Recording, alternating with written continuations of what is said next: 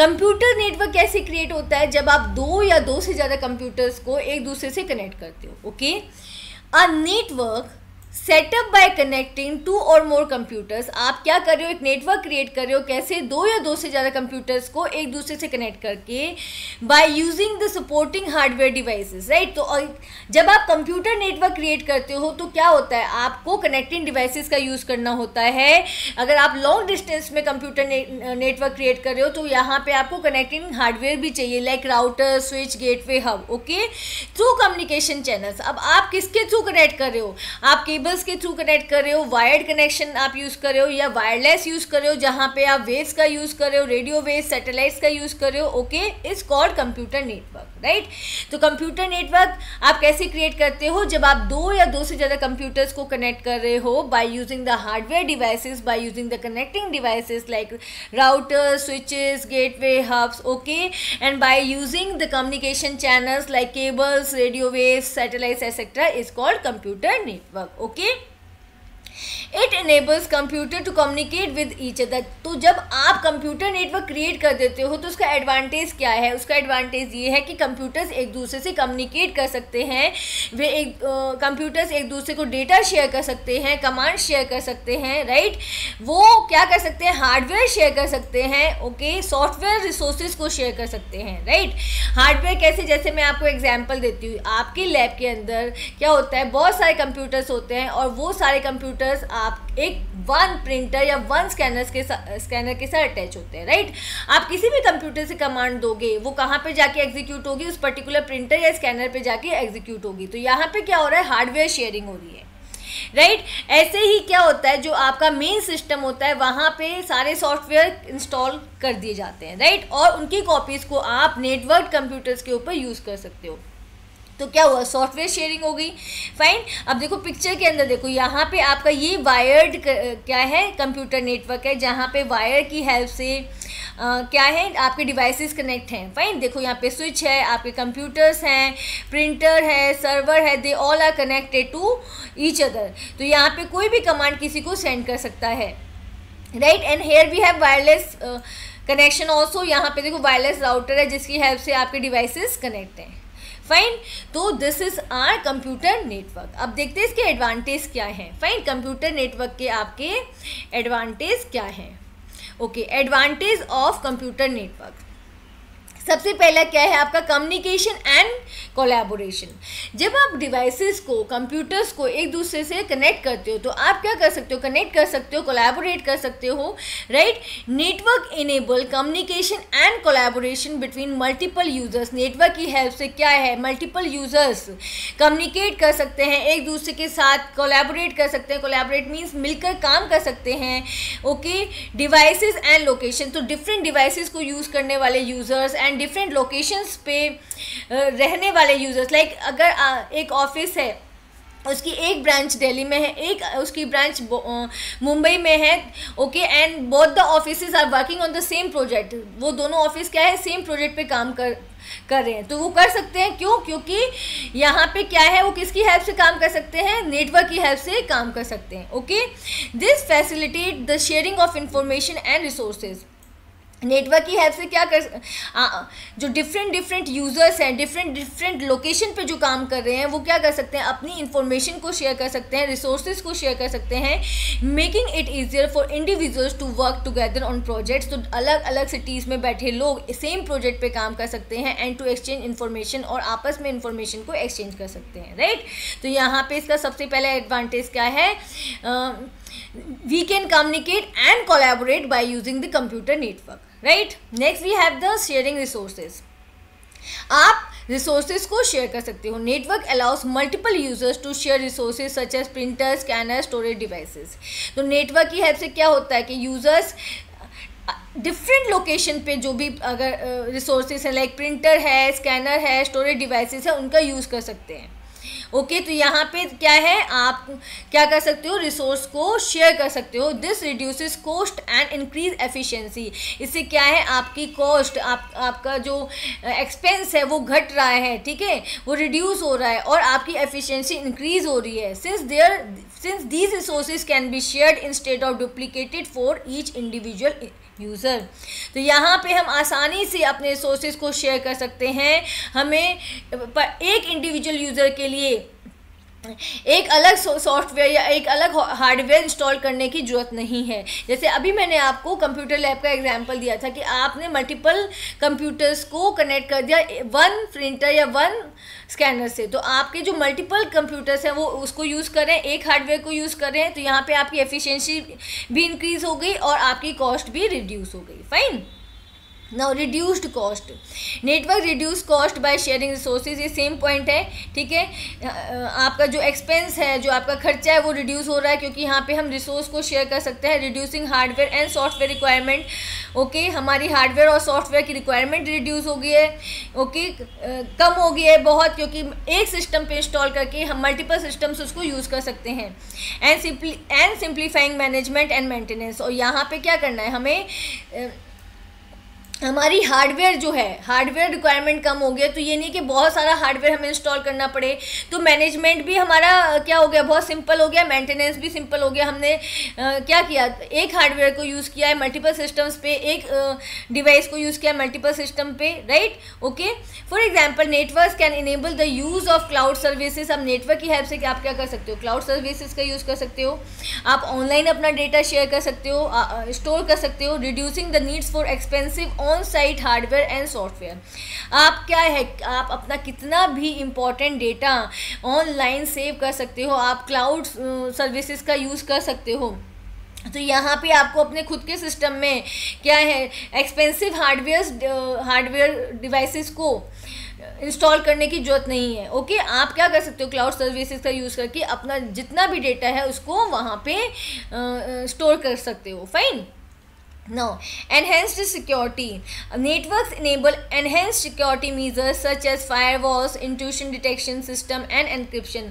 जब आप अपना crucial data cloud सर्विसेज़ पर स्टोर मतलब क्लाउड सर्विसेज़ का यूज़ करके स्टोर कर रहे हो तो ये नहीं है कि उस उसकी सिक्योरिटी में कुछ कमी है नहीं नेटवर्क के अंदर क्या है आपको एनहेंस सिक्योरिटी मेजर्स मिलेंगे मतलब बहुत बहुत ही आपको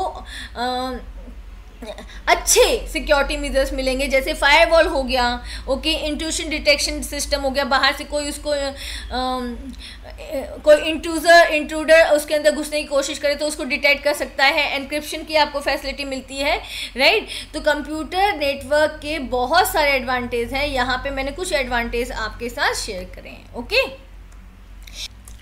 evolution of networking networking का एवोल्यूशन कैसे हुआ? The seeds of internet were planted in 1969 जो फ़र्स्ट आइडिया आया इंटरनेट के लिए ओके okay? वो कब आया? 1969 में आया when US department of defence sponsored a project जब यूएस के डिफेंस डिपार्टमेंट ने एक प्रोजेक्ट को स्पॉन्सर किया, जिसका नाम था ARPANET advanced research project agency network okay और इसका गोल क्या था? The goal of this project was to connect the computers as different different universities and US defence इसका गोल था यूएस डिफेंस को और यूएस की यूनिवर्सिटीज़ को कनेक्ट करना, उनके बीच मैसेज का एक्सचेंज करना okay in mid eighties another federal agency the national science foundation created a new high capacity network called N S F net. Mid eighties में क्या हुआ? एक दूसरी एजेंसी ओके एक दूसरी फेडरल एजेंसी फेडरल एजेंसी क्या होती है? जो गवर्नमेंट से रिलेटेड होती है ओके उस एजेंसी का नाम था national science foundation.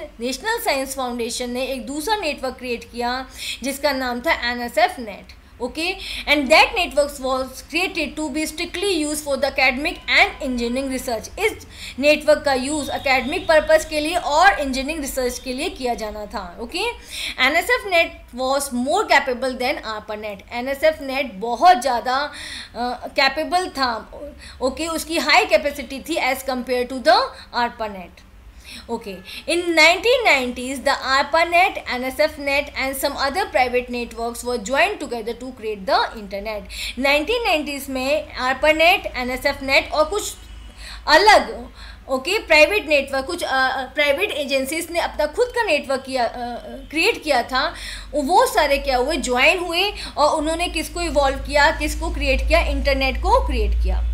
Fine, ARPANET, NSFNet and some other uh, private networks were joined to create the internet उन्होंने चेंजेस किए अमेंडमेंट किए अपने नेटवर्क्स में ओके okay, उसमें सुधार किया और क्या क्रिएट किया? इंटरनेट का क्रिएट इंटरनेट को क्रिएट किया ओके तो सबसे पहले आपका आरपा नेट क्रिएट हुआ ओके उसके बाद आपका एन नेट आया एंड लेटर ऑन नाइन्टीज में क्या हुआ? आरपा नेट एन नेट और जितने भी प्राइवेट नेटवर्क्स थे वो एक दूसरे के साथ कोलेबोरेट हुए ज्वाइन हुए and then they created the internet concept of communication communication का कॉन्सेप्ट क्या होता है?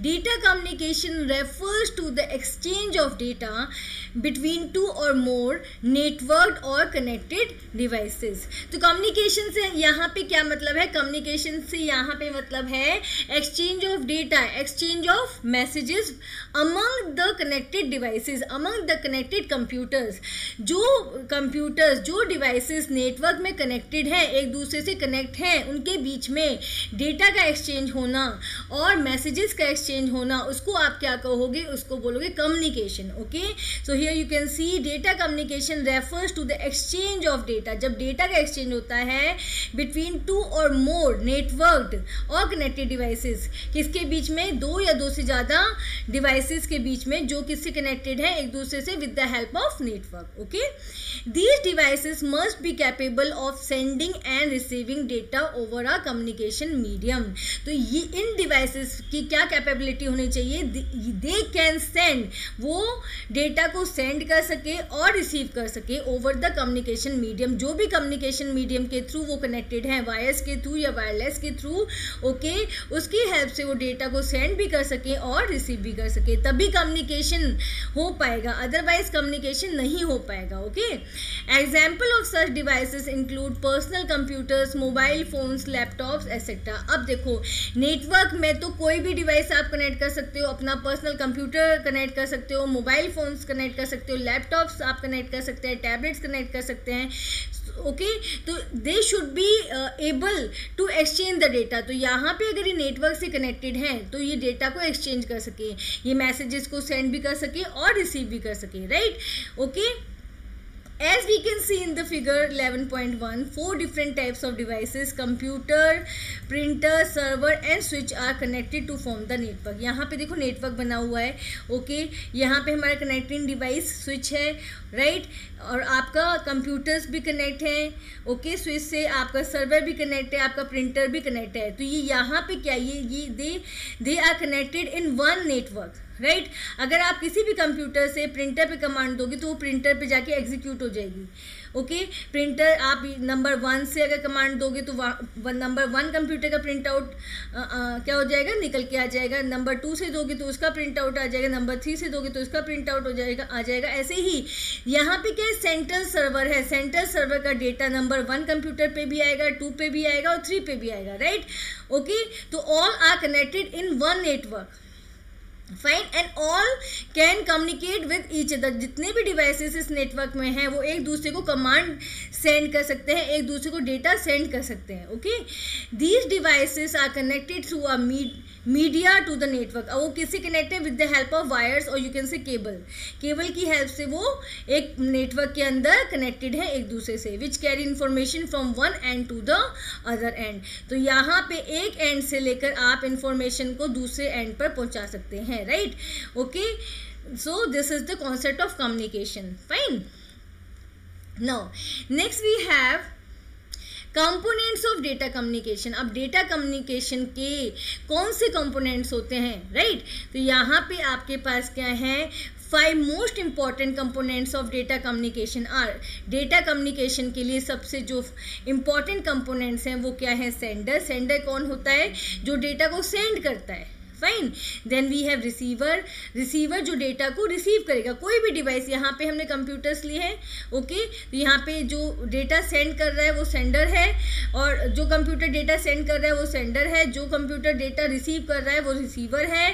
देन आप क्या सेंड करोगे? मैसेज सेंड करोगे या डेटा सेंड करोगे? ओके तो थर्ड कंपोनेंट है आपका मैसेज देन कम्युनिकेशन मीडिया किसी न किसी कम्युनिकेशन मीडिया की हेल्प से ही कनेक्टेड होंगे। डिवाइसेस नेटवर्क में, वायर्ड केबल्स और वायरलेस। तो यहाँ पे देखो दिखाया हुआ है, वायर भी दिखाया हुआ है और वायरलेस भी दिखाया हुआ है।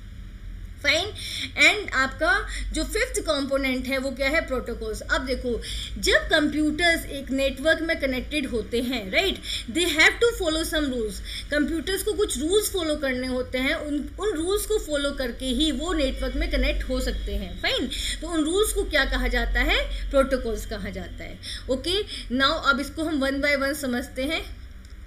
Right right? Okay first we have the sender sender क्या है? सेंडर इज़ अ कंप्यूटर और any such device which is capable of sending data over a network so sender क्या है? या तो आप कंप्यूटर ले लो एग्ज़ाम्पल या फिर कोई भी डिवाइस जो नेटवर्क में डेटा सेंड करता है, उसे हम क्या करते, कहते हैं?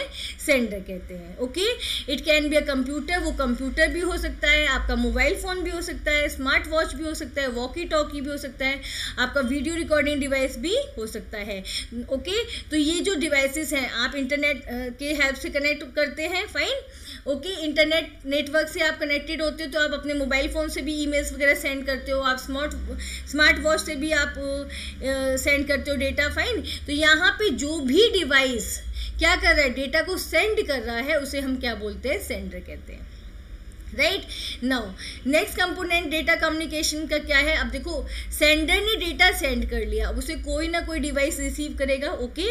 तो जो डिवाइस उसको रिसीव करता है, उसे हम रिसीवर कहते हैं okay a receiver is a computer और any such device which is capable of receiving data from the network वो डिवाइस जो नेटवर्क से डेटा को रिसीव करता है, उसे क्या बोलते हैं? उसे रिसीवर बोलते हैं। वो कोई कोई भी डिवाइस हो सकता है, आपका computer printer any device okay it can be any computer कोई वो कंप्यूटर आप ले सकते हो मतलब जो डेटा रिसीव कर सकता है आपका प्रिंटर प्रिंटर नेटवर्क के थ्रू कमांड रिसीव कर सकता है आपका लैपटॉप कमांड रिसीव कर सकता है आपका मोबाइल फ़ोन रिसीव कर सकता है data television okay etcetera in computer communication the sender and the receiver are known as nodes okay okay? जब हम कंप्यूटर कम्युनिकेशन की बात करते हैं तो वहाँ पे सेंडर भी कंप्यूटर होता है और रिसीवर भी कंप्यूटर होता है और सेंडर एंड रिसीवर को क्या कहा जाता है नोट्स कहा जाता है जो भी कंप्यूटर्स नेटवर्क से कनेक्टेड होते हैं, उनको किस टर्म से आप बुलाते हो नोट से, ओके okay?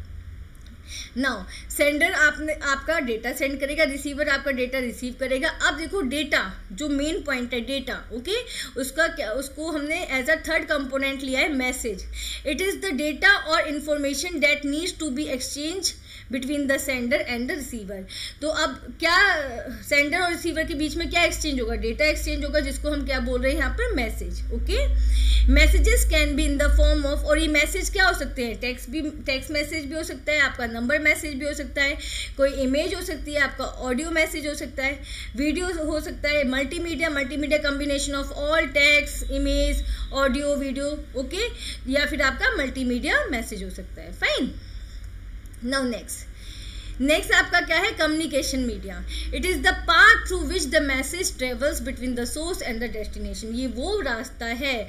ये वो पाथ है जिसकी हेल्प से मैसेज ट्रेवल करता है सेंडर से रिसीवर तक, ठीक है? सोर्स से डेस्टिनेशन तक.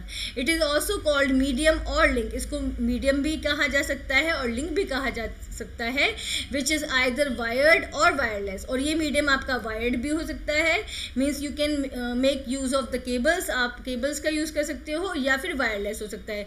जहाँ पे आप किसका यूज़ करोगे? सेटेलाइट्स का यूज़ करोगे वेव्स का यूज़ करोगे okay for example a television cable आप टेलीविज़न केबल का यूज़ कर सकते हो टेलीफोन केबल का यूज़ कर सकते हो, आपके इंटरनेट केबल्स का यूज़ किया जा सकता है सेटेलाइट लिंक्स का यूज़ किया जा सकता है माइक्रोवेव्स का आप यूज़ कर सकते हो। तो कम्युनिकेशन मीडियम क्या है? वो मीडियम है जिसकी हेल्प से सेंडर रिसीवर को मैसेज सेंड करता है और you can say data send करता है okay okay? Next we have the protocols protocols क्या है? It is a set of rules that need to be followed by all the computers connected to the network ये वो rules हैं जो follow किए जाते हैं जितने भी डिवाइसेस नेटवर्क में कनेक्टेड होते हैं उनके द्वारा राइट ये देखो, जैसे आप स्कूल स्टूडेंट्स हो लेटर सपोज़ हाँ? तो आप क्या करोगे, आपके स्कूल में रूल्स है that you have to wear the uniform आप यूनिफॉर्म पहनकर ही स्कूल जाओगे राइट अगर आप नहीं जाते हो you will be expelled from the school आपको निकाल देते हैं स्कूल से। ऐसा ही अगर कंप्यूटर्स जो नेटवर्क में कनेक्टेड हैं, वो प्रोटोकॉल्स फॉलो नहीं करते हैं तो वो they are not part of the internet और यू कैन से नेटवर्क तो उनको एज अ पार्ट नहीं माना जाता। फाइन तो नेटवर्क से कनेक्टेड रहने के लिए नेटवर्क के रूल्स को फॉलो करना होता है और उन रूल्स को क्या कहा जाता है? Protocols okay now It is a set of rules that need to be followed by all the computers connected to the network in order to have successful and reliable data communication. और ये rules क्यों follow किए जाते हैं जिससे कि एक successful और reliable data communication हो सके protocols के exam बहुत सारे protocols होते हैं जैसे hypertext transfer protocol आपका HTTP protocol transmission control protocol internet protocol TCP/IP protocol तो ये जो हमने फाइव पढ़े हैं वो क्या थे हमारे components of data communication. measure capacity of communication media. In data communication, the transmission medium is also known as channel. Data communication में transmission medium को channel भी कहा जाता है channel आपका wireless channel हो सकता है like waves, radio waves, microwaves और wired channel भी हो सकता है like cables, wires. Okay, the capacity of a channel is the maximum amount of signals और traffic that a channel can carry तो चैनल की कैपेसिटी कैसे डिसाइड होती है? कितना अमाउंट ऑफ़ सिग्नल्स और डेटा वो चैनल कैरी करता है? वो चैनल ट्रांसफ़र करता है from sender to the receiver from source to the destination it is measured in terms of bandwidth and data transfer rate channel की कैपेसिटी को decide करने के लिए we have two terms bandwidth and data transfer rate okay so first we have the bandwidth bandwidth क्या होता है? Bandwidth is the difference of maximum and minimum frequency contained in the composite signals we know it very well कि जब data transfer होता है, वो signals की form में ट्रांसफ़र होता है। फाइन तो यहाँ पे बैंडविथ कैसे डिसाइड होती है? बैंडविथ हम निकालते हैं frequency maximum and minimum frequency को का डिफरेंस ओके? okay? तो मैक्सिमम एंड मिनिमम फ्रिक्वेंसी का जो डिफरेंस होता है, वो क्या वो क्या डिसाइड करती है? वो चैनल की बैंडविथ को डिसाइड करती है। अब यहाँ पे ये समझना बहुत इंपॉर्टेंट है कि फ्रिक्वेंसी क्या होता है। Frequency is measured in the number of wave cycles per second frequency आप कैसे मेजर करोगे कि एक वेव ने, ठीक है? एक वेव ने वन सेकेंड में कितने साइकिल्स को कवर किया? जैसे यहाँ पे जो फ़र्स्ट वेव है, उसने वन सेकेंड में वन साइकिल को कवर किया। सेकेंड वेव ने वन सेकेंड में टू साइकिल्स को कवर किया। तो जो फ़र्स्ट वेव है, उसकी फ्रिक्वेंसी क्या होगी? वन हर्च और जो सेकेंड वेव है, उसकी फ्रिक्वेंसी क्या होगी? Two hertz fine okay? तो फ्रीक्वेंसी हम आपको पता चल गई फ्रीक्वेंसी क्या है? Number of cycles covered by a wave per second fine और इसको हम क्या बोलते हैं? हर्ट्ज राइट ये फ्रीक्वेंसी कैसे मेजर होती है? इन हर्ट्ज राइट ओके अब बैंडविथ क्या है? Bandwidth is the difference of maximum and minimum frequency content in the composite signals जो सिग्नल्स ट्रेवल होते हैं चैनल के थ्रू राइट वहाँ पे हम क्या करते हैं? Maximum frequency minus minimum frequency के बाद जो रिज़ल्ट आता है उससे डिसाइड होता है कि उस पर्टिकुलर चैनल की बैंडविथ क्या है। फाइन तो bandwidth of a channel is the range of frequencies available for transmission of data through that channel तो बैंडविथ जो चैनल की बैंडविथ होती है, वो कैसे डिसाइड होती है? रेंज ऑफ़ फ्रिक्वेंसी से डिसाइड होती है okay now higher the bandwidth higher the data transfer rate जितनी बैंडविथ ज़्यादा होगी राइट डिफरेंस जितना ज़्यादा होगा lower frequency and higher frequency signals की जो लोअर फ्रिक्वेंसी है और हायर फ्रिक्वेंसी के बीच में जितना ज़्यादा डिफरेंस होगा, उतना ही ज़्यादा डेटा ट्रांसफ़र रेट होगा। फाइन ओके आप या फिर इसको ऐसे कह सकते हो, जितनी ज़्यादा बैंडविथ होगी, उतना ही ज़्यादा डेटा ट्रांसफ़र होगा चैनल के through okay the figure below shows the bandwidth of the signal F with lower and upper frequencies F L and F U respectively यहाँ पे एक सिग्नल एफ़ है। ये आपका एफ़ सिग्नल है जो ट्रेवल कर रहा है। उसकी लोअर फ्रिक्वेंसी क्या है? F L and upper frequency है एफ़ यू तो यहाँ पे बैंडविथ कैसे निकलेगी? F U minus F L fine या ओके यहाँ पे हम एक एग्ज़ाम्पल uh, देख लेते हैं. Suppose a signal which is to be transmitted has different frequencies एक सिग्नल है ओके okay, वो ट्रांसमिट हो रहा है चैनल के थ्रू और डिफरेंट फ्रिक्वेंसीज से वो ट्रांसमिट हो रहा है. लाइक like उसकी uh, कभी फ्रिक्वेंसी uh, क्या है? सिक्स थाउज़ेंड मेगा हर्च है then forty two hundred mega hertz fifteen hundred mega hertz and eight twenty mega hertz so here the signal bandwidth will be specified by the difference of the lowest and the highest frequency तो यहाँ पे ये क्या उसकी frequencies है. Fine फिर से देखो suppose a signal which is to be transmitted है डिफरेंट फ्रिक्वेंसी एक सिग्नल ट्रांसमिट हो रहा है डिफरेंट फ्रिक्वेंसीज पर. फाइन तो हम बैंडविथ कैसे निकालेंगे? हम highest frequency minus lowest frequency करेंगे तो हमारा जो रिज़ल्ट निकलेगा वो क्या निकलेगा? बैंडविथ निकलेगा. ओके तो यहाँ पे बैंडविथ कैसे निकलेगा? देखो six thousand mega hertz minus eight twenty mega hertz तो आपकी जो बैंडविथ आ गई है वो क्या आ गई है? Five thousand one eighty mega hertz right? This is the uh, bandwidth of the channel. Now bandwidth अब आप बैंडविथ को किस यूनिट में मेजर करते हैं? Bandwidth is measure in hertz right one kilo hertz represent one thousand cycle per second one kilo hertz का meaning क्या है? कि एक सेकेंड में वन थाउज़ेंड साइकिल एक सिग्नल कवर करता है. Okay one mega hertz represent one thousand kilo hertz one giga hertz represent one thousand mega hertz and one tera hertz represent one thousand giga hertz right okay now next we have data transfer rate data transfer rate is the number of bits transmitted between the source and destination in one second तो data transfer rate क्या है कि कितने bits transmit होते हैं one second में from source to the destination okay it is also known as bit rate data transfer rate को bit rate भी कहा जाता है, क्योंकि यहाँ पे डेटा को हम कैसे मेजर कर रहे हैं? Number of bits per second right it is measure sorry it is measured in terms of bits per second right the higher unit for data transfer rates are और इसको आप कैसे, इसकी यूनिट्स क्या है? One kilo bits per second equals to one thousand twenty four bits per second one mega bits per second equals to one thousand twenty four kilo bits per second one giga bits per second equals to one thousand twenty four mega bits per second one tera bits per second equals to one thousand twenty four giga bits per second okay ना अब यहाँ पे देखो हम एक example देखते हैं। Data transfer rate अगर आपको मेज़र करना है तो आप कैसे करोगे? A user wants to upload a text document at the rate of ten pages per per twenty second एक यूज़र क्या चाहता है? एक टेक्स्ट डॉक्यूमेंट को अपलोड करना चाहता है। Okay okay? किस रेट पे टेन पेजेस अपलोड हो जाए? कितने सेकेंड्स में? ट्वेंटी सेकेंड्स में। Okay okay? What will be the required data rate for the channel तो यहाँ पे डेटा रेट क्या होगा? मीडियम का चैनल का क्या डेटा रेट होगा? Assume that one page contains sixteen hundred characters okay ten pages हैं ओके okay? और uh, एक पेज का कितने करेक्टर्स कंटेन करता है? सिक्सटीन हंड्रेड करेक्टर्स करता है okay and each character is of eight bit और एक करेक्टर कितने बिट्स का? एट बिट्स का राइट right? तो हम आपका डेटा ट्रांसफ़र रेट कैसे निकलेगा? Ten because ten pages upload करना चाहता है into sixteen hundred okay one page में कितने करेक्टर्स है? Sixteen hundred to ten pages में टेन इंटू सिक्सटीन हंड्रेड और एक करेक्टर के अंदर कितने बिट्स हैं? Eight right ten into sixteen hundred into eight divided by twenty okay per second होता है ना तो यहाँ पे ट्वेंटी सेकेंड्स में वो टेन पेजेस को अपलोड करना चाहता है ओके तो यहाँ पे आपका डेटा ट्रांसफ़र रेट निकल के आ गया है sixty four hundred bits per second और six point two five kilo bits per second right and internet protocol address with any device कोई भी डिवाइस जब किसी भी नेटवर्क से कनेक्ट होता है लोकल नेटवर्क से या इंटरनेट से कनेक्ट होता है ओके okay, तो उस पर्टिकुलर डिवाइस को एक यूनिक न्यूमेरिकल एड्रेस असाइन किया जाता है। असाइन मतलब उसको दिया जाता है और वो एड्रेस कौन देता है? इंटरनेट सर्विस प्रोवाइडर उसको एड्रेस देता है या असाइन करता है right internet service provider means जो जो भी इंटरनेट आप यूज़ कर रहे हो।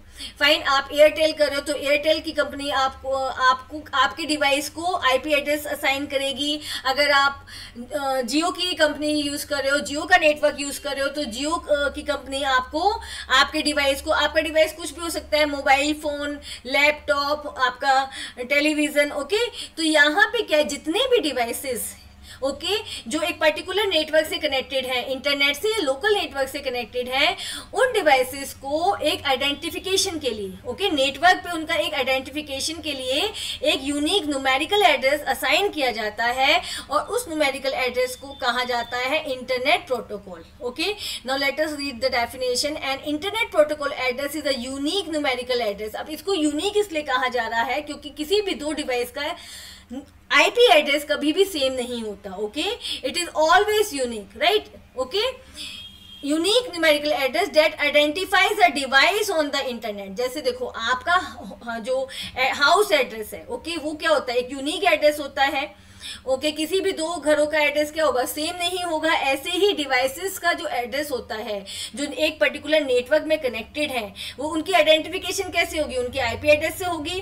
फाइन तो ये जो आईपी एड्रेस है, वो एक डिवाइस को आइडेंटिफाई करता है इंटरनेट पे कि वो वो डिवाइस कहाँ पे लोकेटेड है।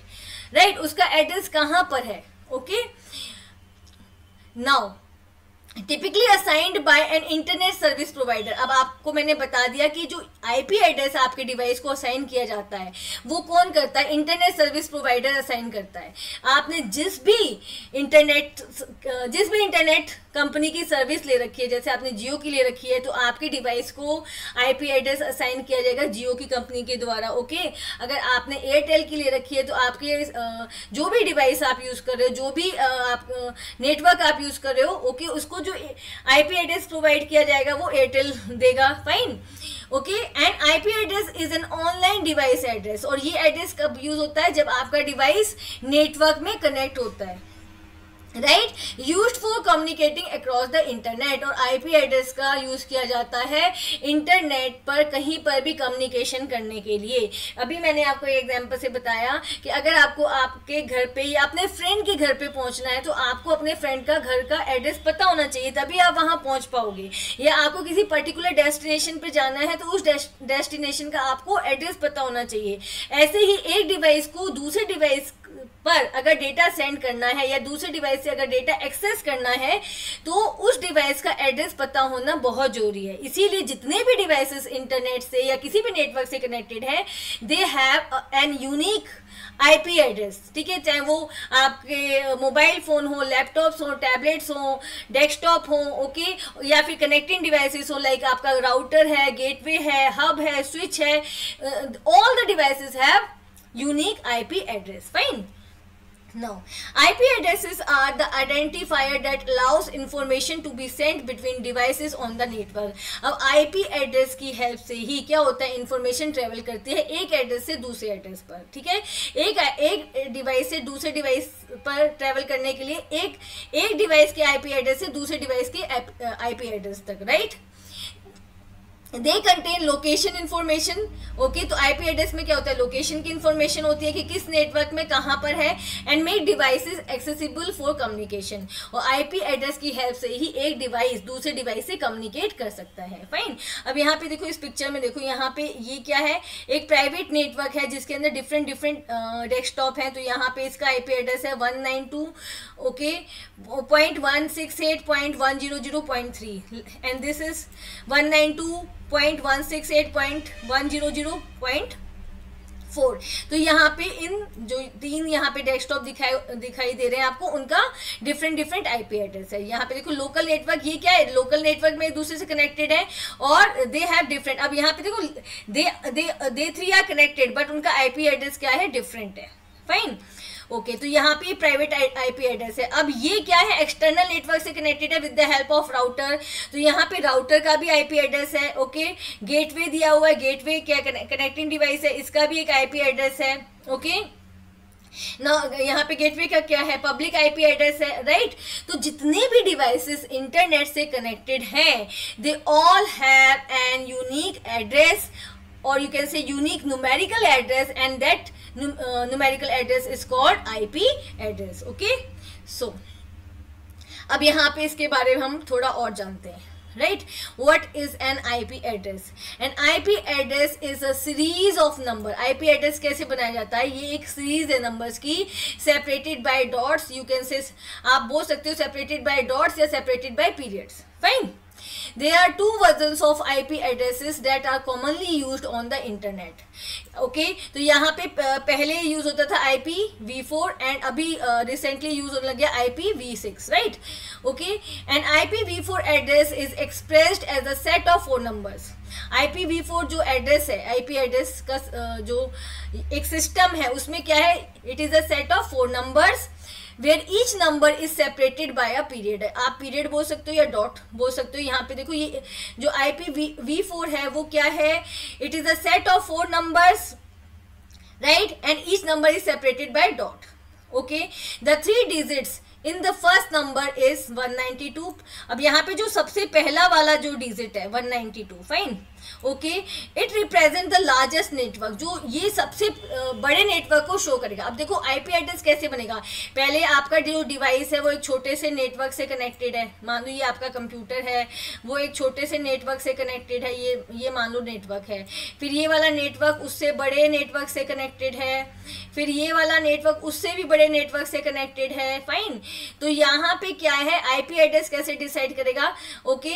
यहाँ पे largest network then the smaller one then the smaller one then the actual network जो आपके डिवाइस uh, का एड्रेस है। Fine okay the three digit in the first number represent the largest network यहाँ पे one nine two किसका uh, किसको represent कर रहा है? लार्जेस्ट नेटवर्क को on the internet while the rest of the digits represent the actual host address तो rest of the digits क्या है जो आपका actual address है उसको within the local network such as a workstation or a server मतलब जो भी uh, है वर्कस्टेशन है ओके uh, या देखो वर्कस्टेशन किसे बोलते हैं जो भी डिवाइस नेटवर्क से कनेक्टेड है उसको नोड बोलेंगे या वर्कस्टेशन बोलेंगे या फिर वो सर्वर है फाइन तो जो सबसे पहला जो डिजिट है थ्री नंबर्स का। वो क्या है? लार्जेस्ट नेटवर्क है and rest of the digits represent the actual network fine okay अब नेक्स्ट हमारा क्या है? IP six IP six address represent eight groups of four hexadecimal digit यहाँ पे कितने? वहाँ पे क्या था? यहाँ पे it it was a group of four numbers four four numbers का ग्रुप था। फाइन यहाँ पे क्या है? एट ग्रुप्स है। यहाँ पे फोर ग्रुप्स था, यहाँ पे एट ग्रुप्स है, और नंबर्स क्या है? हेक्सा डेसिमल नंबर्स है राइट right? यहाँ पे नंबर्स कौन से थे? ऑक्टेट नंबर्स थे। यहाँ पे हेक्साडेसिमल नंबर्स है हेक्साडेसिमल नंबर्स यूज़ हो रहे हैं okay and they are separated by colon आपका आईपीवी फोर में सेपरेशन किससे हो रहा था? डॉट से। यहाँ पे किससे सेपरेशन हो रहा है? कॉलन से। तो ये वन आपका हो गया। देन ये this is your second this is your third okay then fourth then fifth then six then seventh then eighth okay तो I P V six V six address है, ये भी क्या है? आईपी एड्रेस है राइट बट ये ये क्या डिफरेंट तरीके से असाइन किया जाता है? इसमें एट ग्रुप्स हैं और जितने भी ग्रुप्स हैं उसमें नंबर्स क्या है? हेक्साडेसिमल नंबर्स है। Fine. Okay. Now, each internet protocol address can send information to other IP address through discrete chunks known as packets. And we know it very well. एक डिवाइस दूसरे device को जब information send करता है तो information कैसे travel करती है? In the form of packets fine अब यहाँ पे क्या है? Each network packets contains the data being transfer जो पैकेट होता है। मान लो ये हमारा पैकेट है। इसके अंदर नीचे क्या होगा? मैसेज होगा।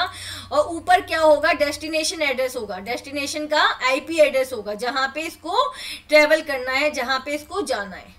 Okay each network packet contains the data being transfer तो यहाँ पे डेटा हो गया, जो ट्रांसफ़र होना है along with the header header पे क्या होता है? Containing the IP address of the packet कि किस डेस्टिनेशन पे इस पैकेट को पहुँचना है। फाइन तो समझ में आ गया कि आईपी एड्रेस का जो फॉर्मेट होता है, वो क्या होता है? ओके नेक्स्ट अब ये काम कैसे करता है? How do IP address work okay. इज़ ip address is the part of tcp ip suite of protocol तो यहाँ पे हमारा tcp ip क्या है? Transmission control protocol internet protocol okay तो ये जो आपका tcp ip प्रोटोकॉल है, ये बहुत इंपॉर्टेंट होता है जब डेटा ट्रांसफ़र करता है नेटवर्क के थ्रू तो आईपी एड्रेस क्या है? इस प्रोटोकॉल का पार्ट है। फाइन देखो ट्रांसमिशन कंट्रोल प्रोटोकॉल क्या करता है? ट्रांसमिशन में हेल्प करता है डेटा की। और आईपी जो प्रोटोकॉल है, वो क्या करता है? आईपी एड्रेस असाइन करता है। फाइन ओके डिवाइसेस को। It works behind the scene helping devices and the websites connect with each other on the internet okay अब यहाँ पे TCP IP protocol IP address की हेल्प से डिवाइसेस को एक दूसरे से कनेक्ट करता है। Okay every time a request is made to access a website जब भी किसी वेबसाइट से डेटा एक्सेस करने की रिक्वेस्ट आती है the requesting computer needs to know where the website resides and how to reach it तो यहाँ पे रिक्वेस्टिंग कंप्यूटर को पता होना चाहिए कि कौन सी वेबसाइट है और वो उस वेबसाइट तक अपनी रिक्वेस्ट को कैसे पहुँचा सकता है। This is where the I P address comes into play तो यहाँ पे क्या है? आईपी एड्रेस ही सारा काम करता है। The requesting computer connect to the network router requesting computer क्या करता है? अपना जो भी उसको रिक्वेस्ट है, वो सेंड कर देता है। कहाँ पे? जिस नेटवर्क से वो कनेक्टेड है।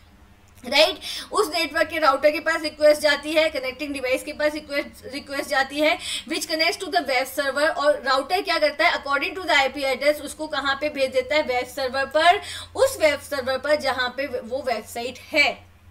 Fine okay the web server then push the website information web server क्या करता है? उस वेबसाइट की इंफॉर्मेशन को निकालता है and send it back to the requesting computer और जिस कंप्यूटर ने रिक्वेस्ट भेजी होती है कि मुझे पर्टिकुलर इन्फॉर्मेशन चाहिए, उसके पास डेटा सेंड कर देता है। अब यहाँ पे क्या है? रिक्वेस्ट जो जाती है, वो भी किसके अकॉर्डिंग जाती है? According to the IP address fine और जो डेटा आता है अकॉर्डिंग टू द रिक्वेस्ट वो भी किसके अकॉर्डिंग आता है? According to the IP address fine device in this process, including the computer, router, web server, carries a uniquely identifiable IP address. तो यहाँ पे साफ़ साफ़ कहा जा रहा है कि जितने भी डिवाइसेस पूरे प्रोसेस में इन्वॉल्व हैं उनका एक पर्टिकुलर आईपी एड्रेस होता है। Fine without which the transfer of information will not take place और इस आईपी एड्रेस के बिना इंफॉर्मेशन का ट्रांसफ़र हो ही नहीं सकता। Okay okay? अगर आपको किसी डेस्टिनेशन पे जाना है and you don't know the address of the destination तो क्या आप जा सकते हो? नहीं जा सकते हो। आपको क्या चाहिए? आपको उस डेस्टिनेशन का एड्रेस पता होना चाहिए right switching techniques are use for transmitting data across the network networks में डेटा जब ट्रांसफ़र होता है तो कुछ टेक्निक्स का यूज़ किया जाता है, जिनको स्विचिंग टेक्निक्स कहा जाता है right three switching techniques are यहाँ पे हम तीन स्विचिंग टेक्निक्स को देखेंगे. Circuit switching message switching and packet switching So first we have circuit switching. In circuit switching, whenever a device communicates with another device, circuit switching में जब भी कोई डिवाइस दूसरे डिवाइस से कम्युनिकेट करती है डेटा का एक्सचेंज करती है इधर डेटा को सेंड करती है या रिसीव करती है तो क्या होता है? A dedicated end to end communication path is established between them over the network तो दोनों डिवाइस के बीच में एक dedicated end to end communication path create हो जाता है। जैसे मान लो ये सेंडर है और ये आपका रिसीवर है। सेंडर डेटा सेंड कर रहा है और रिसीवर डेटा रिसीव कर रहा है। तो इन दोनों के बीच में एक पाथ क्रिएट कर दिया जाता है जो टोटली सेंडर और रिसीवर के लिए रिज़र्व होता है ओके और इस पाथ को हम क्या बोलते हैं? सर्किट बोलते हैं। Fine It is a switching technique that creates a pre-specific route between the sender and the receiver and this route is reserved for both devices as long as the connection is active तो जब तक communication चलेगा तब तक जो route create हुआ है और you can say path create हुआ है या circuit create हुआ है वो क्या रहेगा active रहेगा ओके okay? जब तक sender और receiver के बीच में communication continue रहता है ओके okay? ओके okay, लेकिन ये जो प्री स्पेसिफिक रूट क्यों कहा गया है क्योंकि कम्युनिकेशन से पहले इस रूट को बना दिया जाएगा fine okay other devices can not use this specific route for data transmission इस रूट का जो सेंडर और रिसीवर का रूट है ओके okay? जो रिज़र्व रूट है, उसको कोई दूसरा डिवाइस डेटा सेंड करने के लिए यूज़ नहीं कर सकता।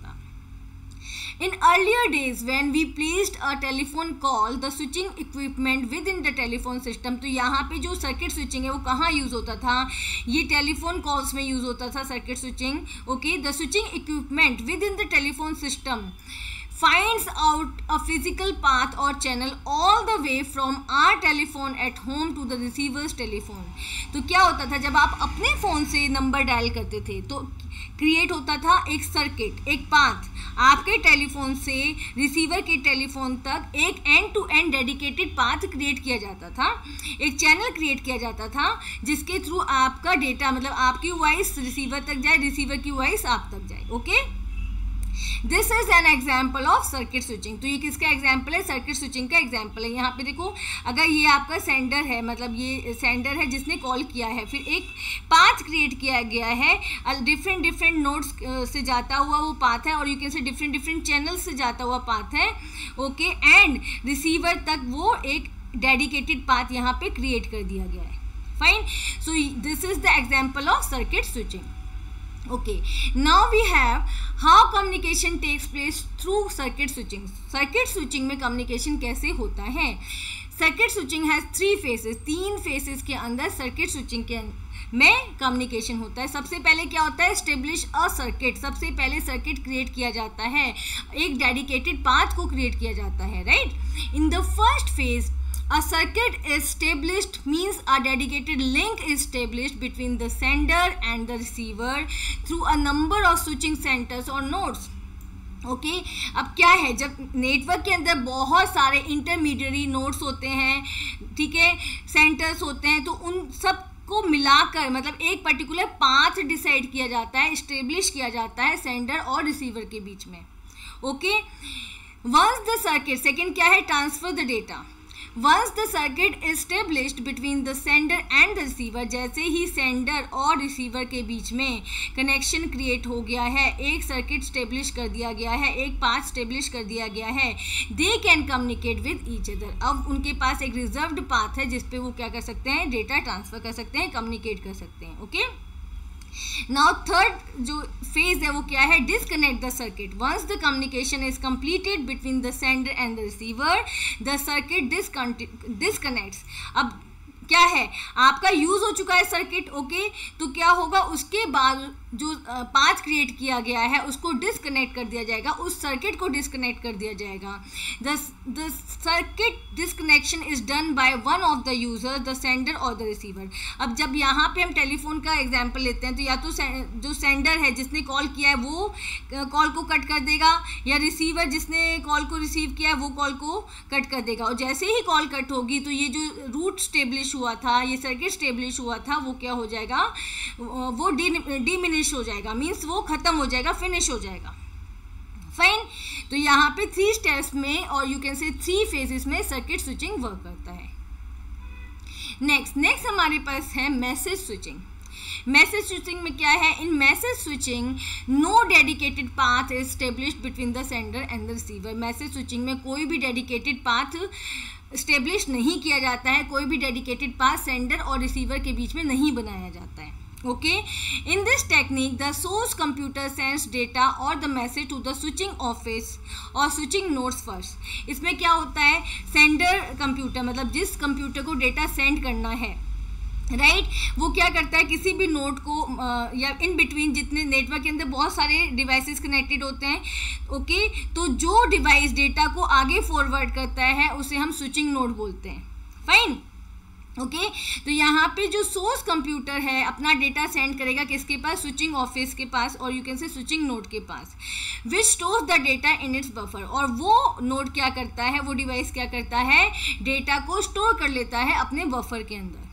It then looks for a free link to another switching office जैसे यहाँ पे देखो ये सोर्स है, इसने मैसेज सेंड किया, ठीक है? तो यहाँ पे ये क्या है? स्विचिंग नोड है, उसने स्विचिंग नोड मतलब दूसरा डिवाइस है जो as a switching node work कर रहा है। जिसका क्या काम है? मैसेज को रिसीव करना, फिर उसको आगे फॉरवर्ड करना।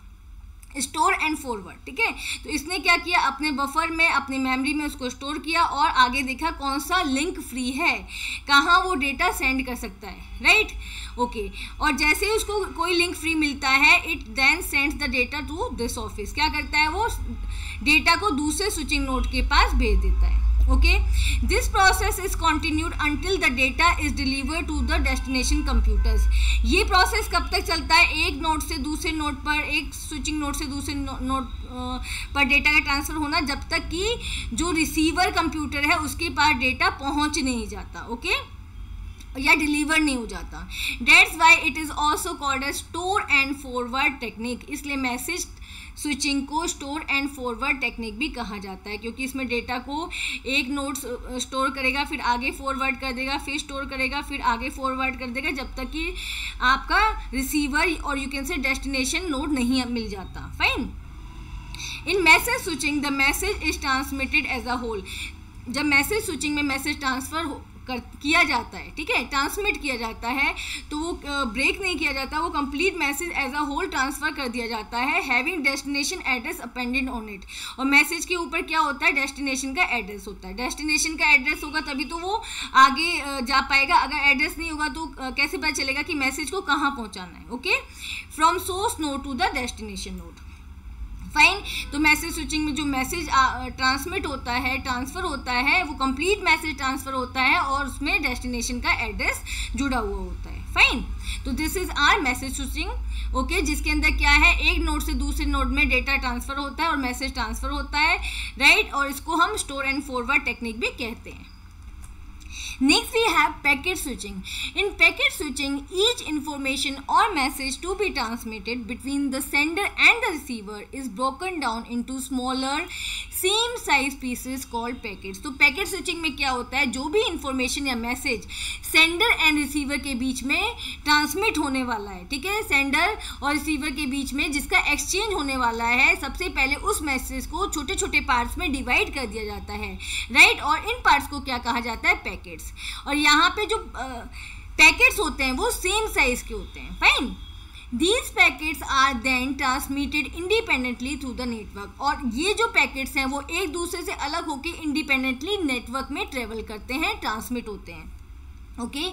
Different packets of the same message may take different routes depending on the availability. Okay? तो यहाँ पे पैकेट्स के ऊपर कोई बाउंडेशन नहीं है कि उन्हें सेम रूट फॉलो करना है। डिफरेंट पैकेट्स एक सेम मैसेज के different packet different different routes को फॉलो करके ट्रांसमिट हो सकते हैं। जो रूट उनको सुटेबल लगता है ओके okay? जो रूट उनको अवेलेबल लगता है, उस रूट्स को वो फॉलो करके डिफरेंट डिफरेंट पैकेट्स उस रूट को फॉलो करके आगे बढ़ सकते हैं ट्रांसमिट हो सकते हैं okay each packet has two parts अब पैकेट्स जो क्रिएट होते हैं छोटे छोटे पार्ट्स एक मैसेज के जो हम बने हैं, उनके दो पार्ट्स होते हैं। A header containing the address of the destination header part में क्या होता है?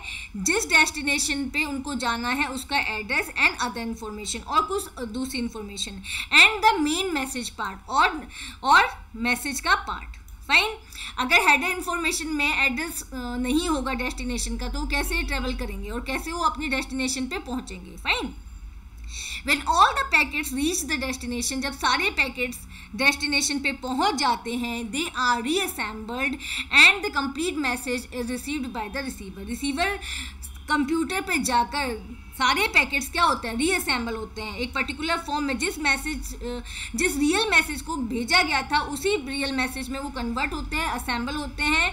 Okay and the complete message is receive by the receiver और रिसीवर कंप्लीट मैसेज को रिसीव करता है। फाइन तो यहाँ पे देखो, आपके पिक्चर में दिया है सोर्स कंप्यूटर ने क्या किया है? डेटा सेंड किया यहाँ पे डेटा सेम साइज़ के पैकेट्स में डिवाइड हो गया है। One two three four right अब यहाँ पे देखो, यहाँ पे एस वन ये नोट्स हैं इन बिटवीन नोट्स हैं राइट तो यहाँ पे फोर एंड वन ये एस वन से एस वन उन्होंने ये वाला पाथ लिया, लेकिन जो पैकेट टू एंड थ्री था, उन्होंने ये वाला पाथ लिया। फाइन फिर जो पैकेट वन था, उसने ये वाला पाथ लिया, पैकेट टू ने आपका ये वाला पाथ लिया and packet four and three ने ये वाला पाथ लिया। तो देखो, यहाँ पे जो पैकेट्स हैं, वो क्या है? डिफरेंट पाथ्स को फॉलो कर रहे हैं। फिर अगेन वन एंड टू ने ये वाला पाथ ज्वाइन किया एंड फोर एंड थ्री ने ये वाला पाथ ज्वाइन किया। Okay? And now destination computer पे ये देखो, जब पहुँचते हैं, ज़रूरी नहीं है कि पैकेट वन पहले पहुंचेगा, फिर पैकेट टू पहुंचेगा, ऐसा नहीं है। ये अलग अलग पहुँचते हैं, कोई भी पैकेट पहले पहुँच सकता है, कोई भी पैकेट बाद में पहुँच सकता है। फाइन जैसे यहाँ पे देखो टू वन थ्री फोर ये इस इस सीक्वेंस में पैकेट्स यहाँ पे डिलीवर हुए हैं। अब यहाँ पे आने के बाद डेस्टिनेशन कंप्यूटर पे आने के बाद, ये रीअसेंबल हो जाएँगे रियल मैसेज के फॉर्म में, ये कन्वर्ट हो जाएँगे। एंड देन देखो डेस्टिनेशन ने क्या रिसीव किया है? One two three four one two three four क्या है? जो रियल मैसेज ट्रांसफ़र हुआ था वो। Okay so this is packet switching a transmission medium is a communication channel transmission medium क्या है communication channel है that carries signals or data between the source and the destination वो medium वो channel जो क्या करता है data को carry करता है okay transfer करता है from source to the destination fine for example as we switch on a ceiling fan or a light bulb the electric wire is the medium जैसे ही आप क्या करते हो ceiling fan को या लाइट बल्ब के स्विच को ऑन करते हो। तो क्या होता है the electric wire is the medium that carries electric current from switch to the fan और द बल्ब राइट तो इलेक्ट्रिक वायर जो कनेक्टेड होता है स्विच से, किसके साथ? आपके फ़ैन के साथ या बल्ब के साथ, वो वो क्या है? वो मीडियम है ट्रांसमिशन मीडियम है। जैसे ही आपने स्विच को ऑन किया ओके उस ट्रांसमिशन मीडियम के थ्रू इलेक्ट्रिक जो सिग्नल्स हैं, वो कहाँ चले जाते हैं? बल्ब में चले जाते हैं फ़ैन में चले जाते हैं okay and that starts working आपका बल्ब ऑन हो जाता है, आपका फ़ैन ऑन हो जाता है ओके तो यहाँ पे जो ट्रांसमिशन मीडियम है that is required for the transfer of the data from transmitter to the receiver. जो डेटा को ट्रांसमिट कर रहा है और जो डेटा को रिसीव कर रहा है। फाइन उन दोनों को क्या चाहिए? एक मीडियम चाहिए। यहाँ पे एक, यहाँ पे हमारा सोर्स है और हमारा डेस्टिनेशन है। तो डेटा कैसे ट्रांसफ़र करेगा? With the help of the transmission medium right now transmission की medium can be classified in two categories हमने ट्रांसमिशन मीडियम को दो कैटेगरीज में डिवाइड किया है। First we have guided media और वायर्ड मीडिया जहाँ पे वायर्स का यूज़ होता है केबल्स का यूज़ होता है, उसको आप वायर्ड मीडिया भी कह सकते हैं और गाइडेड मीडिया भी कह सकते हैं right second one is wireless media जहाँ पे आप इलेक्ट्रोमैग्नेटिक वेव्स का यूज़ करते हो राइट और यू कैन से वेव्स का यूज़ करते हो, उसको हम कहेंगे वायरलेस मीडिया ओके और या उसको आप अनगाइडेड मीडिया भी कह सकते हैं right now we have a picture here यहाँ पे देखो classification of communication media okay तो यहाँ पे क्लासिफिकेशन आप देख सकते हो।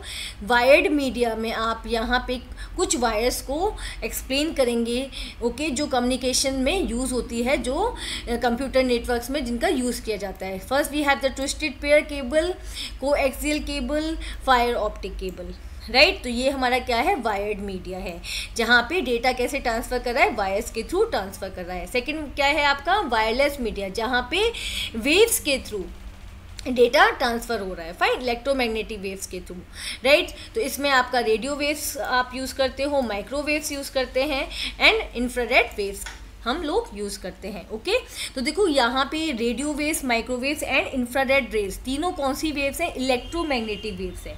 तो इलेक्ट्रोमैग्नेटिक वेव्स कैसे क्रिएटेड होती है? कैसे क्रिएट की जाती है? They are created as a result of vibrations between an electric field and a magnetic field जब आप इलेक्ट्रिक फ़ील्ड और मैग्नेटिक फ़ील्ड के बीच में क्या करते हो? वाइब्रेशंस को क्रिएट करते हो, ठीक है?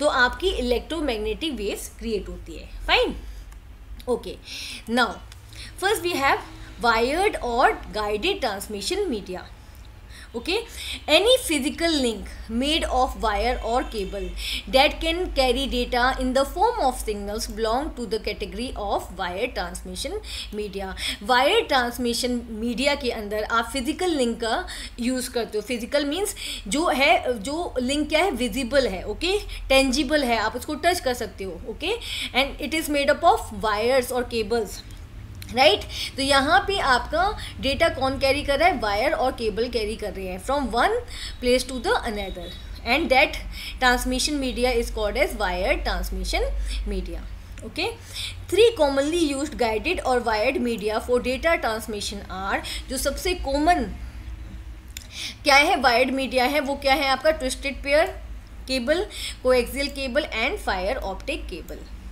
right twisted pair and coaxial cable carry the electric signals तो यहाँ पर हमारा twisted pair cable and coaxial cable electric signals को कैरी करते हैं okay these two cables carry the electric signals data किस फॉर्म में ट्रेवल करता है? इलेक्ट्रिकल सिग्नल्स की फॉर्म में ट्रेवल करता है। Whereas optical fibre cable carries the light signals but optical fibre जो आपका केबल होता है, वो किस फॉर्म में डेटा को कैरी करता है? लाइट सिग्नल्स की फॉर्म में डेटा को कैरी करता है from one place to the another from sender to the receiver Now, here we have twisted pair cable. A twisted pair cable consists of two copper wires twisted together. Twisted pair आपका कैसे बनता है? आपने यहाँ पे दो copper wires को एक दूसरे के अंदर twist किया हुआ है। Fine both the copper wires are insulated with plastic covers यहाँ पे जो कॉपर वायर हैं, उनके ऊपर आपने प्लास्टिक कवर को चढ़ाया है, जिससे इंसुलेशन प्रोवाइड हो सके। एक वायर का सिग्नल दूसरे वायर के अंदर ट्रांसफ़र ना हो। Usually a number of such pairs are combined together and covered with the protective outer wrapping तो यहाँ पे आप एक से ज़्यादा ट्विस्टेड पेयर को एक protective outer wrapping outer covering के अंदर एनक्लोज कर सकते हो राइट ओके तो जो ट्विस्टेड पेयर आपका केबल बना है, उसके अंदर क्या है? मल्टीपल ट्विस्टेड पेयर केबल है। Fine okay now here we have the use of twisted configuration minimize the effect of electrical interference from similar pair close by, ठीक है?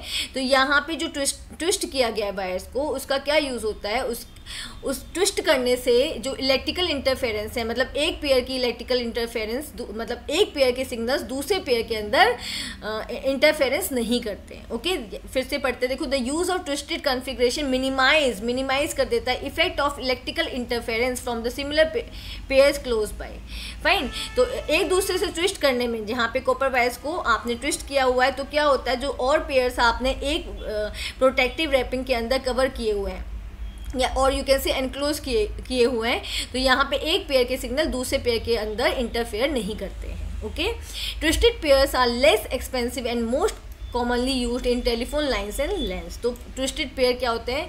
लेस एक्सपेंसिव होते हैं, बहुत ज़्यादा महँगे नहीं होते और इनका यूज़ टेलीफोन लाइन्स में और लोकल एरिया नेटवर्क्स क्रिएट करने में किया जाता है। These cables are of two types okay twisted pair cables two types के होते हैं unshielded twisted pair UTP and shielded twisted pair, okay?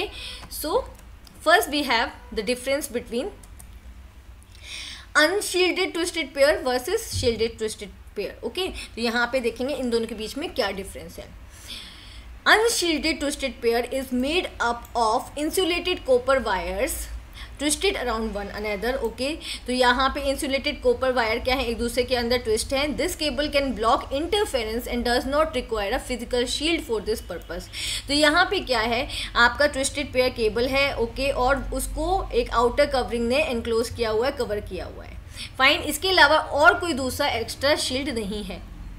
Right it is employed in telephonic application इसका telephonic application में यूज़ किया जाता है। Okay now we have the shielded twisted pair S T P पहले क्या था? अनशील्डेड ट्विस्टेड पेयर जिसके अंदर कोई एक्स्ट्रा कवरिंग नहीं थी। ओके okay, एक सिंपल प्लास्टिक कवरिंग थी to enclose to cover the pairs right now we have the shielded twisted pair S T P cables come with twisted pair twisted wire pair covered in metal foil और metal sheet. तो यहाँ पे क्या है?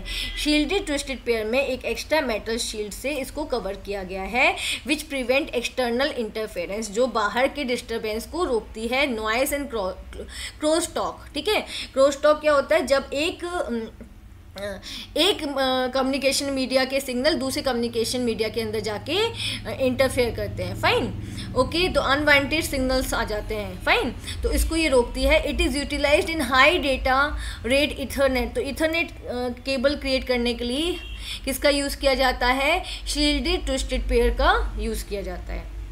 And telephonic and telephone voice and data channels और telephone uh, lines uh, बनाने के लिए भी uh, आपका ट्विस्टेड पेयर मींस कौन से ट्विस्टेड पेयर का? शील्डेड ट्विस्टेड पेयर केबल्स का यूज़ किया जाता है ओके तो यहाँ पे एक डिफरेंस है अनशील्डेड के अंदर आपका मेटल शील्ड नहीं है और बट आपका शील्डेड ट्विस्टेड पेयर के अंदर मेटल शील्ड है। Fine okay now we have the advantage of twisted pair cable advantage क्या है? It is easy to install and maintain आप इसको ईजिली इंस्टॉल कर सकते हो मेंटेन कर सकते हो. It has a it has a low weight इसका वेट बहुत ज़्यादा नहीं है okay it can be easily connected आप इजिली इसको कनेक्ट कर सकते हो. इट इज़ वेरी इनएक्सपेंसिव और यह, और ये वायर है, और ये वायर बहुत ही इनएक्सपेंसिव है. मतलब इसकी कॉस्ट बहुत ज़्यादा नहीं है. Okay next we have the disadvantage of twisted pair cable अब इसके डिसएडवांटेज क्या है?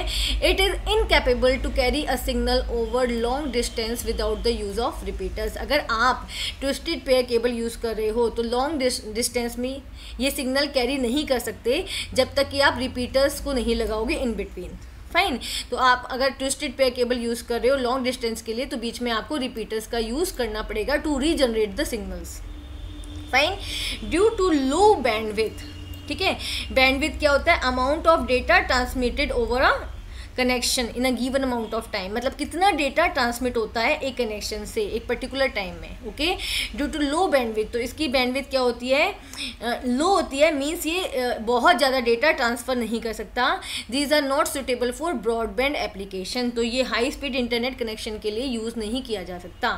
Twisted pair cable okay Next we have coaxial cable. Coaxial cable consists of a copper wire at the core of the cable. तो यहाँ पे हमारे पास क्या है? को coaxial cable है ओके जो, कैसे क्रिएट होता है? Copper wire at the core of the cable core of the core क्या होता है? The wire that is connected to the connector यहाँ पे हम किसको कनेक्ट करेंगे? हम कॉपर वायर को कनेक्ट करेंगे कनेक्टर के साथ ठीक है? तो जो इसका जो मेन कंपोनेंट है वो इसका कॉपर कोर है। Fine.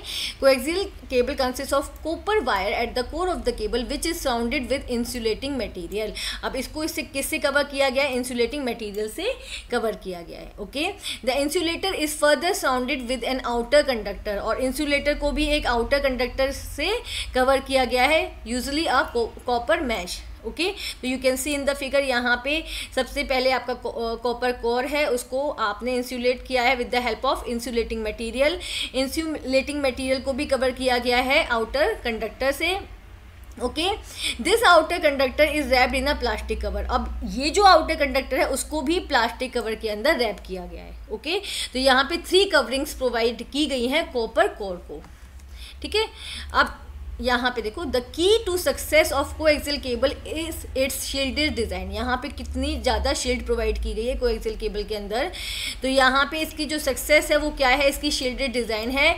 That allows the cable's copper core to transmit data quickly यहाँ पे देखो, कोई भी इंटरफेरेंस इसके अंदर नहीं आ सकती क्योंकि इसको बहुत ज़्यादा प्रोटेक्शन प्रोवाइड की गई है।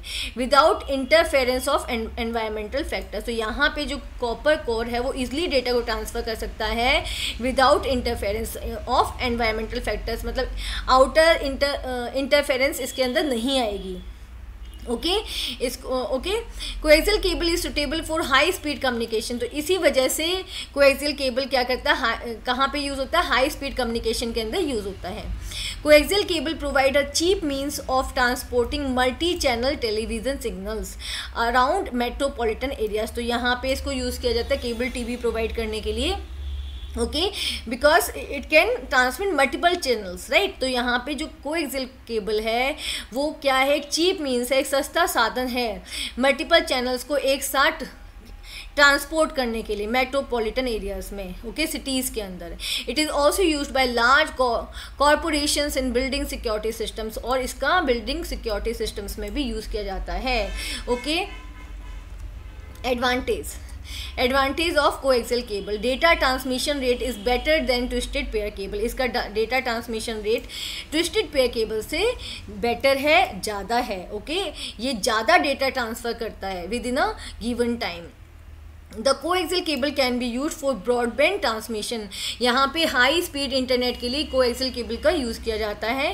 That is several channels can be transmitted simultaneously as with the cable TV cable TV connections के लिए भी कोएक्सिल केबल का यूज़ किया जाता है क्योंकि कोएक्सिल केबल एक साथ मल्टीपल चैनल्स को ट्रांसफ़र कर सकता है। Fine now we have the disadvantage of coaxial cable, expensive than twisted pair cable.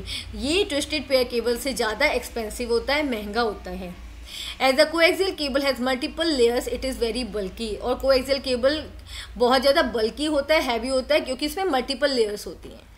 Next we have optical fibre optical fibre consist of thin stand of glass और glass like material optical fibre क्या होता है? It is like a glass trend okay glass के धागे की तरह होता है विच कैरीज लाइट जो लाइट को कैरी करता है from source to the destination from centre to the receiver okay a thin transparent stand of glass at the centre is covered with the layer of less dense glass called cladding और ये जो thin stand होता है glass का, वो किससे cover होता है? वो क्लैडिंग से कवर होता है right okay this whole arrangement is covered with an outer jacket made of PVC और टेफलन और ये जो पूरा यहाँ पे सबसे जो इंटीरियर है, जो सबसे अंदर है, वो क्या है?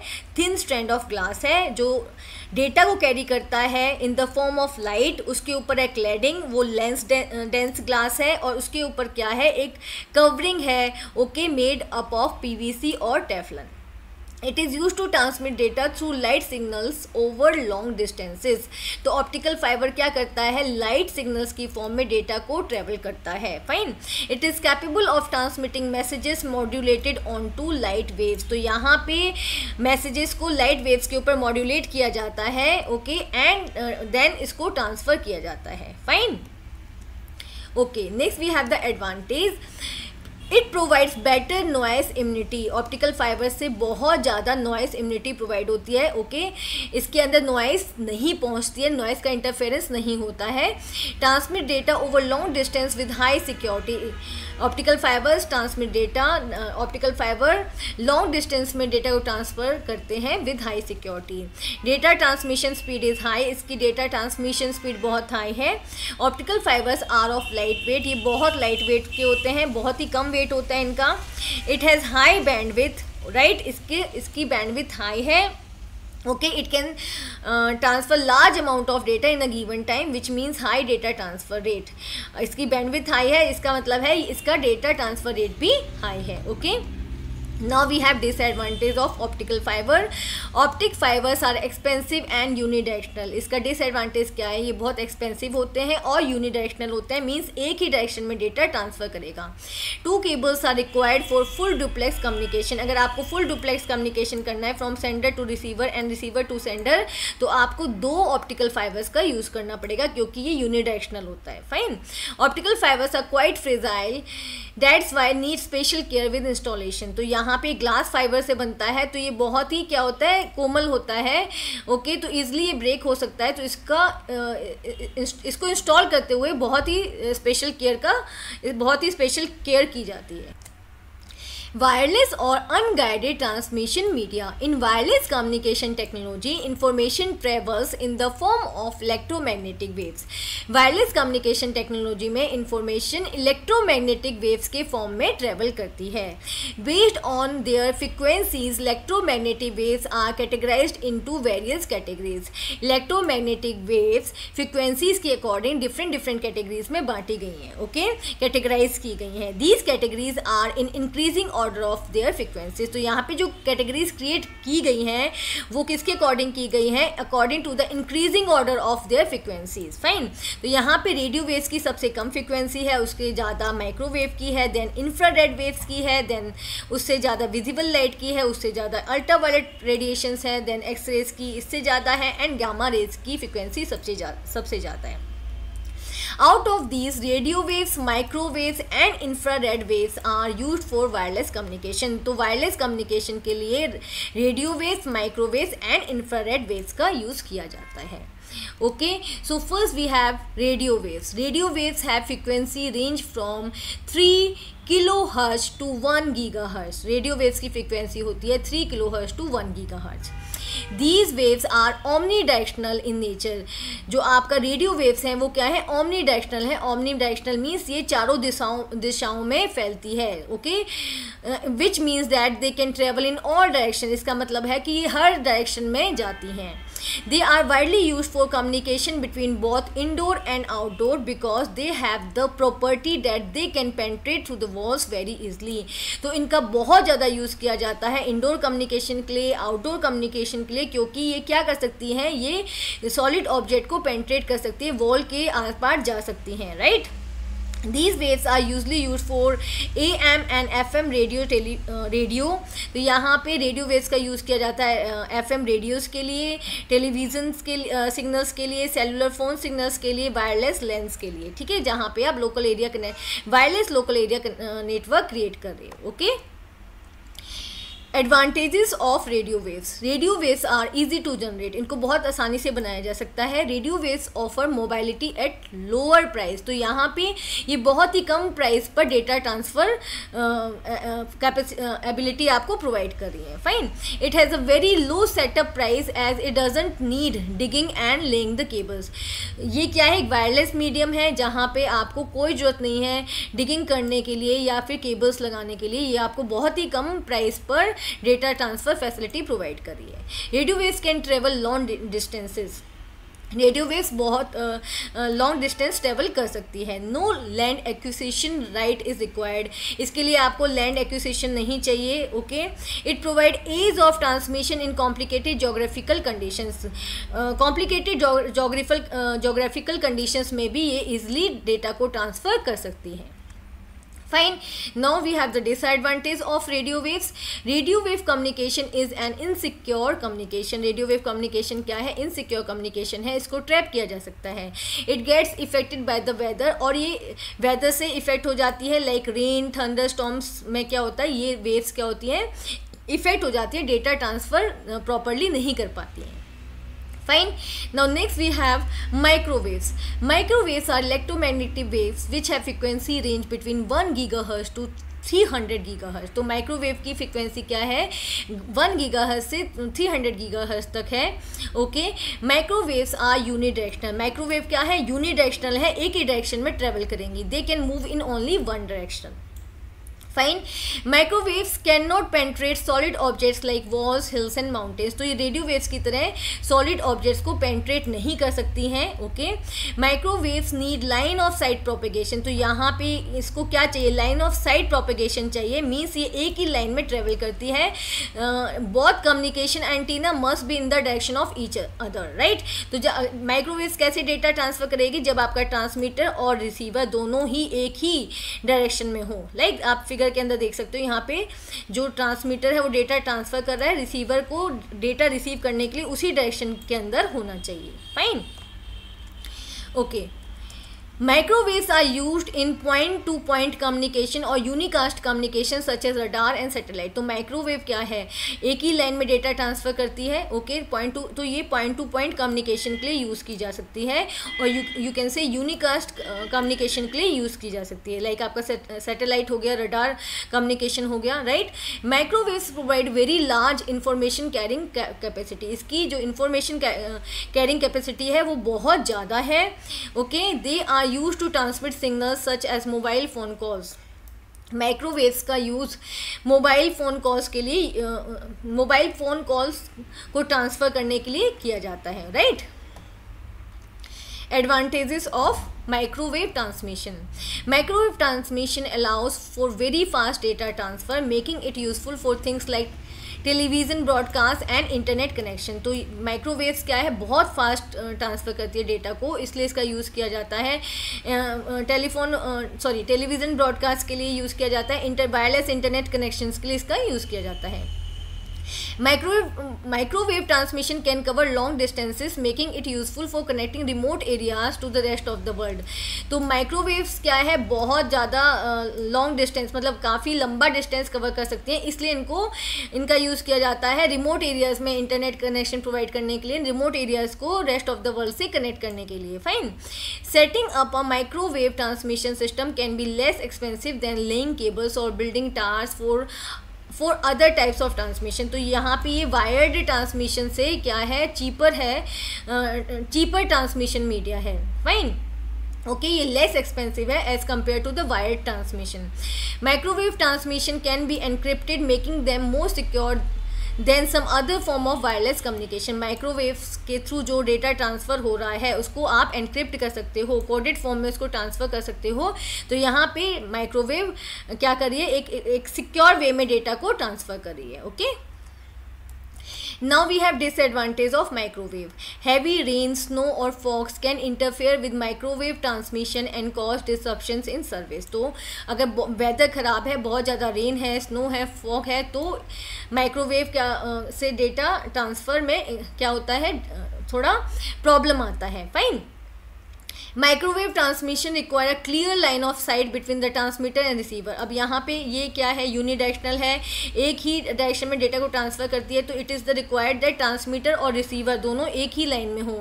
Right which can be affected by buildings और नेचुरल ऑब्स्टिकल्स जो अफेक्ट हो सकता है बिल्डिंग्स के थ्रू या फिर कुछ और नेचुरल ऑब्स्टिकल के through right some studies have suggested that prolonged exposure to microwaves uh, from transmission task could be harmful to the human health तो यहाँ पे कुछ स्टडीज़ हुई हैं जिनसे ये पता गया कि अगर बहुत ज़्यादा माइक्रोवेव्स के संपर्क में लोग आते हैं तो उससे हेल्थ हजार्ड भी हो सकते हैं। हेल्थ भी खराब हो सकती है fine microwave transmission can be disrupted by other electronic devices such as radar system cell phones that operate on the same frequency अगर सेम uh, फ्रिक्वेंसी पे डेटा ट्रांसफ़र हो रहा है तो वो माइक्रोवेव ट्रांसमिशन को डिसरप्ट कर सकता है।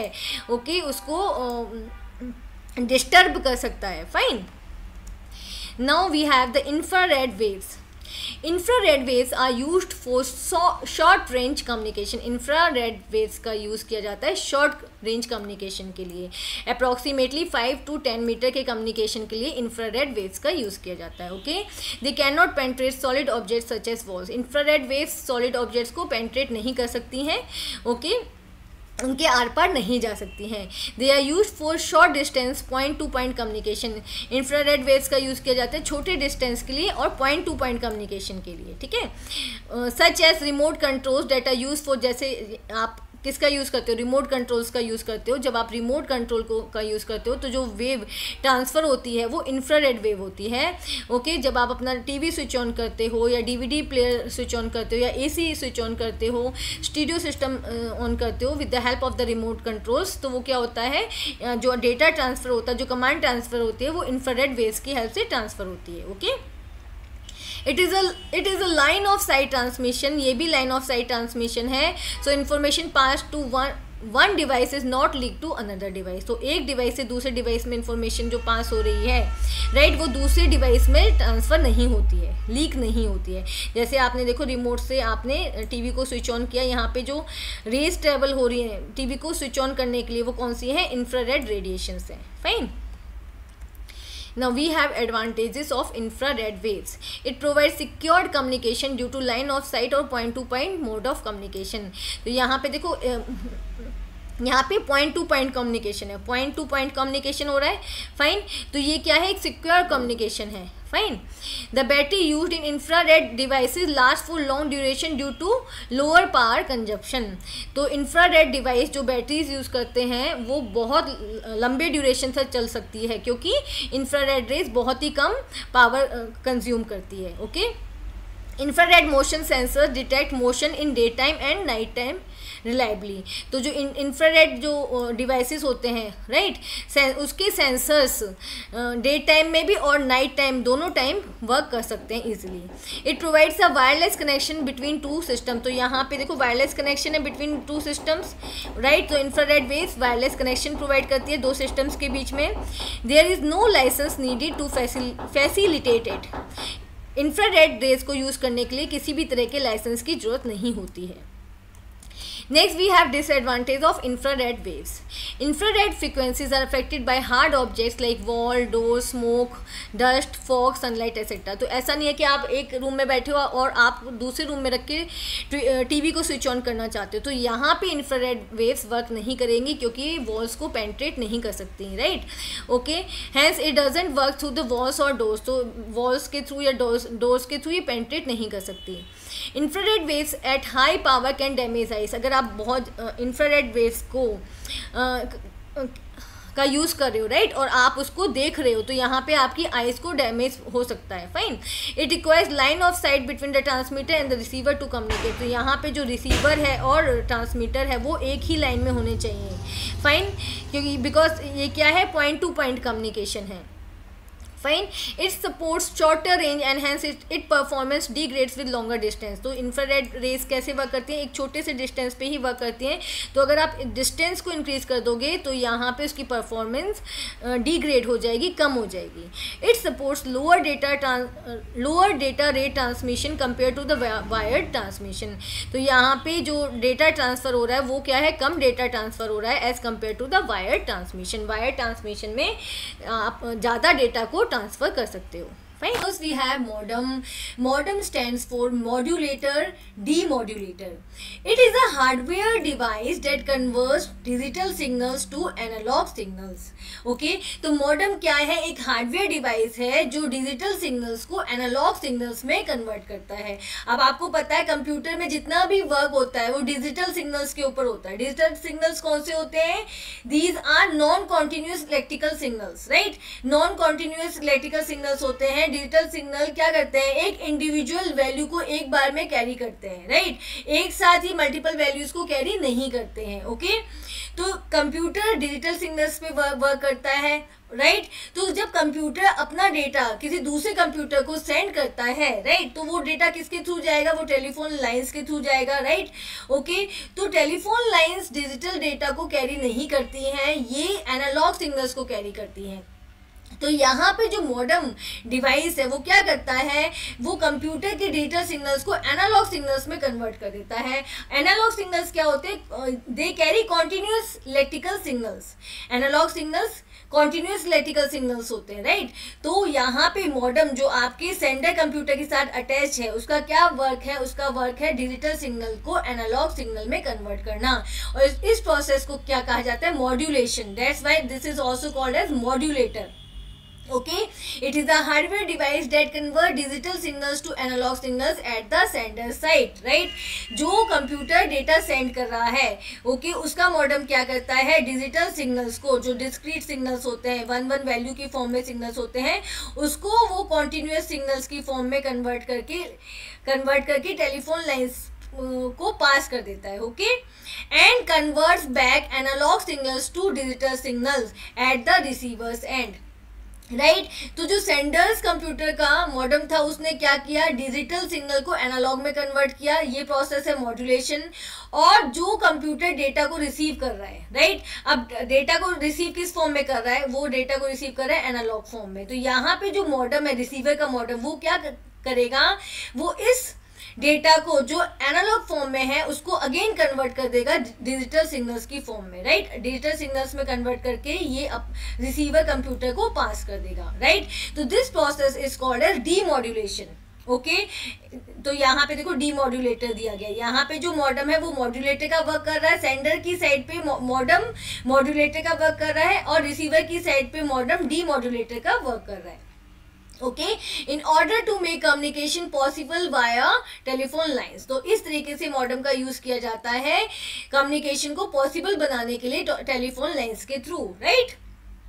It the computer to transmit data over telephone और केबल lines. तो मॉडर्म की हेल्प से कंप्यूटर टेलीफोन जो डेटा है उसको ट्रांसमिट कर सकते हैं टेलीफोन लाइंस के through right okay because here modem is converting the data from digital to analog and from analog to digital okay, now here we have types of modem. There are two types of modem which are as follows. तो हमारे पास दो type के modem है internal modem fixed within a computer internal modem क्या होते हैं? जो कंप्यूटर के अंदर फिक्स होते हैं राइट right? उसके मदरबोर्ड में फिक्स होते हैं, वो आपका इंटरनल मॉडम है. You can see the picture here fine next we have external modem connected externally to a computer जो मॉडम कंप्यूटर्स के साथ जो एक्सटर्नली मतलब बाहर कनेक्ट किए जाते हैं, वो कौन से मॉडम होते हैं? एक्सटर्नल मॉडम यहाँ पे आप पिक्चर में देख सकते हैं these are the external modem okay now here we have Ethernet card Ethernet card is a type of N I C network interface card which is specific to Ethernet technology तो यहाँ पे Ethernet card क्या है? Ethernet card एक type का network interface card है, जिसका main use कहाँ पे है? इथरनेट टेक्नोलॉजी में किया जाता है। Right right? अब आपको ये पता होना चाहिए कि इथरनेट टेक्नोलॉजी क्या है? Ethernet is a LAN architecture Ethernet क्या है? एक लैन आर्किटेक्चर है, एक डिज़ाइन है, जहाँ पे कंप्यूटर को प्लेस किया जाता है right okay that uses Ethernet क्या यूज़ करता है? बस टॉपोलॉजी को यूज़ करता है राइट बस टॉपोलॉजी में क्या होता है? एक सिंगल वायर से आपके डिवाइसेस कनेक्ट होते हैं ओके इथरनेट केबल से आपके डिवाइसेस कनेक्ट होते हैं, या फिर star topology fine star topology को यूज़ करता है इथरनेट आर्किटेक्चर ओके तो इथरनेट क्या है? It is a it is a LAN architecture और you can say LAN design okay that use bus और star topologies and can support data transfer rates of up to ten gigabits per second okay और जो Ethernet technology है okay जो ये लैन architecture है, वो क्या करता है? वो वो डेटा ट्रांसफ़र रेट को सपोर्ट करता है up to ten gigabits per second okay right? तो यहाँ पे जो आपका इथरनेट कार्ड कहाँ पे यूज़ होता है, वो इथरनेट टेक्नोलॉजी में को क्रिएट करने के लिए उसको यूज़ किया जाता है। Fine okay the computer data part of Ethernet वो कंप्यूटर्स जो इथरनेट का पार्ट है इथरनेट आर्किटेक्चर का पार्ट है have to install Ethernet card उन कंप्यूटर्स को इथरनेट टेक्नो आर्किटेक्चर में कनेक्ट होने के लिए क्या इंस्टॉल करना ज़रूरी होता है? इथरनेट कार्ड को इंस्टॉल करना ज़रूरी होता है। Okay okay? An Ethernet card enables a computer to access the internet by means of an Ethernet cable. Okay, अब देखो Ethernet आप यहाँ पे देख सकते हो ये ये आपका क्या है? ये जो पिक्चर दी हुई है वो Ethernet कार्ड की पिक्चर है। फाइन इसमें देखो Ethernet पोर्ट बना हुआ है। Okay okay? इस पोर्ट में क्या जाके इंसर्ट होगी? इथरनेट केबल इंसर्ट होगी। और ये इथरनेट केबल किससे ज्वाइन होती है? ये आपके डिवाइसेस से ज्वाइन होती है आपके कंप्यूटर से ज्वाइन होती है।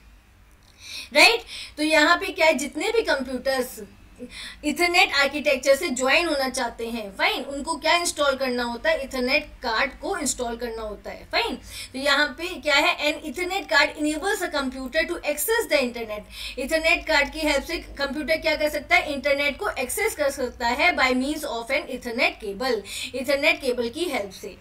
फाइन तो जो ये आपका इथरनेट कार्ड है, वो कहाँ पे इंस्टॉल होगा? आपके सिस्टम में इंस्टॉल होगा, जिसके अंदर इथरनेट केबल इथरनेट केबल क्या होगी? आप इंसर्ट करेंगे और ये इथरनेट केबल किससे ज्वाइन होगी? आपके लैन आर्किटेक्चर आर्किटेक्चर से ज्वाइन होगी, आपके इथरनेट आर्किटेक्चर से ज्वाइन होगी। Fine okay Ethernet card are internal and come standard on most new computers तो इथरनेट कार्ड कहाँ होते हैं? इंटरनल होते हैं। ये आउटसाइड इनको इंस्टॉल नहीं किया जाता। इनको कंप्यूटर के सीपीयू के और यू कैन से मदरबोर्ड में इंस्टॉल किया जाता है and come standard on most computers और ये आप मोस्टली सभी कंप्यूटर्स में बाय डिफ़ॉल्ट आते हैं लैपटॉप्स में भी और डेस्कटॉप में भी। Right right? तो आपको पता चल गया इथरनेट क्या है? इथरनेट कार्ड क्या है? इथरनेट कार्ड एक टाइप का नेटवर्क इंटरफेस कार्ड है, जिसको आपको अपने कंप्यूटर में इंस्टॉल करना ज़रूरी है। अगर आपका कंप्यूटर किसी भी लैन आर्किटेक्चर से जुड़ा हुआ है, किसी भी नेटवर्क से जुड़ा हुआ है राइट right? Okay okay? कैसे नेटवर्क से जो इथरनेट टेक्नोलॉजी को यूज़ कर रहा है okay okay next we have R J forty five jack forty five R J forty five की फुल फॉर्म क्या है? Registered jack forty five R J forty five is an eight wire connector ये क्या है? एक eight wire connector है which is commonly use to connect computers on the local area network that is LANs specially Ethernets अभी हमने देखा था okay okay? आपने इथरनेट कार्ड को क्या किया था? अपने सिस्टम के अंदर इंस्टॉल किया था। आपके सिस्टम ये देखो आपका ये जो है आपके सिस्टम के इनसाइड क्या है? इथरनेट कार्ड है।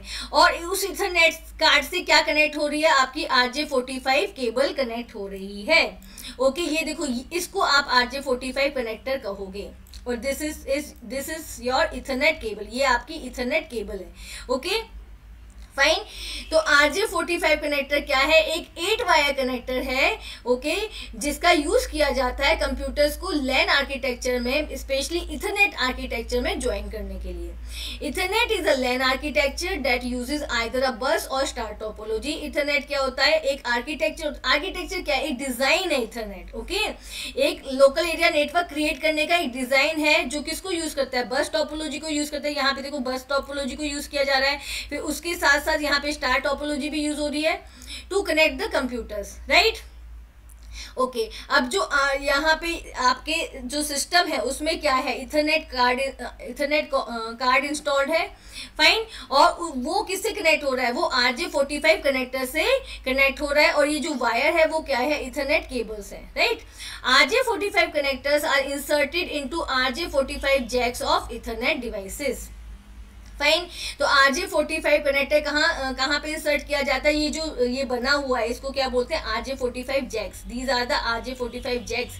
R J Ethernet devices के R J forty five jacks के अंदर R J forty five connectors को इंसर्ट किया जाता है okay to create the Ethernet architectures right okay okay, समझ आ गया? आप एक बार मैं फिर से दिखा देती हूँ। देखो हमने इथरनेट कार्ड किया था ओके okay, ये आपका इथरनेट कार्ड था। उसके अंदर इथरनेट कार्ड के अंदर आप क्या इंसर्ट कर रहे हो? आप R J forty five connector को इंसर्ट कर रहे हो इथरनेट पोर्ट के अंदर। फाइन ओके और इससे आपका क्या क्रिएट हो रहा है? इससे आपका एक लेन आर्किटेक्चर और यू कैन से एक इथरनेट आर्किटेक्चर क्रिएट हो रहा है। फाइन जो क्या यूज़ करता है? बस टोपोलॉजी यूज़ करता है या फिर आपका स्टार टोपोलॉजी को यूज़ करता है। Okay now next we have repeater repeater क्या है? It is a hardware device which is use to amplify the signals when they are transported over a long distance repeater एक hardware device है जिसका use किया जाता है किस लिए? एम्पलीफाई करने के लिए सिग्नल्स को रीजनरेट करने के लिए सिग्नल्स को स्ट्रेंथ देने के लिए। जब आपके सिग्नल्स एक लंबी एक लंबे डिस्टेंस में में ट्रांसमिट होते हैं ओके एक लंबे डिस्टेंस को ट्रेवल करते हैं तो क्या होती है? उनकी स्ट्रेंथ वीक हो जाती है। फाइन तो यहाँ पे हमें एक एम्पलीफायर की ज़रूरत होती है तो रिपीटर जो डिवाइस होता है, वो हमारा एम्पलीफायर होता है, वो एम्पलीफाई करता है, वो रीजनरेट करता है सिग्नल्स को। So that they can travel long distance okay The basic function of a repeater is to amplify the incoming signals and retransmit them over the network. तो repeater का function है, जो उसके पास सिग्नल्स आ रहे हैं, उनको रीजनरेट करना, उनको स्ट्रेंथ प्रोवाइड करना ओके एंड उसके बाद उसको रिट्रांसमिट करना नेटवर्क के ऊपर। Fine the repeater allows to transfer the data through large area distance repeater की हेल्प से हम क्या कर सकते हैं? एक लार्ज एरिया डिस्टेंस में डेटा को ट्रांसफ़र कर सकते हैं राइट तो यहाँ पे देखो, यहाँ पे आप फिगर में देख सकते हो, यहाँ पे आपका लैन आर्किटेक्चर है फाइन उसने डेटा को ट्रांसमिट किया रिपीटर के पास डेटा किया, गया. रिपीटर ने उसको रीजनरेट कर दिया, उसको एम्पलीफाई कर दिया और उसको फिर अगेन भेज दिया दूसरे आर्किटेक्चर के पास मतलब दूसरे लैन आर्किटेक्चर के पास लैन बी के पास. राइट तो रिपीटर की हेल्प से डेटा को लॉन्ग डिस्टेंस पे आप ट्रांसमिट कर सकते हो लॉन्ग डिस्टेंस ट्रेवल कर सकता है data fine next we have hub A network hub is a hardware device that allows multiple computers to communicate with each other over a network. hub एक hardware device है, जो क्या करता है? एक साथ बहुत सारे कंप्यूटर्स को एक दूसरे से कम्युनिकेट करने के लिए हेल्प करता है। ओके अब देखो यहाँ पे एक, यहाँ पे फिगर दी हुई है. दिस इज़ योर हब ये आपका हब है. उससे नंबर ऑफ़ कंप्यूटर्स क्या है? अटैच है. तो ये जितने भी कंप्यूटर्स हैं, वो एक दूसरे से क्या कर सकते हैं? कम्युनिकेट कर सकते हैं with the help of hub right? Okay. It has several ethernet ports that are used to connect two or more network devices together. अब hub जो डिवाइस होता है, उसके अंदर बहुत सारे इथरनेट पोर्ट्स बने होते हैं. ओके? इन इथरनेट पोर्ट्स में क्या है? आपके डिवाइसेस कनेक्ट हैं. एंड इसकी हेल्प से। ये जितने भी डिवाइसेस हैं, वो एक दूसरे से भी कनेक्टेड हैं and they can communicate with each other Each computer or device connected to the hub can communicate with any other device connected to one of the hub's Ethernet port. Okay, so what it is telling you कि जितने भी device hub से connected है वो एक दूसरे से communicate कर सकते हैं एक दूसरे को message send कर सकते हैं तो hub क्या है एक connecting device है जो टू या टू से ज़्यादा computers को एक दूसरे से connect करता है जिसकी help से computers एक दूसरे से communicate कर सकते हैं राइट नाउ अब हब और स्विच में डिफरेंस क्या है? Okay hubs are similar to switches hub switches की तरह ही हैं but are not smart but are not as smart as switch लेकिन ये क्या है? स्मार्ट नहीं है. जितना स्विच स्मार्ट होता है, उतना हब स्मार्ट नहीं है. Why switches send incoming data to a specific port hubs broadcast all incoming data to all active ports देखो स्विच क्या करता है? उसके पास जो डेटा आता है, वो एक स्पेसिफिक जिस, जिसका, जिसके लिए वो डेटा आया है, जिस पर्टिकुलर कंप्यूटर के लिए वो डेटा आया है, उसके पास ही वो डेटा सेंड करेगा। लेकिन हब क्या करता है? मान लो इस कंप्यूटर ने हब को डेटा सेंड किया ओके okay? यहाँ पे डेटा किया। अब हब क्या करेगा? जितने भी कनेक्टेड डिवाइसेस हैं, इस डेटा को रिसीव करेगा और सारे डिवाइसेस के पास उस डेटा को हब सेंड कर देगा। इसको ब्रॉडकास्ट कर देगा, ठीक है? उस मैसेज को ब्रॉडकास्ट कर देगा। तो जितने भी डिवाइसेस कनेक्टेड हैं, हब से they will get the same data right for example if five devices are connected to eight port hub मान लो एक एट पोर्ट का हब है, जिसके अंदर फाइव डिवाइसेज कनेक्टेड हैं और data received by the hub is relate to the five active port तो हब क्या करेगा? जितने भी फाइव डिवाइसेज हैं, उनको डेटा सेंड कर देगा। Okay okay? While this ensure the data gets to the right port अब इससे ये तो होता है कि डेटा राइट पोर्ट के पास तो जाएगा.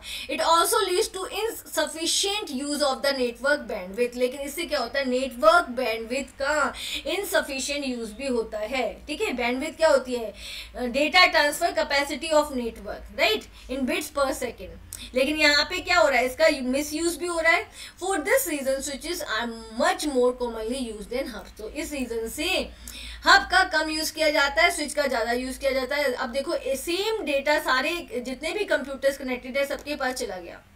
Right right? एक तो बैंडविथ का मिस यूज़ हुआ ओके एंड सेकेंडली क्या है? यहाँ पे जो मैसेज है, उसकी वो सिक्योर नहीं रहता। Because all the computers are getting the same message fine okay now we have types of hub there are two types of hub active hub it acts as repeater active hub क्या करता है? Repeater की तरह काम करता है. It amplifies the signals as they move from one device to another अब यहाँ पे जो एक्टिव हब है, वो क्या करेगा?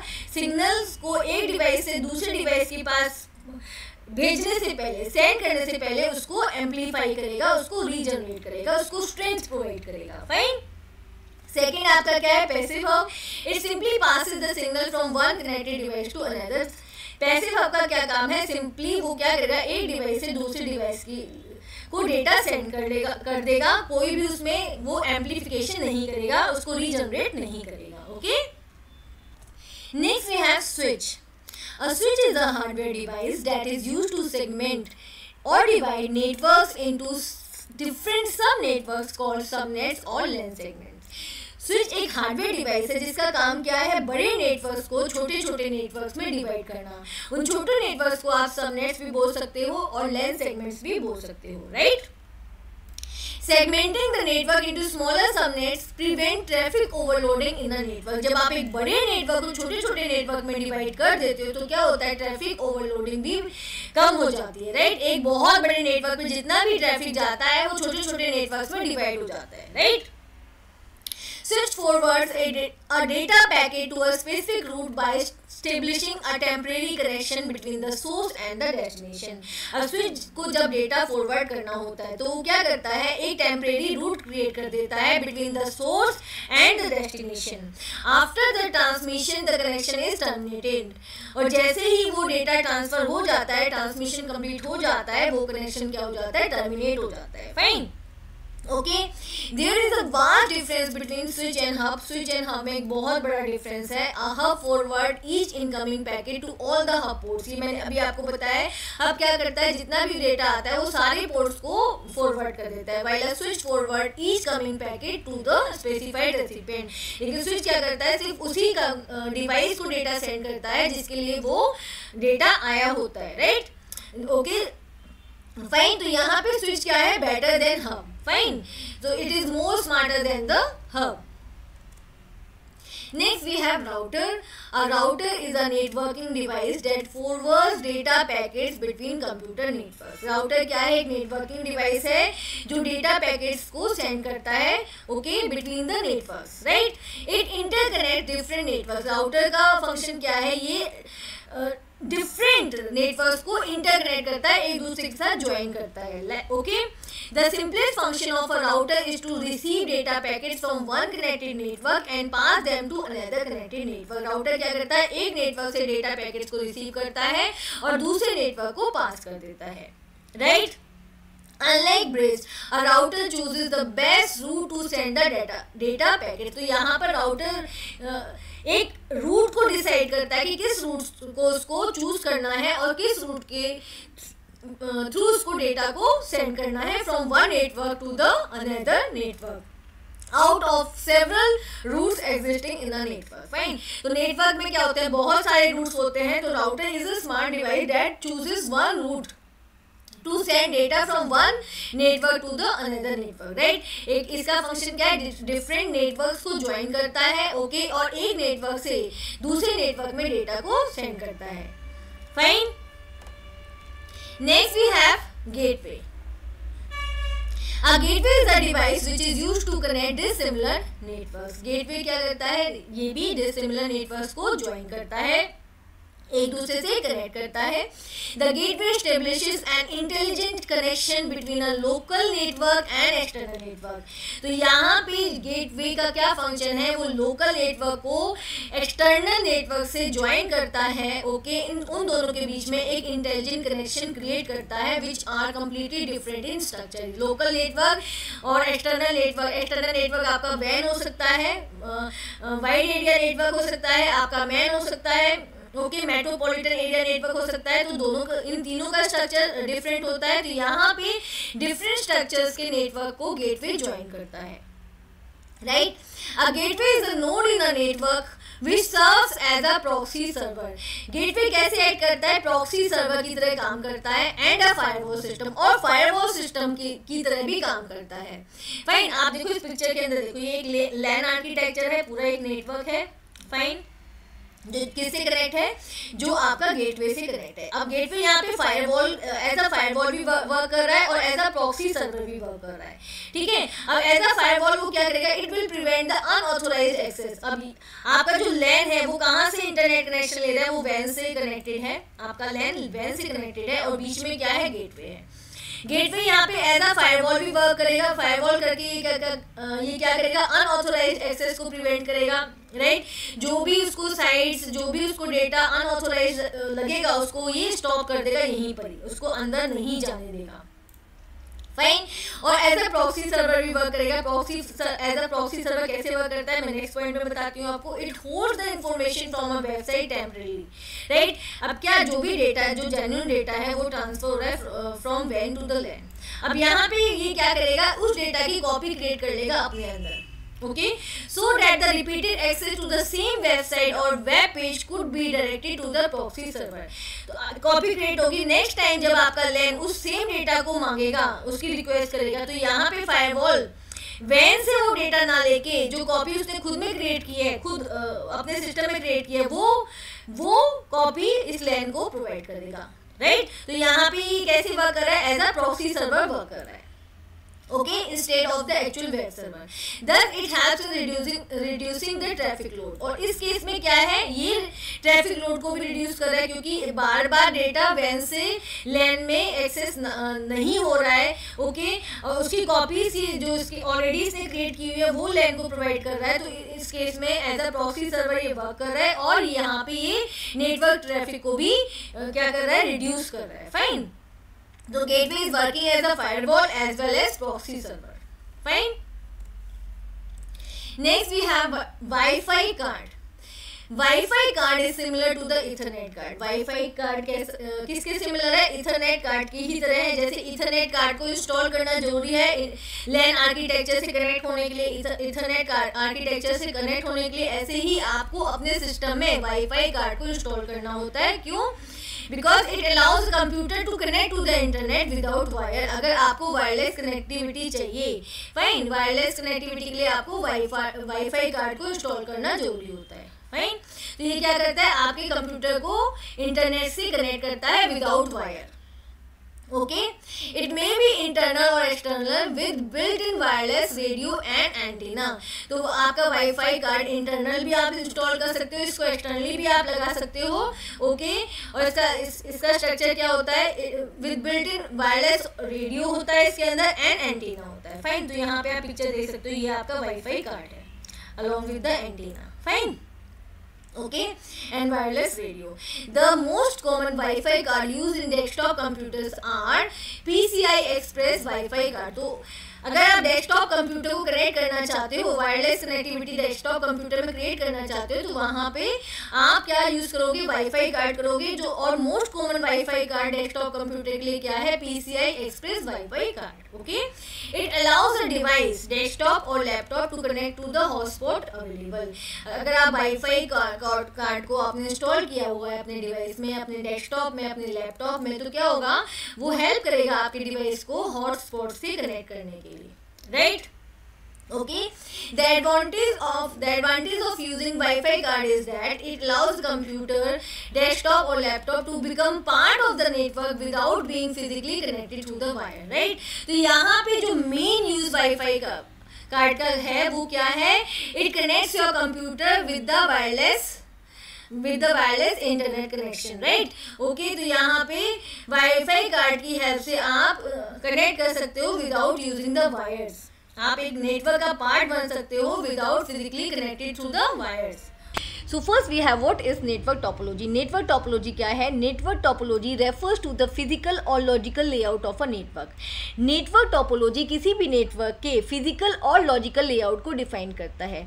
फ़िज़िकल लेआउट का मीनिंग है कि नेटवर्क कैसे क्रिएट किया जाएगा? नेटवर्क का आर्किटेक्चर क्या होगा?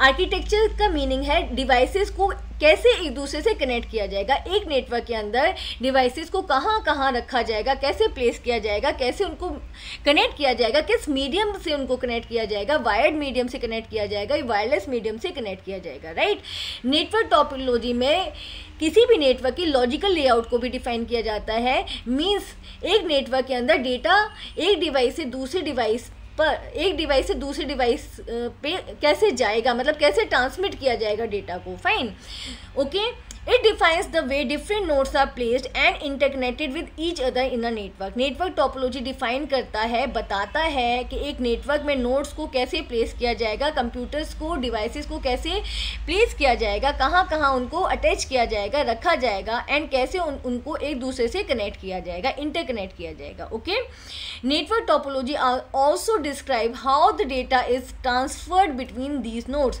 network topology ये भी डिफाइन करता है कि एक नेटवर्क में डेटा कैसे ट्रांसफ़र होगा एक नोट से दूसरे नोट तक राइट right? Okay okay? कैसे डेटा का ट्रांसमिशन होगा within a network okay no there are two types of network topologies network topologies दो तरीके की होते हैं इनके दो टाइप्स हैं physical and logical Physical topology emphasizes the physical layout of the connected devices and nodes. Physical topology define करता है किसी भी नेटवर्क का फ़िज़िकल लेआउट मीन्स उसका आर्किटेक्चर क्या है राइट डिवाइसेस को कैसे एक दूसरे से कनेक्ट किया जाएगा, किस मीडियम से कनेक्ट किया जाएगा right okay logical topology focuses on the pattern of data transfer between the network nodes. और लॉजिकल टॉपोलॉजी किस पे फोकस करता है कि कैसे डेटा को ट्रांसफ़र किया जाएगा एक नोड से दूसरे नोड तक right okay first we have star topology in star topology all the nodes are connected to a central device called hub और स्विच स्टार टोपोलॉजीज में जितने भी नोड्स होते हैं, जितने भी डिवाइसेस होते हैं, वो एक सेंट्रल डिवाइस से कनेक्टेड होते हैं ओके? और ये सेंट्रल डिवाइस आपका हब भी हो सकता है और स्विच भी हो सकता है right all the communication is controlled by the central device जितना भी कम्युनिकेशन होता है, वो पूरा का पूरा सेंट्रल डिवाइस कंट्रोल करता है। Fine the central device can be either a broadcasting device means data will be transmitted to all the nodes in the network अगर आप सेंट्रल डिवाइस में हब को यूज़ कर रहे हैं, कर रहे हैं तो क्या वर्क करेगा? वो as a broadcast device work करेगा और जितना भी उसके पास डेटा आएगा, वो सारे कंप्यूटर्स को सेम डेटा क्या कर देगा? फॉरवर्ड कर देगा। फाइन ब्रॉडकास्ट कर देगा ओके और एज अ यूनिकास्ट डिवाइस और अगर आप हब के प्लेस पर अपनी स्टार टॉपोलॉजी के अंदर स्विच को यूज़ करें तो switch as a unicast device work करेगा which means the central device can identify the destination node central device destination node को आइडेंटिफाई करेगा, ओके, उस नोड को आइडेंटिफाई करेगा जिसके पास वो डेटा जाना है, जिसके पास वो मैसेज जाना है and forward the data to that node only और उस डेटा को, उस पर्टिकुलर नोड को ही फॉरवर्ड करेगा। सारे के सारे डिवाइसेस जो से अटैच है, उनको फॉरवर्ड नहीं करेगा, okay? Now we have advantages of star topology Installation of star topology is very easy as all the nodes are directly connected to the central device. Star topology का installation बहुत easy है क्योंकि यहाँ पे जितने भी devices हैं जितने भी nodes हैं उनको एक central device से connect करना है Fine. Fault detection is easy. इसके अंदर fault फॉल्ट डिटेक्ट करना बहुत ईजी है failure of single system will not bring down the entire network अगर किसी भी नोट के अंदर कोई फेलर होता है कोई प्रॉब्लम आती है तो वो पूरे सिस्टम को क्रैश नहीं करेगा okay okay? Allow several types of cables in same network star topology में आप बहुत सारे टाइप्स के केबल्स का यूज़ कर सकते हैं। Like coaxial cable okay twisted pair cable maintenance of the network is easy star topology के अगर आप अपने नेटवर्क को स्टार टोपोलॉजी के फॉर्म में क्रिएट कर रहे हैं तो उसका मेंटेनेंस बहुत ईजी है। Now we have disadvantage of star topology. In star topology, each node must be linked to a central device. Star topology में क्या है जितने भी devices हैं जितने भी nodes हैं वो central device से connect होते हैं okay? For this reason, more cabling is required in star topology as compared to the bus or ring topology. तो as compare to the other topologies like bus topology और ring topology star topology में cabling ज़्यादा चाहिए right right? उसमें ज़्यादा cables आपको चाहिए because all the devices are connected with the help of the cables okay The network crucially depend on the central device. If the central device fails, the entire network will be disabled. ये जो network है वो पूरा का पूरा central device के ऊपर ही depend है अगर सेंट्रल डिवाइस फेल हो जाता है तो कंप्लीट नेटवर्क डिसेबल हो जाएगा okay performance of network depends on the central device और अगर इसका जो परफॉर्मेंस है वो भी पूरा किस पे डिपेंड करता है? सेंट्रल डिवाइस पे डिपेंड करता है। Okay okay? तो it depends on the quality of the central device right next we have burst topology. In burst topology, all the devices on network, computers and peripheral devices are connected to a single continuous cable called bus bus topology में जितने भी nodes होते हैं जितने भी devices होते हैं वो एक central cable से connected होते हैं जिसको bus कहा जाता है right data transmission from any node travels the length of the bus in both direction जब कोई भी नोड या कोई भी डिवाइस जो बस से कनेक्टेड है डेटा ट्रांसमिट करता है राइट right? वो डेटा बस के दोनों डायरेक्शन में ट्रेवल करता है ओके? okay? जितने भी नोट्स अटैच्ड होते हैं, वो डेटा उन सब के पास जाता है। Fine data is transmitted in small blocks known as packets और डेटा किस फॉर्म में ट्रेवल करता है? पैकेट्स के फॉर्म में ट्रेवल करता है, जहाँ पे पैकेट्स के हेडर में डेस्टिनेशन एड्रेस होता है कि उस डेटा को कहाँ जाना है एंड डेटा एंड डेटा होता है। Okay? Each packet has a header containing the destination address okay? जितने भी पैकेट्स ट्रेवल करेंगे फाइन वो डेस्टिनेशन एड्रेस को कंटेन करेंगे। फाइन उनके अंदर डेस्टिनेशन एड्रेस अटैच होता है कि उन पैकेट्स को कहाँ जाना है किस डेस्टिनेशन पे जाना है। Each node on the network checks whether the data packets are address to it और नॉट अब यहाँ पे क्या है डेटा जो, जो कोई भी डिवाइस डेटा जो ट्रांसमिट करता है वो बस में दोनों डायरेक्शंस में ट्रेवल करता है तो जितने भी नोट्स अटैच्ड होते हैं एक पर्टिकुलर बस में वो उस डेटा पैक उन डेटा पैकेट्स को चेक करते हैं राइट ओके वो चेक करते हैं कि जो डेस्टिनेशन एड्रेस है वो उनका है या नहीं है। Right the destination node identifies the address on the packets and receive them जब डेस्टिनेशन नोट के पास ओके okay, वो डेटा पैकेट जाता है तो वो उन डेटा पैकेट्स को रिसीव कर लेता है। Fine now we have advantages of bus topology all the nodes are directly connected to the bus so very short cable length is required सबसे जो, सबसे पहला जो इसका एडवांटेज है, वो ये है कि इसमें बहुत ही कम केबल रिक्वायरमेंट है ओके? बिकॉज़ जितने भी नोट्स हैं, वो एक पर्टिकुलर सिंगल केबल से अटैच्ड हैं सेंट्रल केबल से अटैच हैं the architecture is very simple reliable and linear architecture इसको बनाना बहुत ही सिंपल है क्योंकि एक लीनियर फॉर्म में इसका आर्किटेक्चर है okay bus topology can be extended easily on either side bus topology को आप इंक्रीज कर सकते हो मोर केबल ज्वाइन करके आप उसके अंदर डिवाइसेस को अटैच कर सकते हो। Both the ends of the bus have terminators which absorbs the signals, so that same signals are not reflected back to the bus, confusing the whole data flow. अब देखो इसके दोनों एंड पे बस जो केबल होती है, उसके दोनों एंड पे टर्मिनेटर्स होते हैं राइट इससे क्या होता है कि सिग्नल्स यहाँ पे एब्जॉर्ब हो जाते हैं, क्योंकि सिग्नल्स दोनों डायरेक्शन में ट्रेवल करते हैं, कोई भी अगर डिवाइस ट्रांसमिट करता है तो सिग्नल दोनों डायरेक्शन में ट्रेवल करते हैं तो एंड में अगर वो एंड पॉइंट पे पहुँचते हैं टर्मिनेटर्स पे पहुँचते हैं तो यहाँ पे वो सिग्नल्स एब्जॉर्ब हो जा एब्जॉर्ब हो जाते हैं, वो रिफ्लेक्ट नहीं होते। रिफ्लेक्ट होंगे तो क्या होगा? उसकी कॉपीज़ बन जाएगी। फाइन तो यहाँ पे कन्फ्यूज़न हटाने के लिए क्या होता है? टर्मिनेटर्स होते हैं and terminators absorbs the signals right next we have disadvantages of bus topology. In case of any fault occurred in the data transmission fault isolation is very difficult we have to check the entire network to find the fault agar koi bhi fault hoti hai right data transmission mein to yahan pe aapko pura system check karna padega kyunki data पूरे जो आपका cable है उसमें दोनों directions में travel करता है right right? Become slow with increase in number of nodes. जैसे जैसे आप नंबर ऑफ़ नोट्स इसमें इंक्रीज करते हो ये सिस्टम ये टॉपोलॉजी क्या होती है? स्लो पड़ जाती है। इसमें डेटा ट्रांसमिशन स्लो हो जाता है okay? Only a single message can travel at a particular time और यहाँ पे एक ही मैसेज ट्रेवल करेगा एक टाइम पर। अगर एक से ज़्यादा ट्रेवल करेंगे तो कन्फ्यूज़न क्रिएट हो जाएगी।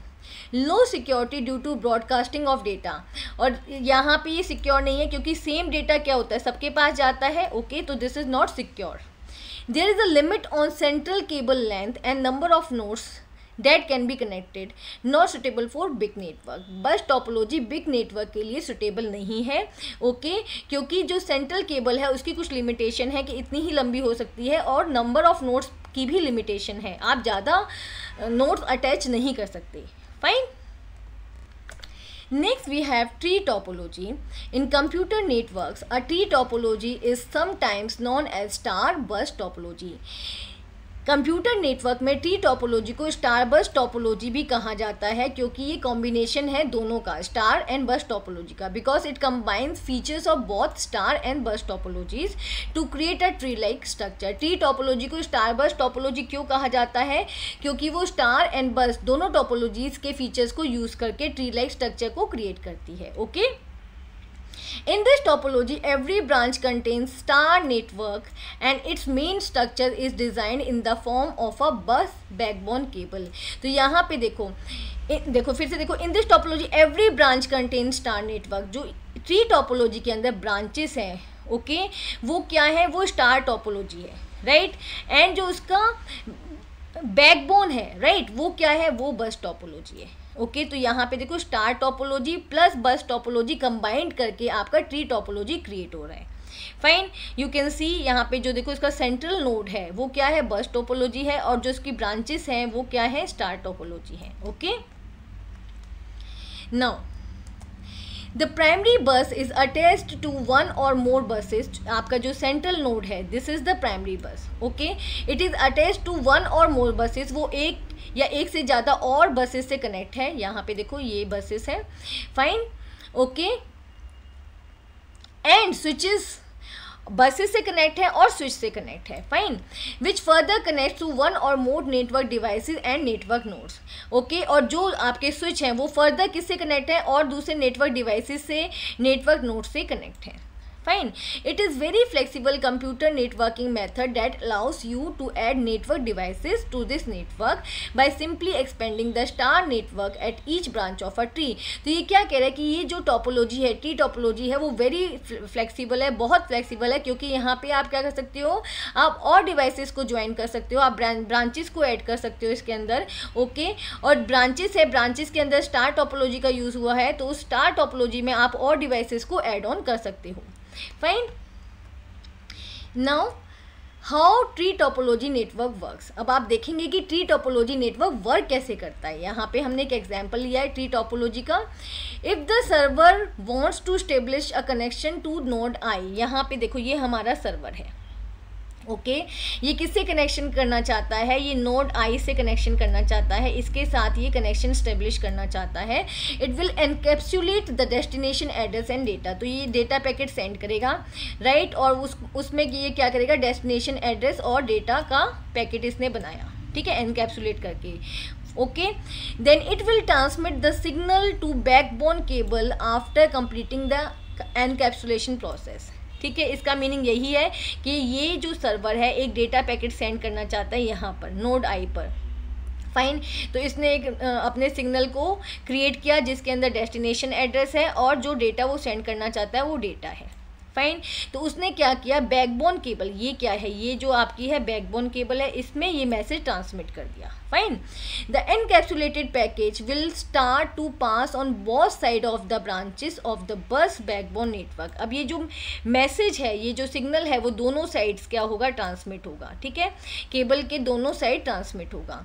The packet will first go to the switch S one सबसे पहले पैकेट कहाँ जाएगा? देखो, सबसे पहले पैकेट जाएगा स्विच एस वन के अंदर। जाएगा। Which will examine the packet's destination address after receiving it switch क्या करेगा? इसका जो पैकेट है, उसका एड्रेस को एग्जामिन करेगा और देखेगा कि क्या ये इस, ये जो एड्रेस है, वो उसके नोट्स से मैच करता है या नहीं। It will automatically discard the package if the destination address does not match this portion और अगर वो इसके किसी भी नोट के एड्रेस से मैच नहीं करता है तो वो उसको डिस्कार्ड कर देगा, उसको रिसीव नहीं करेगा। Right similarly the encapsulated packet will reach the switch S two उसके बाद वो कहाँ जाएगा? स्विच एस टू के पास जाएगा। जो पैकेट है वो एस टू के पास जाएगा। ओके राइट यहाँ पे एस टू भी उसका क्या करेगा? डेस्टिनेशन एड्रेस चेक करेगा। If it finds the destination address doesn't match it will send the package to the switch three अगर ये देखिए इसको पता चलेगा कि ये जो डेस्टिनेशन एड्रेस है, इसके किसी भी नोड के साथ मैच नहीं कर रहा है तो वो उसे कहाँ सेंड कर देगा? वो उसे एस थ्री स्विच के पास सेंड कर देगा।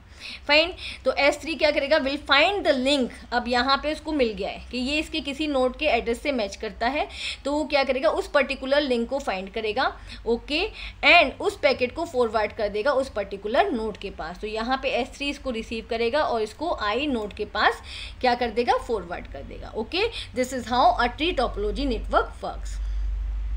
Now here we have advantages of tree topology.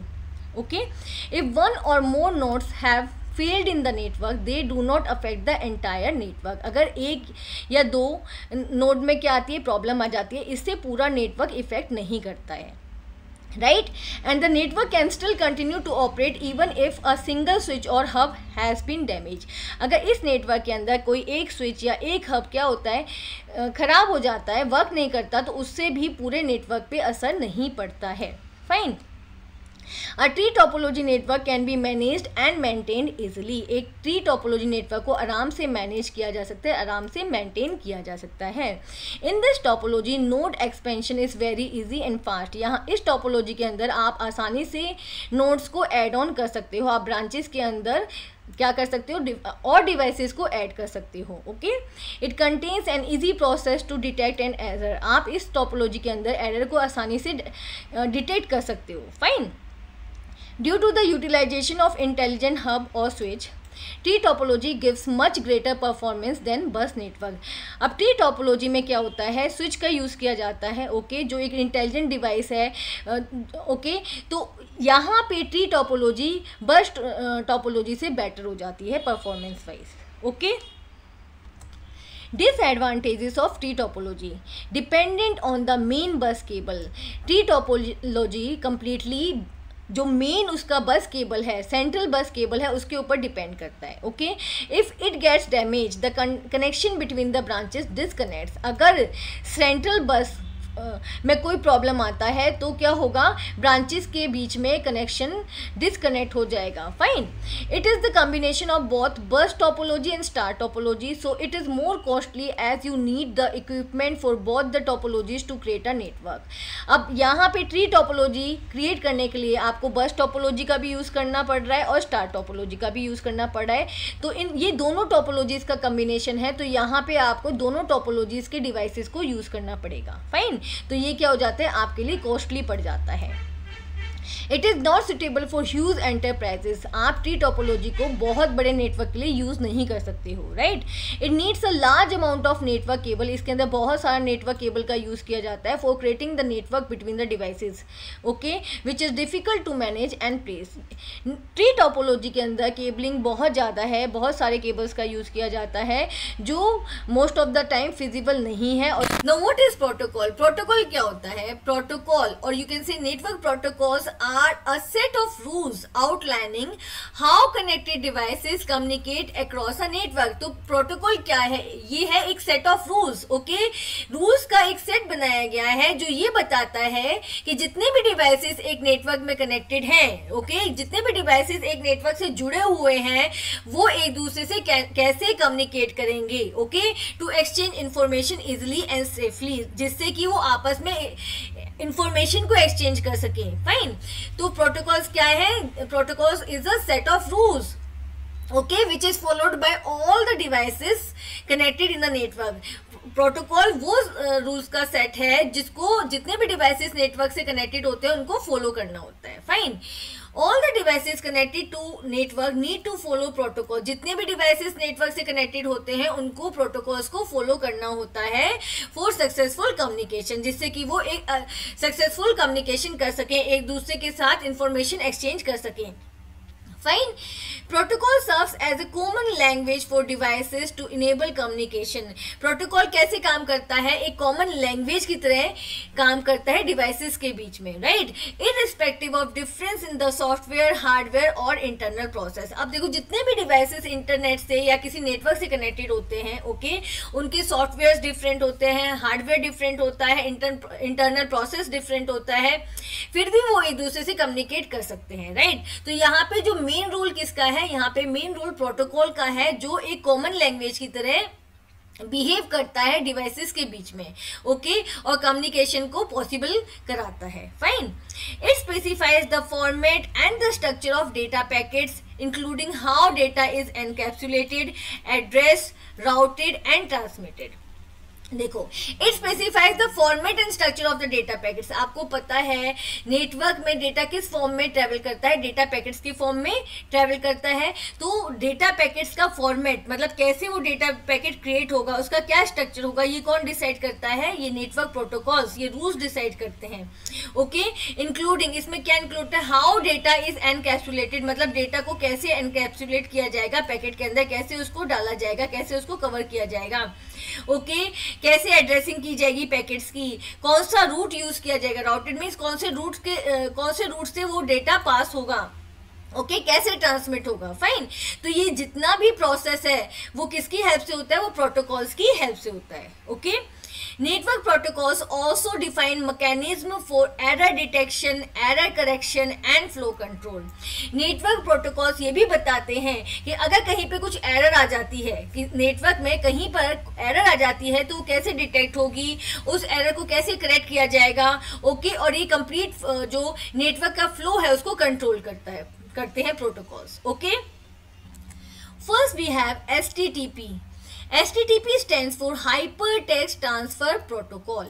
Okay HTTP की फुल फॉर्म क्या है? Hypertext Transfer Protocol. वो प्रोटोकॉल जो वर्ल्ड वाइड वेब पर हाइपरटेक्स्ट को ट्रांसफ़र करने में हेल्प करता है. Okay now what is hypertext hypertext क्या है? Hypertext is the text which contains links to the other text hypertext वो टेक्स्ट होता है जिसके अंदर हाइपर लिंक्स होते हैं. जैसे आप वेबसाइट्स देखते हो. वेबसाइट्स में बहुत सारे डॉक्यूमेंट्स होते हैं, बहुत सारे पेजेस होते हैं राइट और वो पेजेस एक दूसरे से कैसे कनेक्ट होते हैं with the help of the hyperlinks okay text hyperlink picture hyperlinks okay तो यहाँ पे एच प्रोटोकॉल का मेन फ़ंक्शन क्या है? To transfer hypertext on the world wide web world wide web पे okay?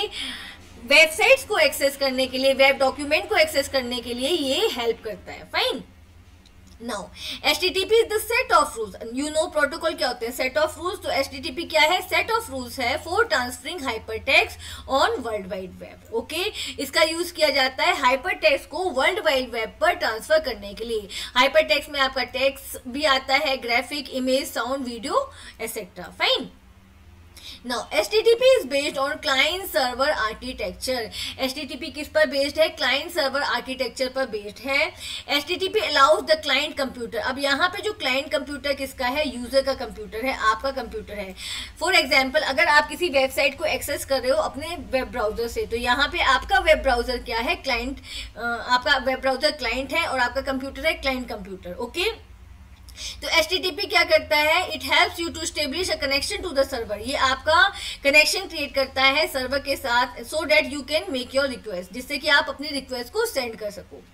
The server accept the connection initiated by the client server आपके connection को accept करता है क्लाइंट के कनेक्शन को एक्सेप्ट करता है एंड सेंड्स बैक रिस्पॉन्स और response according to the request response को आपके कंप्यूटर पे भेज देता है। फाइन यहाँ पे देखो पिक्चर में देखो सबसे पहले क्लाइंट ने क्या किया? रिक्वेस्ट को सेंड किया सर्वर को। ओके okay, और रिक्वेस्ट किसकी हेल्प से जाएगी? आपके एस प्रोटोकॉल की हेल्प से जाएगी। फिर सर्वर क्या करेगा? रिस्पॉन्स को क्लाइंट कंप्यूटर के पास सेंड कर देगा जो जो किसकी हेल्प से आएगा? एस प्रोटोकॉल की हेल्प से आएगा। Fine here the browser acts as an S T T P client यहाँ पे आपका browser S T T P client है। Okay where as the web server acts as an S T T P server और web server कैसे behave कर रहा है? वो as a S server act कर रहा है. फाइन ना अब यहाँ पे हम क्या करते हैं? एग्ज़ाम्पल लेते हैं. Suppose we enter the U R L मान लो आपने अपने ब्राउज़र में एक यू आर एल को टाइप किया है. Okay S T T P hyper text transfer protocol world wide web कहाँ पे वर्क करता है ये? वर्ल्ड वाइड वेब पे वर्क करता है. Dot N C E R T dot nic dot in in a browser okay it sends S T T P request to the web server तो ये क्या करेगा? ये वेब सर्वर को request send करेगा where this website is present उस web server के पास जाएगा जहाँ पे ये वेबसाइट प्रेजेंट है okay HTTP allows the client computer to establish a connection to the server. ये मैंने भी आपको बताया HTTP की हेल्प से क्लाइंट कंप्यूटर क्या करता है? सर्वर के साथ कनेक्शन क्रिएट करता है और रिक्वेस्ट अपनी सेंड करता है। Fine the web server fetches and send the requested web pages web server क्या करेगा? जो भी डेटा उसको फैच करना है, उसको फैच करेगा और वो उसको सेंड बैक कर देगा। कहाँ पे? क्लाइंट कंप्यूटर के पास। And send the requested web pages as S T T P response to the browser okay तो यहाँ पे जो रिक्वेस्ट सेंड होगी, वो भी S T T P protocol की हेल्प से सेंड होगी। और जो जो रिस्पॉन्स आएगा, वो भी S T T P protocol की हेल्प से आएगा। Fine which is displayed on the browser okay response आया और ब्राउज़र के कंप्यूटर पे वो क्या होगा? डिस्प्ले हो जाएगा। Here the browser acts as an S T T P client यहाँ पे browser S T T P client है और आपका सर्वर क्या है? S T T P server है। Okay okay? Next we have File Transfer Protocol FTP. FTP is the set of rules or protocols which enables files to be transferred among computers in a network. Okay. So File Transfer Protocol is used to transfer file from one computer to another in a network. FTP की protocol की help से एक computer से दूसरे computer में file का transfer होता है right in a network using the FTP files can be uploaded to और downloaded From an F T P server to a local computer file transfer protocol की हेल्प से आप किसी भी नेटवर्क से फाइल्स को डाउनलोड भी कर सकते हैं एंड किसी भी नेटवर्क में किसी भी सर्वर पर आप अपनी फाइल्स को अपलोड भी कर सकते हैं। Okay F T P also work on client server architecture F T P client server architecture के अकॉर्डिंग ही वर्क करता है. Most web browsers come with the F client जो ब्राउजर्स होते हैं ओके okay? वो क्या है? They are in inbuilt F T P client fine okay they work as F T P client browsers आपका जो यूज़र यूज़ कर रहा है ब्राउज़र वो F T as a F T P client work करता है। क्यों? क्योंकि वो रिक्वेस्ट सेंड कर रहा है। Okay to to download something और to upload something right that enables user to transfer files from their computer to a server यहाँ पे क्या हो रहा है? देखो, ये एग्ज़ाम्पल लिया है। आपका कंप्यूटर मान लो किसी भी सोशल मीडिया साइट पे अपनी कोई पिक्चर या वीडियो अपलोड करना चाहता है तो यहाँ पे क्या हो रहा है? आपका एफटीपी क्लाइंट क्या कर रहा है? फ़ाइल को ट्रांसफ़र कर रहा है। लोकल कंप्यूटर से कहा? एफ़ सर्वर के पास okay and vice versa in the same way अगर आप चाहते हो एफटीपी सर्वर से कोई भी डेटा डाउनलोड करना राइट पिक्चर डाउनलोड करना या पीडीएफ डाउनलोड करना तो क्या करेगा?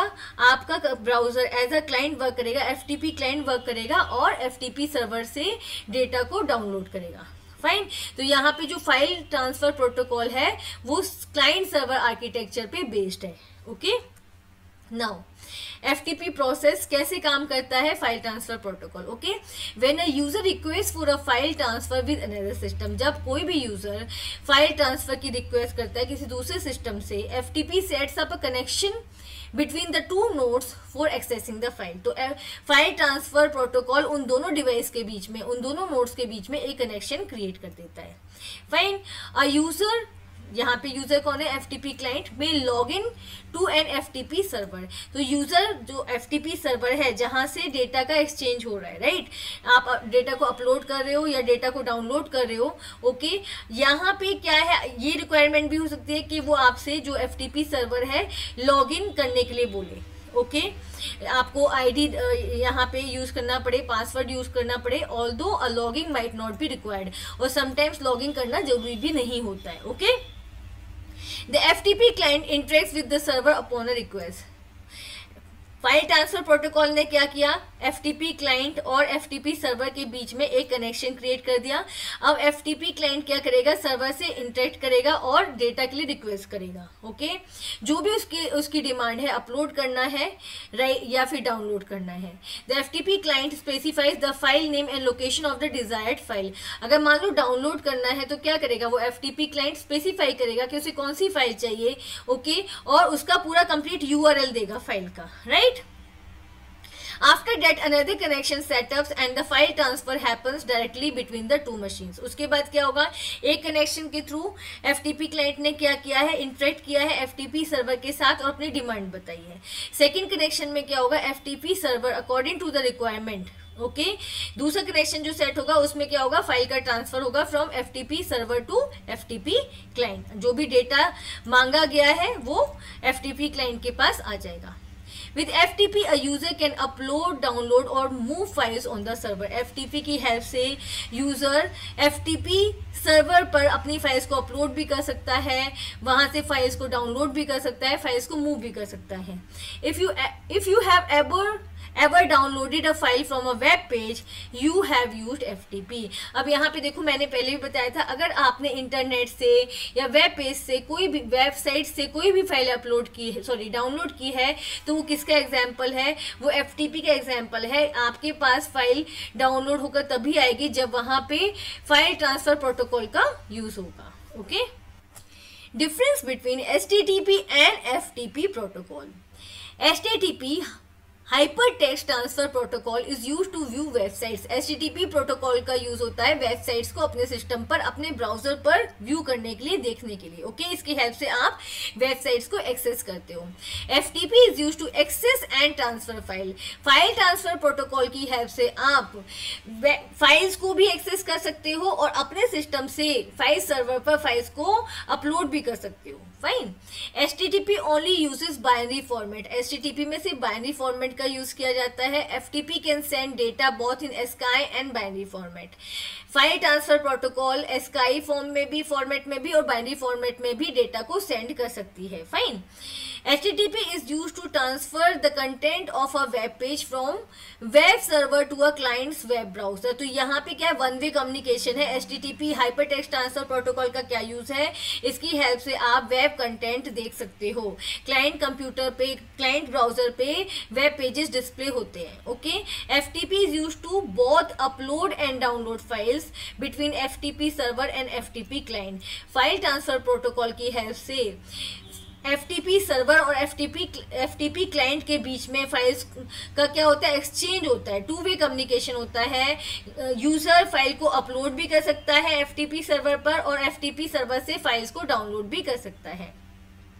T transfer only the web page content to the web browser in in order to view it and the transferred file is not copied to the memory http क्या करता है जो भी वेब कंटेंट अवेलेबल कराता है user के browser पर okay okay? वो सिर्फ़ क्या होता है that is that you can only see आप उसको देख सकते हो व्यू कर सकते हो वो आपके मेमोरी में जाके कॉपी नहीं होता वो स्टोर नहीं होता FTP transfer the entire file to the other device and also it is saved in the memory space of the destination device. FTP क्या करता है जब आप फ़ाइल को क्या करते हो डाउनलोड करते हो तो क्या होता है, आपके मेमोरी में जाके सेव भी हो जाता है।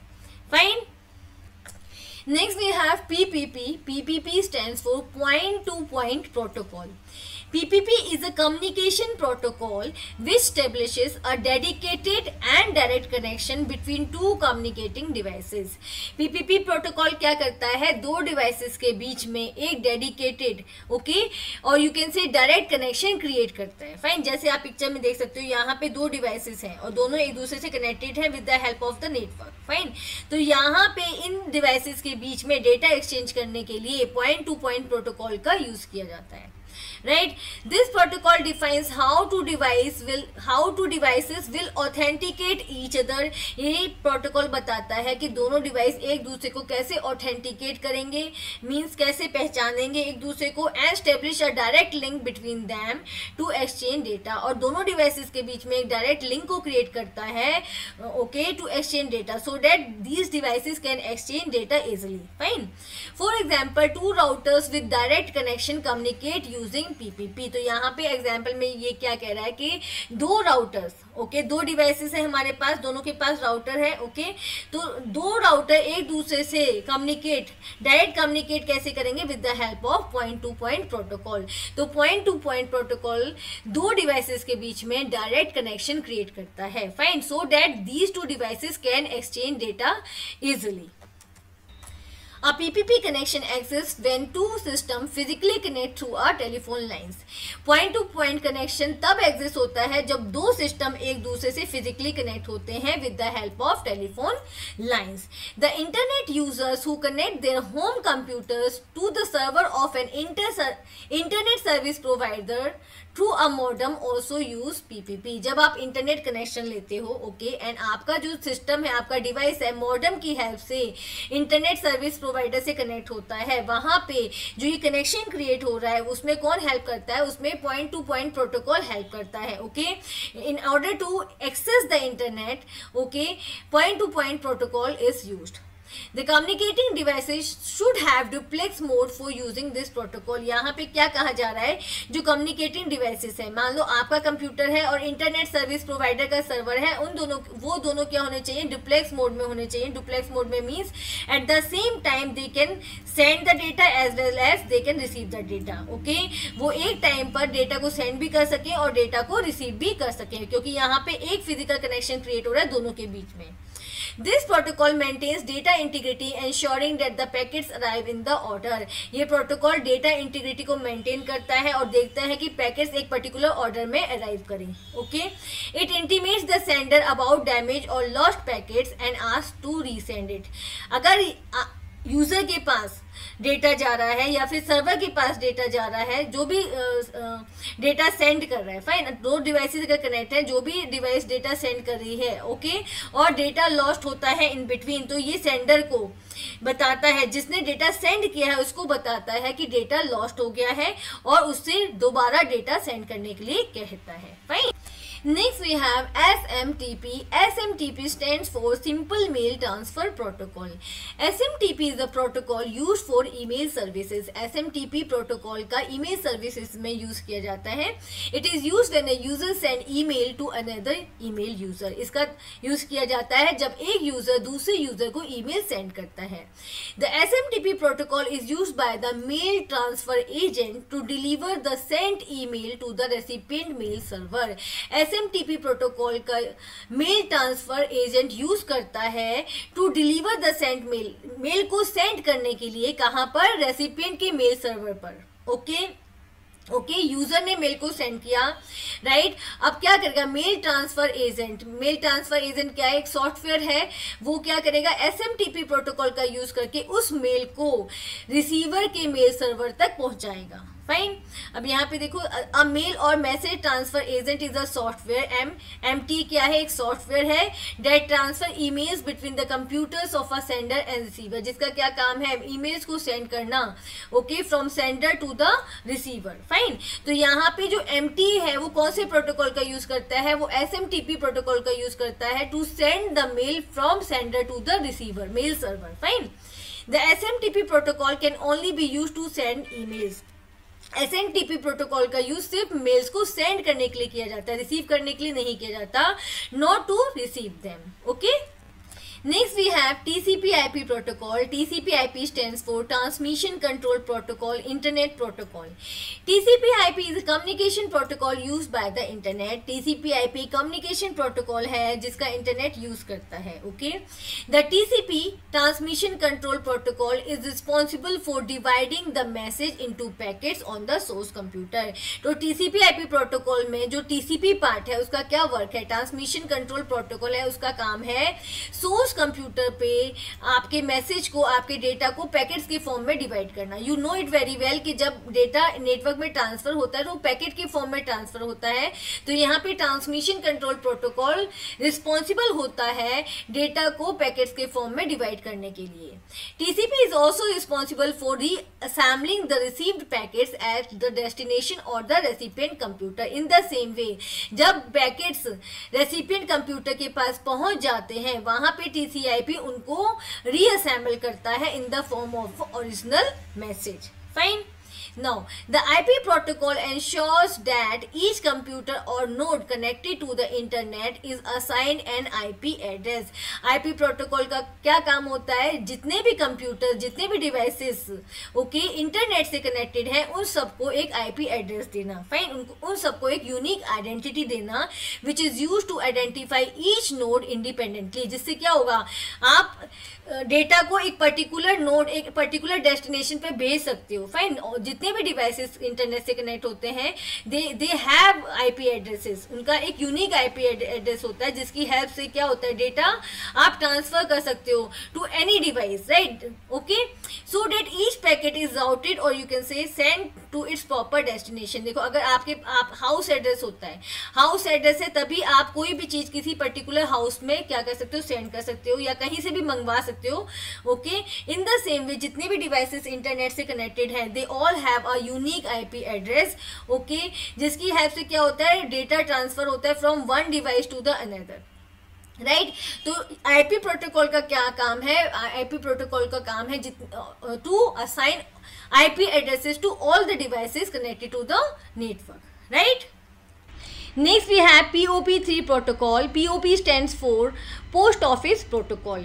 it is the most commonly use protocol for receiving email over the internet POP protocol का यूज़ ईमेल को रिसीव करने के लिए किया जाता है right POP three is a one way client server protocol in which email is received and held on the email server आपने पहले पढ़ा था सिंपल मेल ट्रांसफ़र प्रोटोकॉल क्या करता है? सेंडर से मेल को लेकर रिसीवर तक पहुंचाता है राइट ओके okay? तो यहाँ पे रिसीवर साइट पर उसको कौन रिसीव करेगा? उसे पीओपी प्रोटोकॉल कॉल रिसीव करेगा fine okay the three refers to the third version of the original POP protocol यहाँ पे जो थ्री यूज़ किया गया है वो पीओपी प्रोटोकॉल के थर्ड वर्जन के लिए यूज़ किया गया है you can check your mail box on the server and can download any email using P O P three P O P क्या करता है S M T P protocol से ई मेल को रिसीव करता है ओके एंड रिसीवर के mail server पर उसको सेव कर देता है फाइन अब मेल सर्वर पर आप अपने मेल बॉक्स को चेक कर सकते हो और वहाँ से कोई भी ईमेल डाउनलोड कर सकते हो।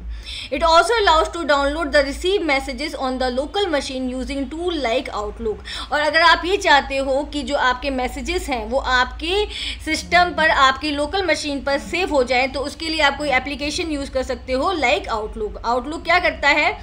आउटलुक आपके मैसेजेस को सेव करके रख लेता है so that user can read them even when they are not connected to the internet okay जितने भी मैसेजेस यूज़र ने क्या किया है मेल सर्वर से डाउनलोड किए हैं आउटलुक के अंदर, वो उनको कभी भी रीड कर सकता है, चाहे वो इंटरनेट से कनेक्टेड हो, चाहे ना हो Now we have HTTPS. HTTPS stands for Hypertext Transfer Protocol Secure. HTTPS protocol ensures the security of the text or information being transferred over World Wide Web. HTTPS protocol ensure करता है कि जो भी information World Wide Web पर transfer हो रही है from one device to another वो securely transfer हो right? HTTPS is enhanced version of HTTP working with S S L H T T P S क्या है? एच टी टी पी का enhance version है. Hyper text transfer protocol का enhance version है, जो S S L secure socket layer certificate के साथ काम करता है.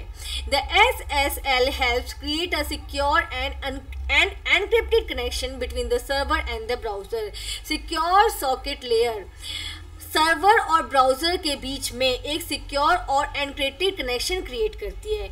ओके आप देखो पिक्चर में देख सकते हो, ये आपका ब्राउज़र है और ये आपका सर्वर है। ओके जब एस के थ्रू डेटा ट्रांसफ़र होगा राइट एस प्रोटोकॉल के थ्रू डेटा ट्रांसफ़र होगा तो वो बहुत ही सिक्योर वे में और एनक्रिप्टेड फॉर्म में ट्रांसफ़र होगा right it will create a secure and encrypted connection between the browser and the server fine SSL encrypts and sends information over a secure connection making it hard to steal. Secure socket layer information को encrypt करता है and then उसको एक secure connection के through one device से दूसरे device पर transfer करता है transmit करता है okay? जब आपका डेटा encrypted form में travel करता है तो उसको steal नहीं किया जा सकता और अगर वो steal हो भी जाता है तो कोई भी उस डेटा को समझ नहीं सकता राइट बिकॉज़ डेटा किस फॉर्म में होता है कोडेड फॉर्म में होता है है right encryption is the process of converting actual information into some code words to hide its actual meaning encryption कौन सा प्रोसेस होता है जिसमें डेटा को, जो एक्चुअल डेटा होता है, उसको कुछ कोड वर्ड्स में कन्वर्ट कर दिया जाता है जिससे उसका एक्चुअल मीनिंग हाइड हो जाए। Fine. Https is used for exchanging sensitive information over internet. Https का यूज़ इंटरनेट पर सेंसिटिव इंफॉर्मेशन को एक्सचेंज करने के लिए किया जाता है right such as login details आपकी login details bank details payment details etcetera okay तो जो सेंसिटिव डेटा एक्सचेंज किया जाता है, वो एच की हेल्प से एक्सचेंज किया जाता है. Fine now Now we have difference between HTTP and HTTPS protocol. First we have HTTP Hypertext Transfer Protocol. It is a system for transferring information over internet without any security feature, right? तो HTTP क्या करता है data को transfer करता है information को transfer करता है वर्ल्ड वाइड वेब पर from one device to another okay but वो कोई भी सिक्योरिटी फीचर प्रोवाइड नहीं करता है आपके डेटा को right your data can be hacked any time fine it is a system of transferring HTTPS it is a system of transferring information with secure socket layer that encrypts and sends information over a secure connection making it hard to steal. Hypertext transfer protocol secure information को transfer करता है with full security okay by using the secure socket layer जो क्या करता है data को या information को फ़र्स्ट एनक्रिप्ट करता है और उसको एक सिक्योर मीडियम के थ्रू ट्रांसमिट करता है from one device to another जिससे कि वो स्टील नहीं हो सकती। Okay it is very difficult to steal that information HTTP it is useful for sending non sensitive information HTTP security feature नहीं प्रोवाइड करता तो उसका यूज़ आप नॉन सेंसिटिव इंफॉर्मेशन के ट्रांसमिट में यूज़ कर, कर सकते हैं। लाइक सिंपल वेब पेजेस हो गया सिंपल इंफॉर्मेशन हो गया जो अगर स्टील हो भी जाती है तो कोई उससे नुकसान ना हो ओके ना H T T P S it is use for transferring और exchanging sensitive information hyper text transfer protocol secure का यूज़ सेंसिटिव इंफॉर्मेशन को एक्सचेंज करने के लिए, ट्रांसफ़र करने के लिए यूज़ किया जाता है। S T T P it is generally use for blogs entertainment information and journal articles S T T P का यूज़ ब्लॉग्स के लिए किया जाता है सिंपल एंटरटेनमेंट इंफॉर्मेशन के लिए किया जाता है। ओके जर्नल आर्टिकल्स के लिए यूज़ किया जाता है। ओके जब आप से कोई भी इस टाइप की इंफॉर्मेशन या वेब पेजेस एक्सेस करते हो तो वहाँ पर एस टी टी पी का यूज़ किया जाता है। Okay okay? Now https it is used for exchanging information such as login details bank details payment details. लेकिन https का यूज़ आपकी क्रूशियल इन्फॉर्मेशन को ट्रांसमिट करने के लिए किया जाता है। अगर आपकी आपकी लॉगिन डिटेल्स के लिए ओके okay, आपके बैंक डिटेल्स के लिए पेमेंट डिटेल्स के लिए इन इस टाइप के डेटा को एक्सचेंज करने के लिए एस का यूज़ किया जाता है। Now HTTP it does not require any additional technology for data exchange transfer.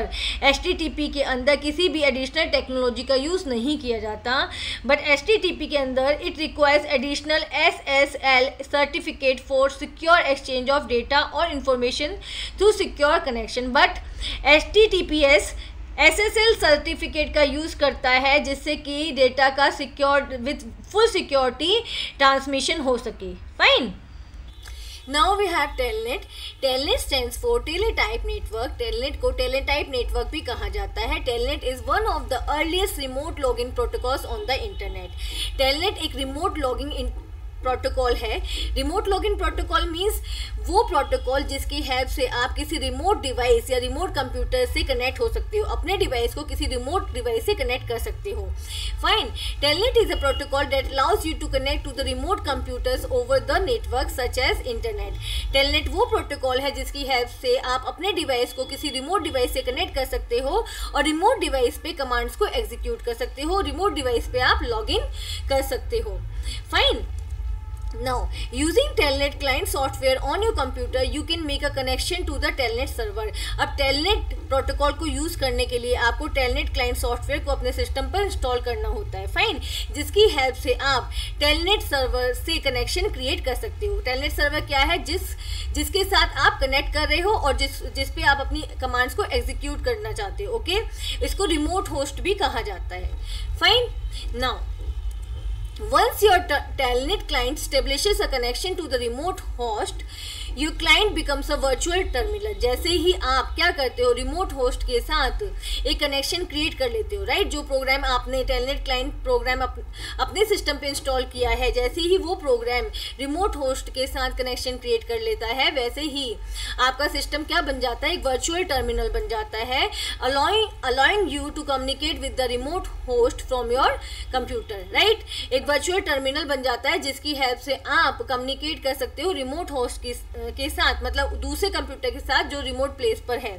Fine आप उसके ऊपर अपनी कमांड्स एग्जीक्यूट कर सकते हो राइट उस उस रिमोट होस्ट पर आप लॉग इन कर सकते हो। Fine in most cases you will need to log on to the remote host some cases में क्या होता है, आपको रिमोट डिवाइस पे लॉग इन करना होता है which requires that you have an account on that system और इसके लिए क्या चाहिए, आपका भी अकाउंट होना चाहिए रिमोट होस्ट पर, ठीक है occasionally you can log in as a guest और public without having an account और समटाइम्स क्या होता है, आप सिंपली क्या कर सकते हो लॉग इन कर सकते हो okay okay?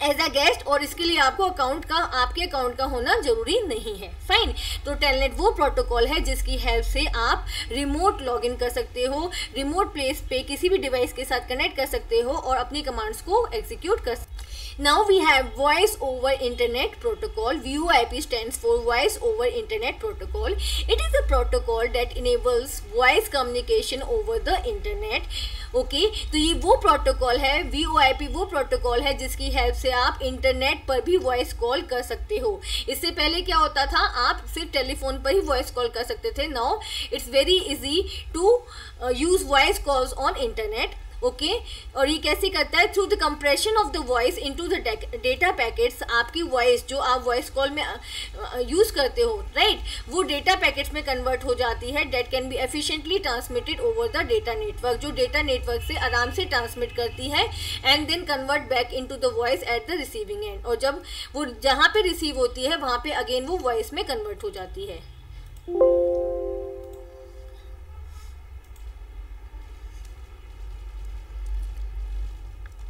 Now we have voice over internet protocol. VoIP stands for voice over internet protocol.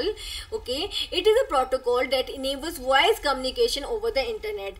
VoIP protocol की हेल्प से आप इंटरनेट पर वॉइस कॉल्स कर सकते हो इससे पहले हम आप सिर्फ़ टेलीफोन से ही वॉइस कॉल कर सकते थे पर वी के आने पर आप इंटरनेट पर भी वॉइस कॉल को कर सकते हो वीडियो कॉल्स को कर सकते हो राइट और ये किस टेक्निक से करती है through the compression through the compression of the voice into the data packets आप जो वॉइस कॉल करते हो राइट right? उसमें वॉइस कंप्रेस होकर डेटा पैकेट्स में कन्वर्ट हो जाती है। That can be efficiently transmitted over the network और डेटा पैकेट्स में कन्वर्ट होने के बाद उसको इजिली डेटा नेटवर्क पर ट्रांसमिट किया जा सकता है right and then convert back into voice at the receiving end और रिसीविंग एंड में अगेन वो वॉइस में कन्वर्ट हो जाती है। Fine it uses packet switching और ये पैकेट स्विचिंग की हेल्प से डेटा को स्टोर एंड फॉरवर्ड करती है right okay okay? It is an alternative to traditional telephone network तो ये किसका अल्टरनेट है? जो पहले ट्रेडिशनल टेलीफोन नेटवर्क था, ये उसका एक अल्टरनेट है जो अब बहुत वाइडली यूज़ किया जाता है।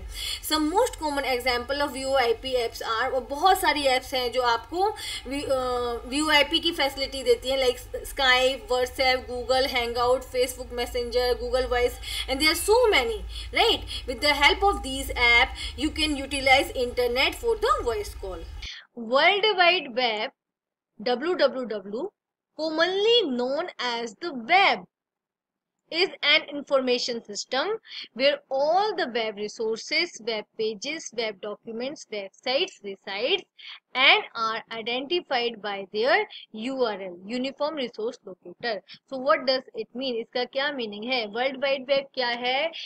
ये information का web है. ओके इंफॉर्मेशन का वेब है मींस जो भी websites web pages web documents आप इंटरनेट की हेल्प से एक्सेस करते हो ओके okay, वो कहाँ से एक्सेस करते हो? वो वर्ल्ड वाइड वेब से एक्सेस करते हो राइट right? तो जो भी इंफॉर्मेशन इंटरनेट पे अवेलेबल है ये उस उस पूरी इंफॉर्मेशन का क्या है? वेब है। उस इंफॉर्मेशन का क्या है? एक जाला है राइट right? आप कैसे समझोगे? देखो इंटरनेट क्या है? Internet is a network internet एक नेटवर्क है। जैसे ये आपका कंप्यूटर वन है। I am just taking one example ये आपका वन कंप्यूटर है, ये आपका सेकेंड कंप्यूटर है राइट right? ये आपका थर्ड कंप्यूटर है।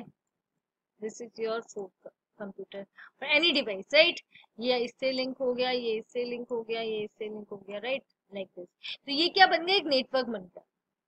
Right this computer can send data to this computer and this computer can send data to this computer like this okay this is the network fine so internet is what internet is a network of devices okay okay internet क्या है network है devices का okay okay?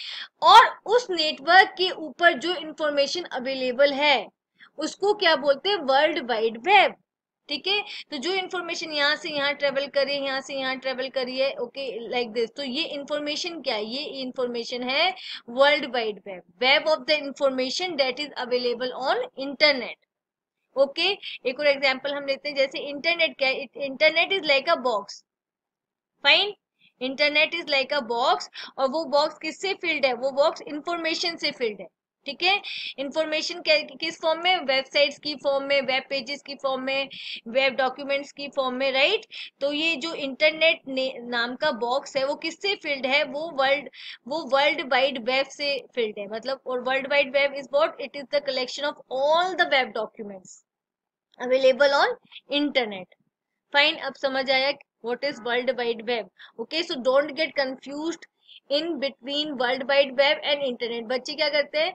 World wide web को ही internet समझ के कुछ भी definition लिख देते हैं। लेकिन क्या है? इंटरनेट है नेटवर्क ऑफ़ डिवाइसेस और वर्ल्ड वाइड वेब क्या है? This is the web of the information collection of the information that is available on the internet fine और वर्ल्ड वाइड वेब को इन्वेंट किसने किया था? टिम बर्नर्स ली ने right Tim Berners Lee invented the world wide web in 1989 1989 में Tim Berners Lee ने इसको invent किया था। He wrote the first web browser अच्छा सबसे पहले उन्होंने वर्ल्ड वाइड वेब को इन्वेंट किया। अब उसको एक्सेस करने के लिए भी क्या चाहिए? कोई हमें सॉफ्टवेयर चाहिए राइट right? इंफॉर्मेशन का एक वेब डिस्कवर हो चुका है right now how we can access the, that world wide web? Okay तो उसके लिए उन्होंने क्या बनाया? He wrote the first web browser in 1990 तो उन्होंने जो first web browser Uh, की कोडिंग करी वो कब करी? 1990 में की राइट वेब ब्राउज़र क्या होता है? Web browser uses the internet to access the web web browser की हेल्प से ठीक है हम क्या करते हैं वेब पेजेस को एक्सेस करते हैं ओके अगर आपके पास क्या है आप अपने जो सिस्टम होता है उसमें कैसे इंटरनेट उस, कैसे आप वर्ल्ड वाइड वेब को एक्सेस करते हो ठीक है? वेब ब्राउजर्स की हेल्प से Internet Explorer Mozilla Firefox Chrome इन सब की हेल्प से करते हो ठीक है? तो क्या है वेब ब्राउज़र यूजेस द और अगर इंटरनेट होगा तभी आपके पास इंफॉर्मेशन आएगी right if you are connected to the internet network then you will get the world wide web right? Okay next the sources of the web are transferred by the hypertext transfer protocol that i told you कि जब internet में क्या होता है all the devices follow certain rules and these rules are called as protocols ठीक है?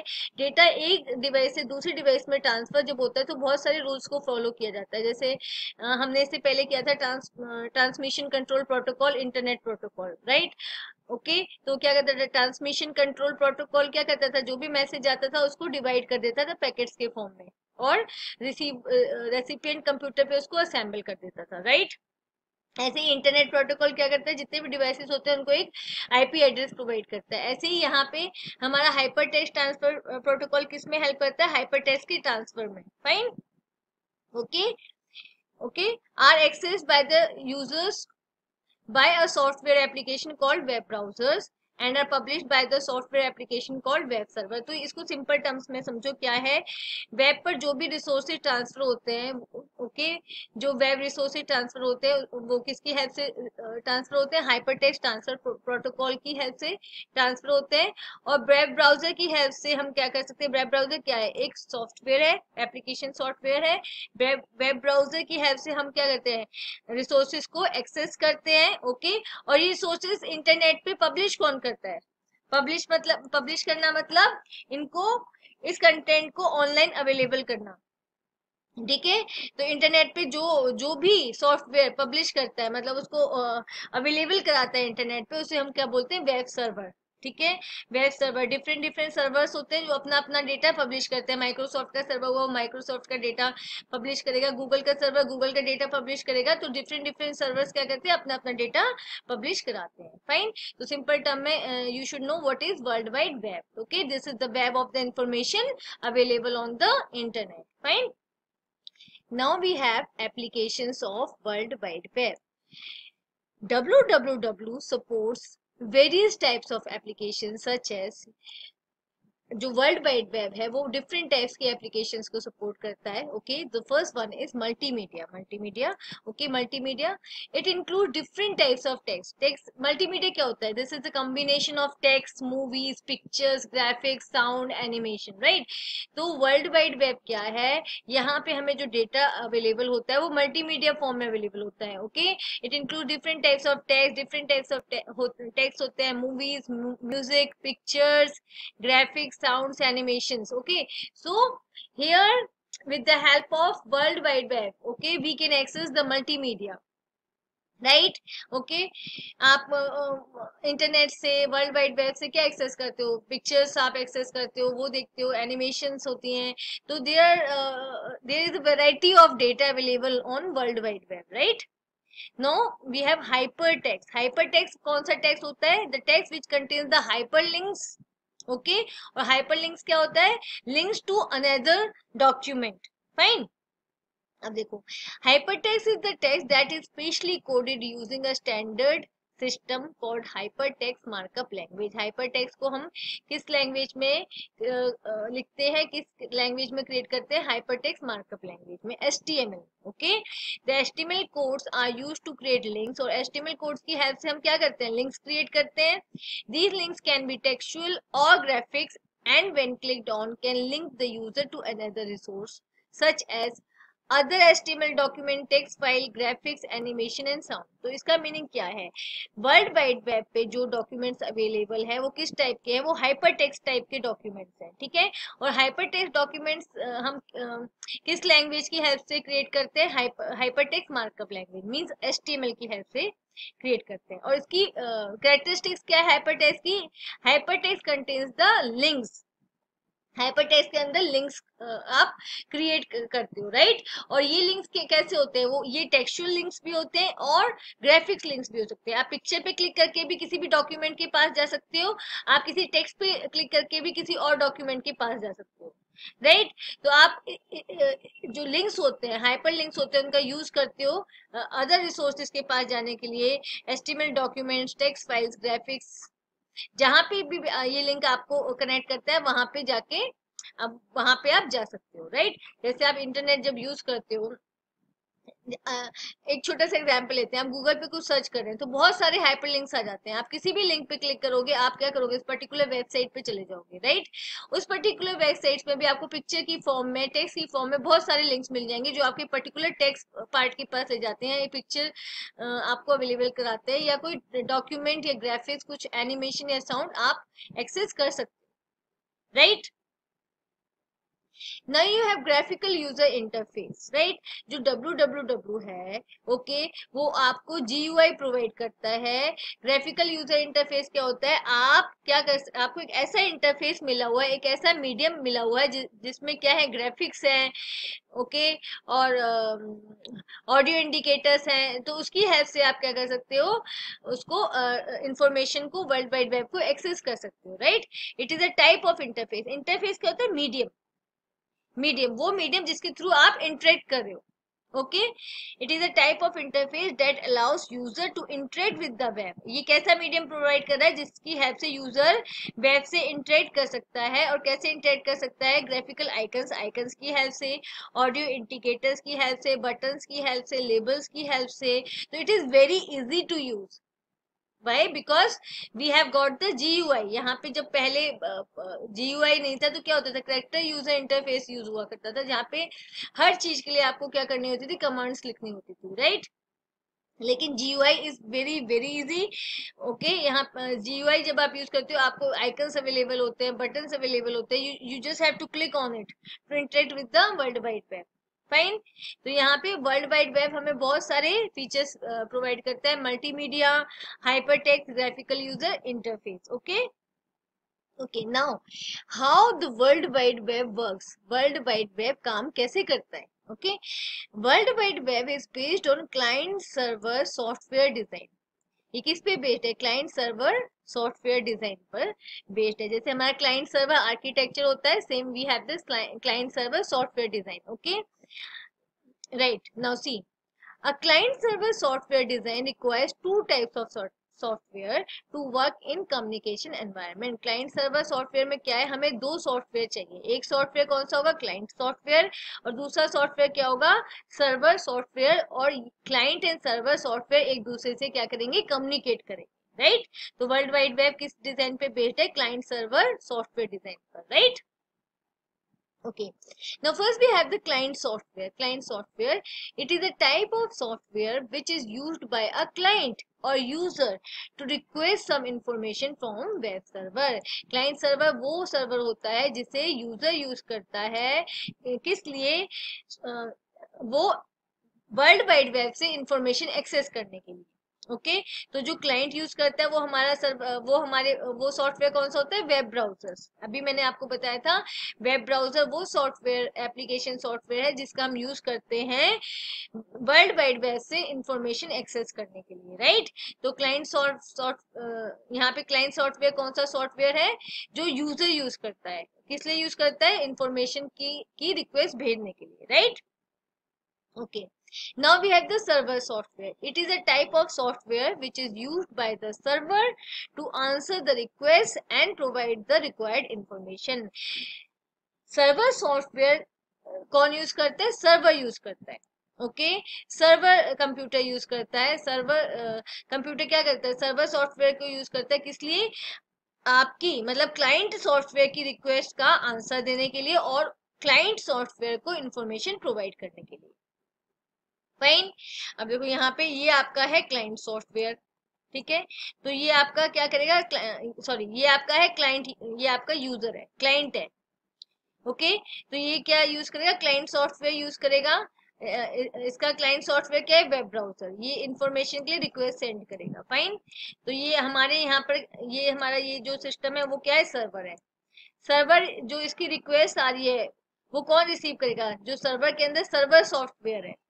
Server software है, वो इसको रिसीव करेगा राइट ऐसे यहाँ पे क्लाइंट सॉफ्टवेयर ने क्या किया? रिक्वेस्ट को सेंड किया। सर्वर सॉफ्टवेयर ने उसको रिसीव किया। और जो भी रिक्वेस्ट आई है, उसके अकॉर्डिंग क्या करेगा? ये डेटा सेंड कर देगा क्लाइंट को। फाइन सर्वर सॉफ्टवेयर क्या करेगा? डेटा सेंड कर देगा क्लाइंट को। ओके और सर्वर सॉफ्टवेयर के एग्जांपल क्या है? गूगल वेब सर्वर गूगल का सर्वर जो आपको इन्फॉर्मेशन प्रोवाइड करता है Oracle web logic server Oracle का है ये server IBM WebSphere application server okay so different different organization के डिफरेंट डिफरेंट सर्वर क्या होते हैं? उनका सेटअप होता है सर्वर सेटअप राइट जहाँ पे क्या चलता है? सर्वर सॉफ्टवेयर उनका चलता है, जो क्या करता है? आपकी रिक्वेस्ट को एक्सेप्ट करता है क्लाइंट की रिक्वेस्ट को एक्सेप्ट करता है और इन्फॉर्मेशन प्रोवाइड करता है fine now we have attributes of world wide web attributes means उसकी वर्ल्ड वाइड वेब की करेक्टरिस्टिक्स क्या है राइट? एट्रीब्यूट्स क्या है, उसके फीचर्स क्या है? यूज़र फ्रेंडली सबसे पहले यूज़र फ्रेंडली है। W W W resource work smoothly with most web browser such as Internet Explorer Firefox मतलब हम क्या कर सकते हैं? वर्ल्ड वाइड वेब के रिसोर्सेज को किसी भी वेब ब्राउज़र से एक्सेस कर सकते हैं ओके okay? यहाँ पे एग्ज़ाम्पल दिए हुए Internet Explorer Firefox Chrome so many web browsers are there तो ये क्या है? यूज़र फ्रेंडली है okay multimedia documents World Wide Web allows users to create and display web pages that contain various graphics, audio, video, animation and text. तो क्या है? World wide web पे कौन सा कंटेंट अवेलेबल है? मल्टीमीडिया कंटेंट अवेलेबल है। आप क्या कर सकते हैं? यूज़र्स क्या कर सकते हैं? मल्टीमीडिया कंटेंट क्रिएट कर सकते हैं और उसे डिस्प्ले कर सकते हैं राइट कहाँ पे? वर्ल्ड वाइड वेब पे right okay interactive you can interact with the world wide web. World wide web provides interactivity using hyperlinks and input boxes. Okay, अभी मैंने आपको बताया वर्ल्ड वाइड वेब जब आप यूज़ करते हो, आप जैसे इंफॉर्मेशन सर्च करते हो, क्या होता है, बहुत सारे हाइपरलिंक्स आपके पास आ जाते हैं। आप किसी भी हाइपरलिंक पे क्लिक करके किसी भी पर्टिकुलर वेबसाइट पर जा सकते हो। और उस पर्टिकुलर वेबसाइट पे भी आपको बहुत सारे हाइपरलिंक मिल जाएँगे। Those hyperlink connect you to different different parts like uh, they can connect you to uh, to some pictures or some data some text right तो ऐसे क्या है ये इंटरेक्टिव एनवायरमेंट प्रोवाइड करता है आपको okay frames World Wide Web supports frames that allow users to display more than one independent section on a single web page. अब क्या वेब पेज के अंदर क्या कर सकते हो आप, आप फ्रेम्स क्रिएट कर सकते हो और एक वेब के अंदर आप क्या कर सकते हो डिफरेंट डिफरेंट सेक्शंस बना सकते हो okay? आप uh, जितने वेब पेजेस होते हैं, आप उसके अंदर डिफरेंट डिफरेंट सेक्शंस क्रिएट कर सकते हो फ्रेम्स क्रिएट कर सकते हो। राइट ओके तो ये क्या it allows to have more than one independent section in a single web page right okay? okay? ये आपने देखा भी होगा, जब आप इंफॉर्मेशन सर्च करते हो तो जो आपका वेब पेज आता है, वो क्या होता है? डिफरेंट सेक्शंस में डिवाइड होता है। यहाँ पे कुछ और names list of names display करेंगे, बीच में content then pictures like this तो यहाँ आप क्या कर सकते हो? डिवाइड कर सकते हो वन वेब पेज को डिफरेंट डिफरेंट फ्रेम्स में डिफरेंट डिफरेंट सेक्शंस में, okay? Okay? HTML that is hypertext markup language okay so, what is hypertext here? Hypertext means the text which contains hyperlink ऐसा text जिसके अंदर hyperlinks होते हैं। Hyperlinks क्या होते हैं? कनेक्शन के लिए होते हैं। Okay okay? एक एक वेब पेज को जब आप दूसरे वेब पेज से कनेक्ट करते हो किसकी हेल्प से करते हो? हाइपर लिंक की हेल्प से करते हो। तो ऐसा टेक्स्ट जिसके अंदर क्या है? हाइपरलिंक्स है okay that text is called is hyper text markup language markup means tags इस लैंग्वेज में आप क्या यूज़ करते हो? Tags okay? okay? तो इसको इसलिए क्या, इसलिए इसका नाम क्या है? हाइपर टेक्स्ट मार्कअप लैंग्वेज वो लैंग्वेज जिसके अंदर हम हाइपरलिंक्स का यूज़ करते हैं हाइपर लिंक्स क्रिएट करते हैं और टेक्स्ट का यूज़ किया जाता है। Fine so it is the basic language use to create web pages for the world wide web तो एस्टिमल का जो बेसिक यूज़ है, वो क्या है? वो वेब पेजेस क्रिएट करने के लिए होता है ओके जितना आप देखते हो वेबसाइट्स वेबसाइट्स में क्या होते हैं? Website what is website website is the combination of the web pages right okay okay? तो वहाँ पे किस लैंग्वेज का आप यूज़ करते हो? एस्टिमल लैंग्वेज का यूज़ करते हो, जहाँ पे हमारे को क्या होता है? स्टेटिक वेबसाइट्स होती है सिंपली इंफॉर्मेशन आ रही है ओके okay? आपको कोई इंटरेक्शन नहीं करता, करना ओके okay? तो वहाँ पे क्या एस्टिमल पेजेस का यूज़ किया जा सकता है okay HTML was developed in November 1990 by Tim Berners-Lee. Okay, तो यहाँ पे HTML को किसने डेवलप किया था बर्नर्स ली ने किया था 1990 में HTML is a subset of SGML Standard Generalized Markup Language HTML क्या है एक पार्ट है सबसेट क्या होता है ओके okay? एक पार्ट है एक बड़े से ग्रुप का, ठीक है? जो क्या है standard generalized markup language which is the standard for developing web pages ये एस क्या है? एक स्टैंडर्ड है okay for developing web pages web pages को डेवलप करने के लिए जो हमारा एक स्टैंडर्ड है, जैसे सीबीएसई e है। सीबीएसई e क्या एक स्टैंडर्ड है। तो सीबीएसई e के स्कूल्स क्या हो गए? उसके सबसेट हो गए। फाइन ऐसे ही एस क्या है? एसजीएमएल का एस एम एल का सबसेट है, उसका पार्ट है okay HTML is called a markup language as it contains different markups to specify different commands okay तो यहाँ पे कह रहे हैं इसको मार्कअप लैंग्वेज क्यों कहा जाता है? क्योंकि डिफरेंट मार्कअप्स का मतलब डिफरेंट टेक्स्ट का यूज़ करता है डिफरेंट कमांड्स के लिए। Fine these markups are also called text okay HTML is not a case sensitive language. HTML case sensitive language नहीं है. It can be written either in the lower case letters or in the upper case letters. आप lower case letters में भी लिख सकते हो commands को आप upper case letter में भी लिख सकते हो और आप mix combination of both भी कर सकते हो Fine. The HTML document is saved with the file extension .stm or .html. So this is the extension of HTML file. आप उसको सेव कर सकते हैं .html से भी या .stm से भी. Fine. The HTML document is written in text editors like Notepad or WordPad. तो यहाँ पे HTML की कमांड्स लिखने के लिए आपको टेक्स्ट एडिटर्स चाहिए होता है। जैसे Notepad हुआ, आपका टेक्स्ट पैड हुआ WordPad हुआ, वहाँ पे आप HTML की कमांड्स क्या करोगे? आप टाइप करोगे okay and it can be viewed with the help of the software called web browsers और आप जो फ़ाइल बनाते हो ओके okay, उसको किसकी हेल्प से आप व्यू करोगे? किसकी हेल्प से आप देखोगे? वेब ब्राउजर्स की हेल्प से देखोगे। Like Internet Explorer Google Chrome Opera etcetera right then we have types of tags in HTML HTML में कितने टाइप्स के टैग्स होते हैं? There are two types of tags in HTML container tags and empty tags okay container tags need both an opening tag and a closing tag container tags कौन से होते हैं? जिनके बीच में कुछ ना कुछ डेटा कंटेन होता है। कुछ ना कुछ डेटा वो रखते हैं अपने बीच में, अपने स्टार्टिंग टैग में एंड क्लोजिंग टैग में। तो यहाँ पे दो टैग चाहिए होता है, एक ओपनिंग टैग एंड एक closing tag fine these tell the browser when to begin a command and when to end it तो ये क्या बताता है? कब कमांड बिगिन होगी और कब कमांड एंड होगी? Okay? Most tags comprise of container tags और जो एस uh, के के टैग्स हैं उनमें 90 परसेंट टैग्स कंटेनर टैग्स हैं फाइन देखो यहाँ पे एग्ज़ाम्पल ये हमने HTML tag starting and then HTML tag की ending then body tag starting body tag की ending like font tag starting ending तो ये सारे क्या है? कंटेनर टैग्स है. और जो इसके स्टार्टिंग और एंडिंग के बीच में क्या होता है? कंटेंट होता है fine okay next type is empty tags empty tags are made up of just the opening tags empty tag होते हैं सिर्फ़ opening tags होते हैं इसमें ending tags की ज़रूरत नहीं होती in these the closing tags are not required closing tags की requirement नहीं होती like horizontal rule hr tag तो आप एच आई यूज़ करोगे सिंपली यहाँ पे एक लाइन आ जाएगी हॉरिजॉन्टल रूल आ जाएगी। Break line break line B R use करोगे तो आपका टैक्स जो, आपका जो कंट्रोल है, आप, वो बी आर किस लिए यूज़ होता है? The control goes to the next line right next line में जाने के लिए फाइन तो हमने अपना नोट पैड ओपन कर लिया है फाइन तो सबसे पहले हम इसमें लगाएँगे एस टी टैग जो आपका सबसे पहला टैग यूज़ होता है एस टैग एस टैग के अंदर आप यूज़ करोगे head tag right? Head tag में आप क्या देते हो? हेड इन्फॉर्मेशन देते हो?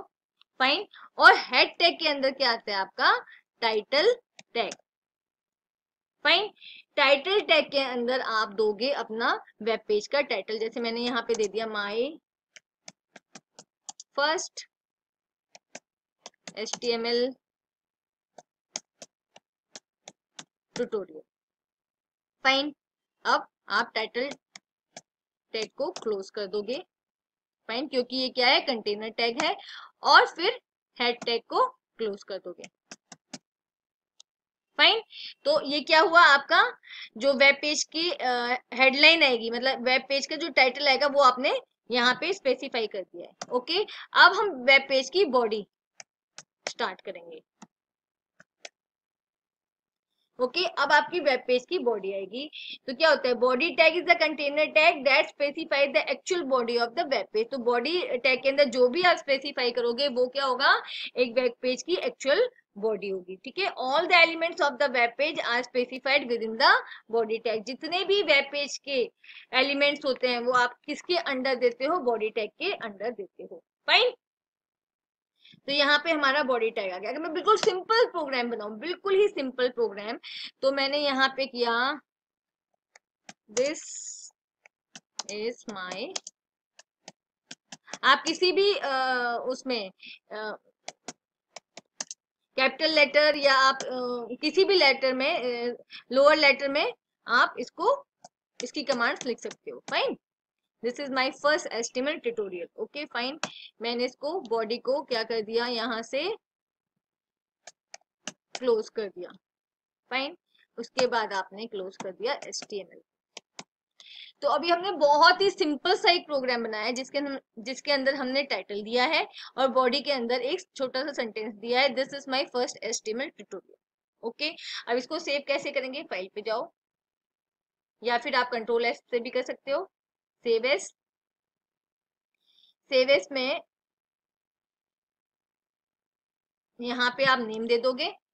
कोई भी नेम दे दो आपने जैसे आपने दे दिया। First tutorial.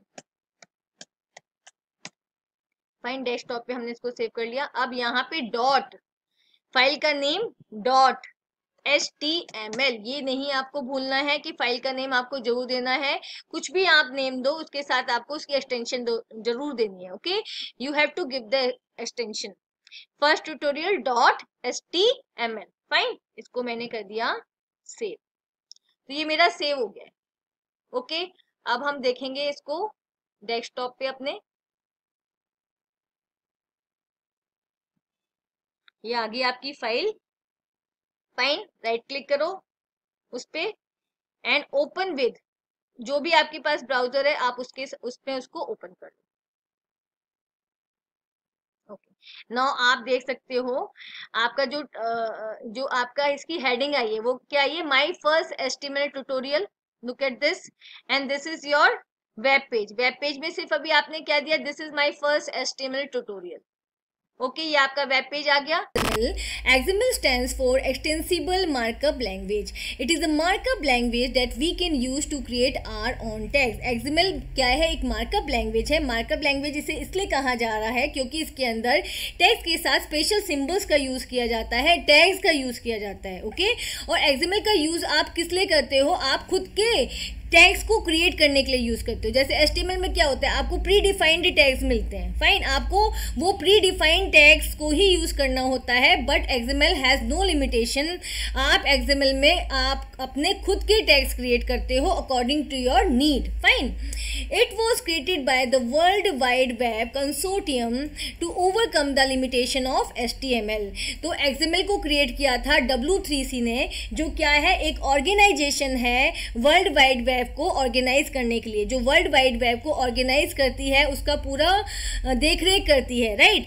तो एक्सएमएल को डब्ल्यू ने क्रिएट किया था, किस किस लिए? एस्टिमल की लिमिटेशंस को ओवरकम करने के लिए। जो लिमिटेशंस फेस कर रहे थे, जो डिसएडवांटेज एस्टिमल के साथ फेस किए जा रहे थे, उस डिसएडवांटेज को हटाने के लिए। Fine XML is a meta language a meta language is a language that is use to define other language XML क्या है? एक मेटा लैंग्वेज है, एक बेसिक लैंग्वेज है, जिसका यूज़ किया जाता है दूसरी लैंग्वेजेस को डिफाइन करने के लिए, दूसरी लैंग्वेजेस को क्रिएट करने के लिए। तो ये मेटा लैंग्वेज क्यों है? इसके अंदर आप अकॉर्डिंग टू योर नीड अपने खुद के टैक्स क्रिएट करते हो राइट right? जब आप खुद के टैक्स क्रिएट करते हो तो आप अपने अपने अकॉर्डिंग आप अपनी खुद की लैंग्वेज क्रिएट कर सकते हो, आप अपनी खुद की मार्कअप लैंग्वेज क्रिएट कर सकते हो। Fine XML allows us to create our own self descriptive tags ठीक है?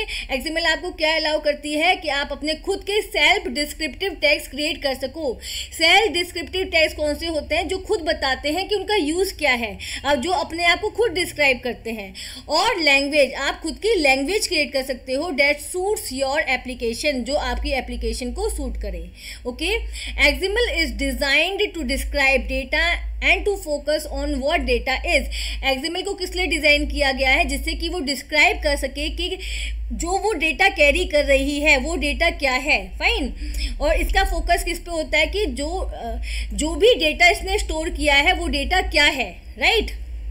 फाइन जैसे एच का जो डिज़ाइन किया गया था एच को, वो वो क्या करता था, क्या, वो दिखाता था कि डेटा कैसे डिस्प्ले होगा ओके लेकिन एक्सएमएल क्या शो करता है कि क्या डेटा उसने स्टोर किया है okay fine so it describes the data XML is design to store and transport data XML का डिज़ाइन किया गया है डेटा को स्टोर करने के लिए एंड ट्रांसपोर्ट करने के लिए from one application to the another application not to display data ये डेटा को डिस्प्ले नहीं करता. फाइन ये डेटा को स्टोर करता है एंड ट्रांसपोर्ट करता है डेटा को डिस्क्राइब करता है okay okay? XML store information in a plain text format XML plain text format format में अपनी इन्फॉर्मेशन को स्टोर करता है। So it is not blocked by any firewall इसलिए कोई भी फायर वॉल उसको ब्लॉक नहीं करती है। Fine it allows to exchange data between the heterogeneous system XML files को आप heterogeneous system means different different systems पे एक्सचेंज कर सकते हो। मीन्स उनको ट्रांसफ़र कर सकते हो। Fine Now we have difference between HTML and XML. HTML is used to display data and focuses on how data looks. HTML का क्या यूज़ है ये डेटा को डिस्प्ले करता है ओके okay, एंड बताता है कि डेटा डिस्प्ले होने के बाद कैसा दिखेगा right XML is a software and hardware independent tool XML जो लैंग्वेज है, वो किसी भी डिवाइस के सॉफ्टवेयर या हार्डवेयर से उसको कोई फ़र्क नहीं पड़ता, वो इंडिपेंडेंट है and it is use to transport and store data XML की हेल्प से आप डेटा को ट्रांसपोर्ट करा सकते हो स्टोर करा सकते हो. It focuses on what data is ये इसका कंप्लीट फोकस डेटा के ऊपर होता है कि डेटा क्या है. फाइन किस टाइप का डेटा है. इसका फोकस इस पर नहीं होता कि डेटा कैसे डिस्प्ले करेगा. Fine now H T M L H T M L is a markup language is self H T M L क्या है? एक मार्कअप लैंग्वेज है टेक्स्ट वाली लैंग्वेज है ओके okay, जिसमें सिम टेक्स्ट के साथ सिम्बल्स का यूज़ किया जाता है टेक्स्ट का यूज़ किया जाता है। XML provides a framework to define markup languages XML क्या प्रोवाइड करता है? एक बेसिक स्ट्रक्चर प्रोवाइड करता है दूसरी मार्कअप लैंग्वेजेस को क्रिएट करने का। Fine H T M L is not case sensitive H T M L case sensitive नहीं है but XML is case sensitive इसके अंदर आपको जो भी टैग्स आप क्रिएट कर रहे हो, उसमें आपको उनके केस का ध्यान रखना पड़ता है कि अपर लेटर में है या लोअर लेटर में है like like this HTML has its own predefined tags. HTML में प्री डिफाइंड टैग्स हैं, आप उन्हीं टैग्स को यूज़ करते हो, आप खुद के टैग्स क्रिएट नहीं कर सकते। But in XML we can define tags according to our need but XML में आप अपने अपनी नीड के अकॉर्डिंग टैग्स क्रिएट कर सकते हो डिफाइन कर सकते हो right right? In H T M L it is not necessary to use a closing tag H T M L में आप क्लोजिंग uh, टैग्स का यूज़ ना भी करो तो भी कोई प्रॉब्लम नहीं आएगी. बट एक्सएमएल के केस में XML makes is mandatory to use a closing tag XML ये मैंडेटरी करता है ये कंपल्सरी करता है कि जो भी टैग आपने स्टार्ट किया है आप उसको एंड करोगे. जो भी आपने ओपन किया है आप उसको क्लोज करोगे. Fine HTML a static because it is use to display data HTML क्या है? एक स्टेटिक लैंग्वेज है जो डेटा को डिस्प्ले करती है। इसमें आप चेंजेस नहीं कर सकते, इसमें प्री डिफाइंड टैग्स हैं fine XML is a dynamic language because it is use to transport data XML क्या है? एक डायनेमिक लैंग्वेज है। आप इसके अंदर चेंजेस कर सकते हो। आप इसके अंदर अपने खुद के टैग्स को क्रिएट करके ऐड कर सकते हो और इसका किस लिए यूज़ होता है? To transport the data from one device to another यहाँ पे मैंने लिया एम्प्लॉय लिस्ट ठीक है? तो ओपन किया है आपने नोटपैड और नोटपैड में आप एक्सएमएल की कोडिंग कर रहे हो एम्प्लॉय लिस्ट मैंने लिया। ये मेरा क्या है? रूट टैग है। ठीक है? रूट एलिमेंट और रूट टैग जैसे एस्टिमल में एस्टिमल होता है आपका रूट एलिमेंट और इसमें मैंने लिया सब एलिमेंट्स एम्प्लॉय वन फाइन इसमें आप नेम ले लो। नेम मैंने ले लिया, मान लो नेहा ले लिया।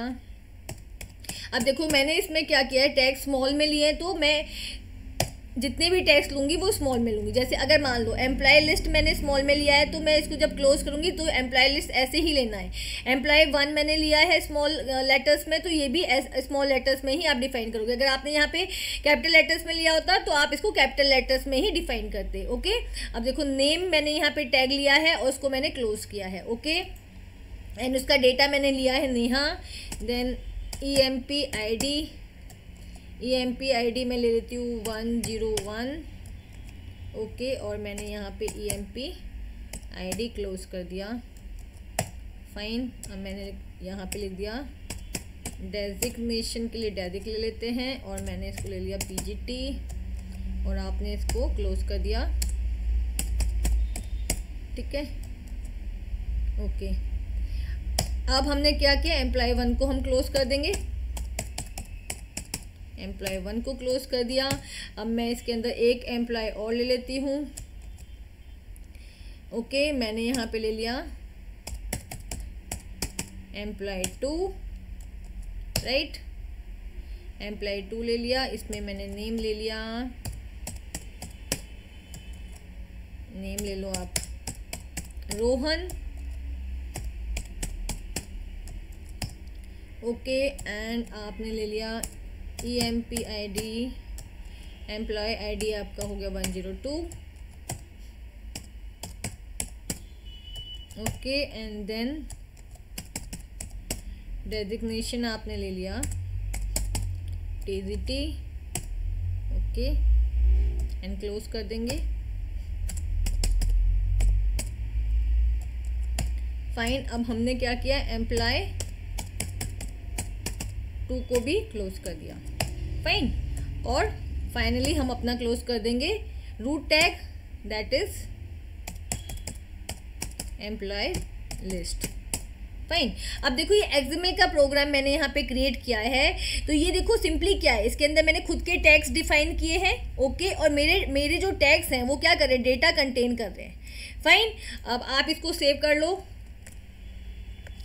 राइट right, मैंने इसको डेस्कटॉप पे किस नेम से कर दिया? मैंने E M P dot X M L X M L दे दिया सेव फाइन सेव कर दिया है इसको.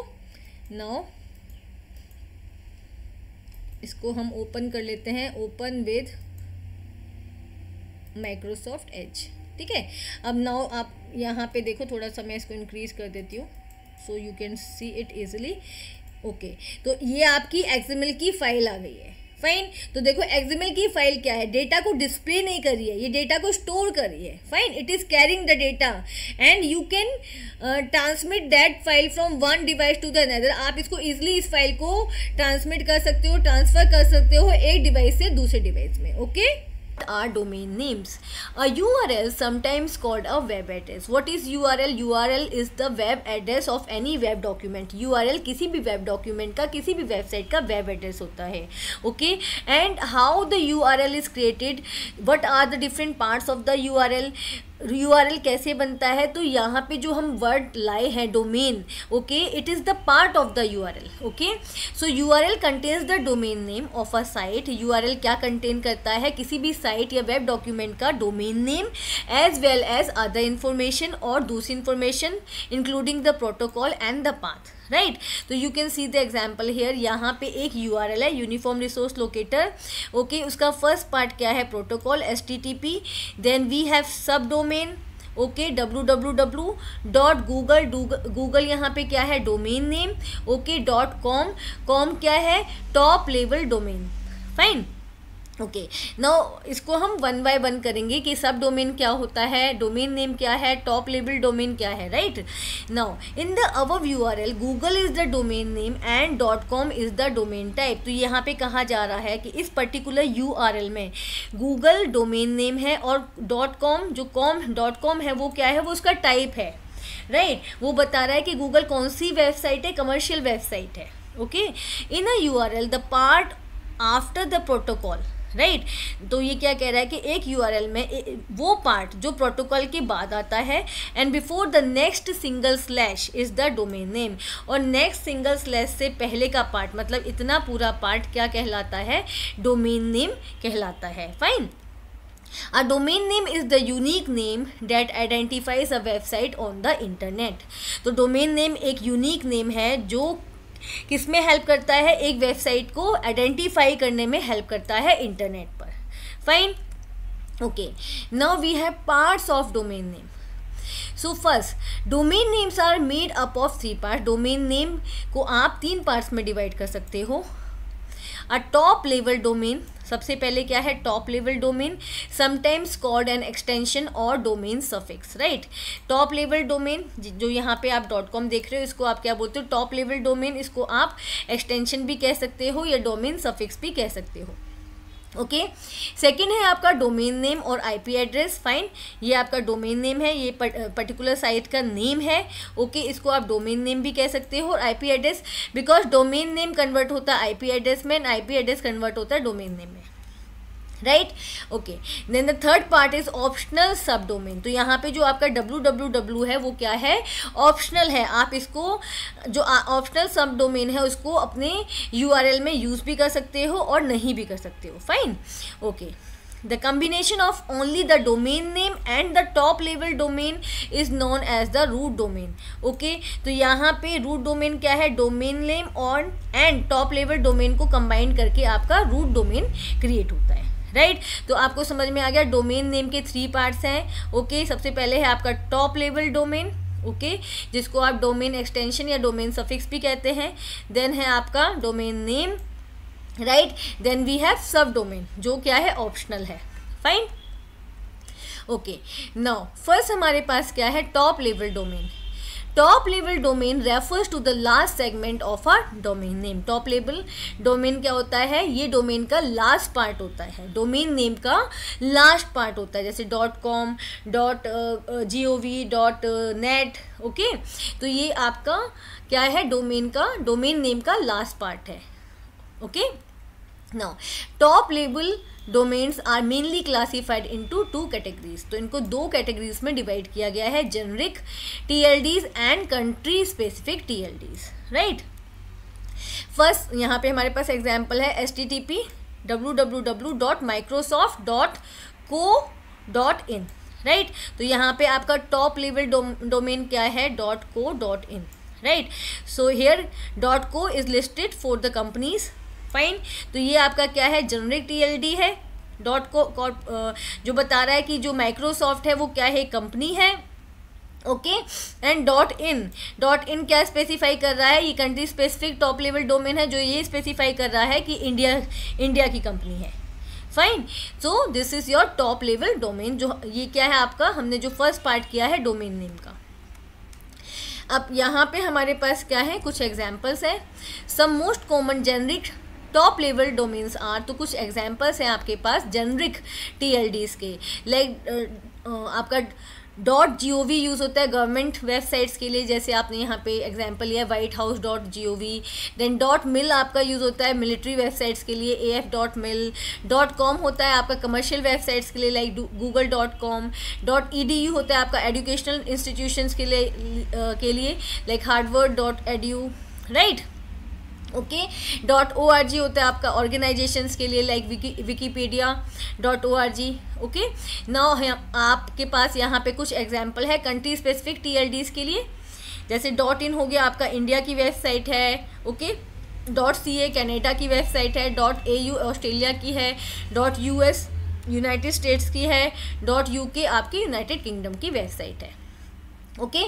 नाउ सेकेंड है हमारे पास डोमेन नेम फाइन तो डोमेन नेम क्या है? A domain name is the unique name that identifies a website तो जो डोमेन नेम होता है, वो वेबसाइट का नेम होता है। फाइन जैसे जैसे आपका हो गया गूगल माइक्रोसॉफ्ट तो ये आपका क्या है? Domain name domain name is the combination of website name and the T तो हम डोमेन नेम को कैसे लेकर चलते हैं? This is the combination of the website name and the T top level domain fine तो ये आपके पास यहाँ पे एग्ज़ाम्पल है H T T P okay, ये क्या है आपका प्रोटोकॉल है? Hyper text transfer protocol then W W W आपका सब डोमेन है राइट right? तो आपका डोमेन नेम यहाँ पे क्या है? Google dot com in the above U R L Google is the domain name and dot com is the domain type although क्या है? डॉट कॉम आपका डोमेन टाइप है. फाइन लेकिन जब आप डोमेन नेम कंसीडर करते हो तो आप क्या करते हो? Domain name and its type domain name and top level domain दोनों को कंबाइन करके आप as a domain name consider करते हो. फाइन जैसे आप और डोमेन नेम्स के एग्जाम्पल्स यहाँ पे ले सकते हैं। Amazon dot com health care dot G O V Facebook dot com तो ये सारे आपके क्या हैं? ये आपके डोमेन नेम्स हैं। Fine Now we have subdomain. A subdomain name is a piece of additional information added to the beginning of a website domain name. Subdomain एक क्या है? Additional piece of information है जिसको आप अपने वेबसाइट के domain name के आगे यूज़ कर सकते हैं। डोमेन नेम के आगे आप उसको लगा सकते हैं okay it allows website to separate and organize content for a specific function such as blog और एन ऑनलाइन स्टोर तो ये एडिशनल इन्फॉर्मेशन की हेल्प से आ, क्या होता है? वेबसाइट को सेपरेट कर सकते हो। रेस्ट ऑफ़ द वेबसाइट से आप बता सकते हो कि आपकी वेबसाइट किससे रिलेटेड है? वो ब्लॉग वेबसाइट है या शॉपिंग वेबसाइट है? ओके तो आप सब डोमेन का यूज़ करके ये ये आप बता सकते हो। फाइन जैसे यहाँ पे एग्जांपल देखो आ, देखो यहाँ पे क्या है blog dot HubSpot dot com तो आपने यहाँ पे क्या किया है जो यहाँ पे ब्लॉग नेम से आपने सब डोमेन एड ऑन कर दिया है वेबसाइट के डोमेन नेम के साथ। तो इससे पता चल रहा है कि जो वेबसाइट है वो क्या है ब्लॉग वेबसाइट है। इन द सेम वे यहाँ पे देखो shop dot HubSpot dot com तो इससे पता चल रहा है ये शॉपिंग वेबसाइट है। फाइन तो सब डोमेन की हेल्प से आप अपनी वेब अपनी वेबसाइट के डोमेन नेम के साथ एडिशनल इन्फॉर्मेशन ऐड कर सकते हो। The most common sub domain is W W W जो सबसे कॉमन सब डोमेन है, जो मोस्टली वेबसाइट यूज़ करती हैं, वो है W W W which stand for world wide web this sub domain contains websites home page and its most important pages तो W W W sub domain website के home page को contain करता है, उसके सबसे इंपॉर्टेंट पेजेस को contain करता है okay the W W W sub domain is so widely used that most domain registrars include it with domain name purchase ये इतना ज़्यादा फ़ेमस है कि मोस्टली मोस्टली लोग डोमेन नेम के साथ W W W sub domain को भी परचेज करते हैं। फाइन तो here we have our domain name domain name के तीन पार्ट्स हैं आपका top level domain okay? Top level domain and then domain name and then sub domain. So we U R L stand for uniform resource locator okay? This is the full form of U R L uniform resource locator ये एक uniform technique है जिससे जितने भी resources available है internet पर, उनको access किया जाता है, okay? Each web page or web document has its own address on the internet called as URL.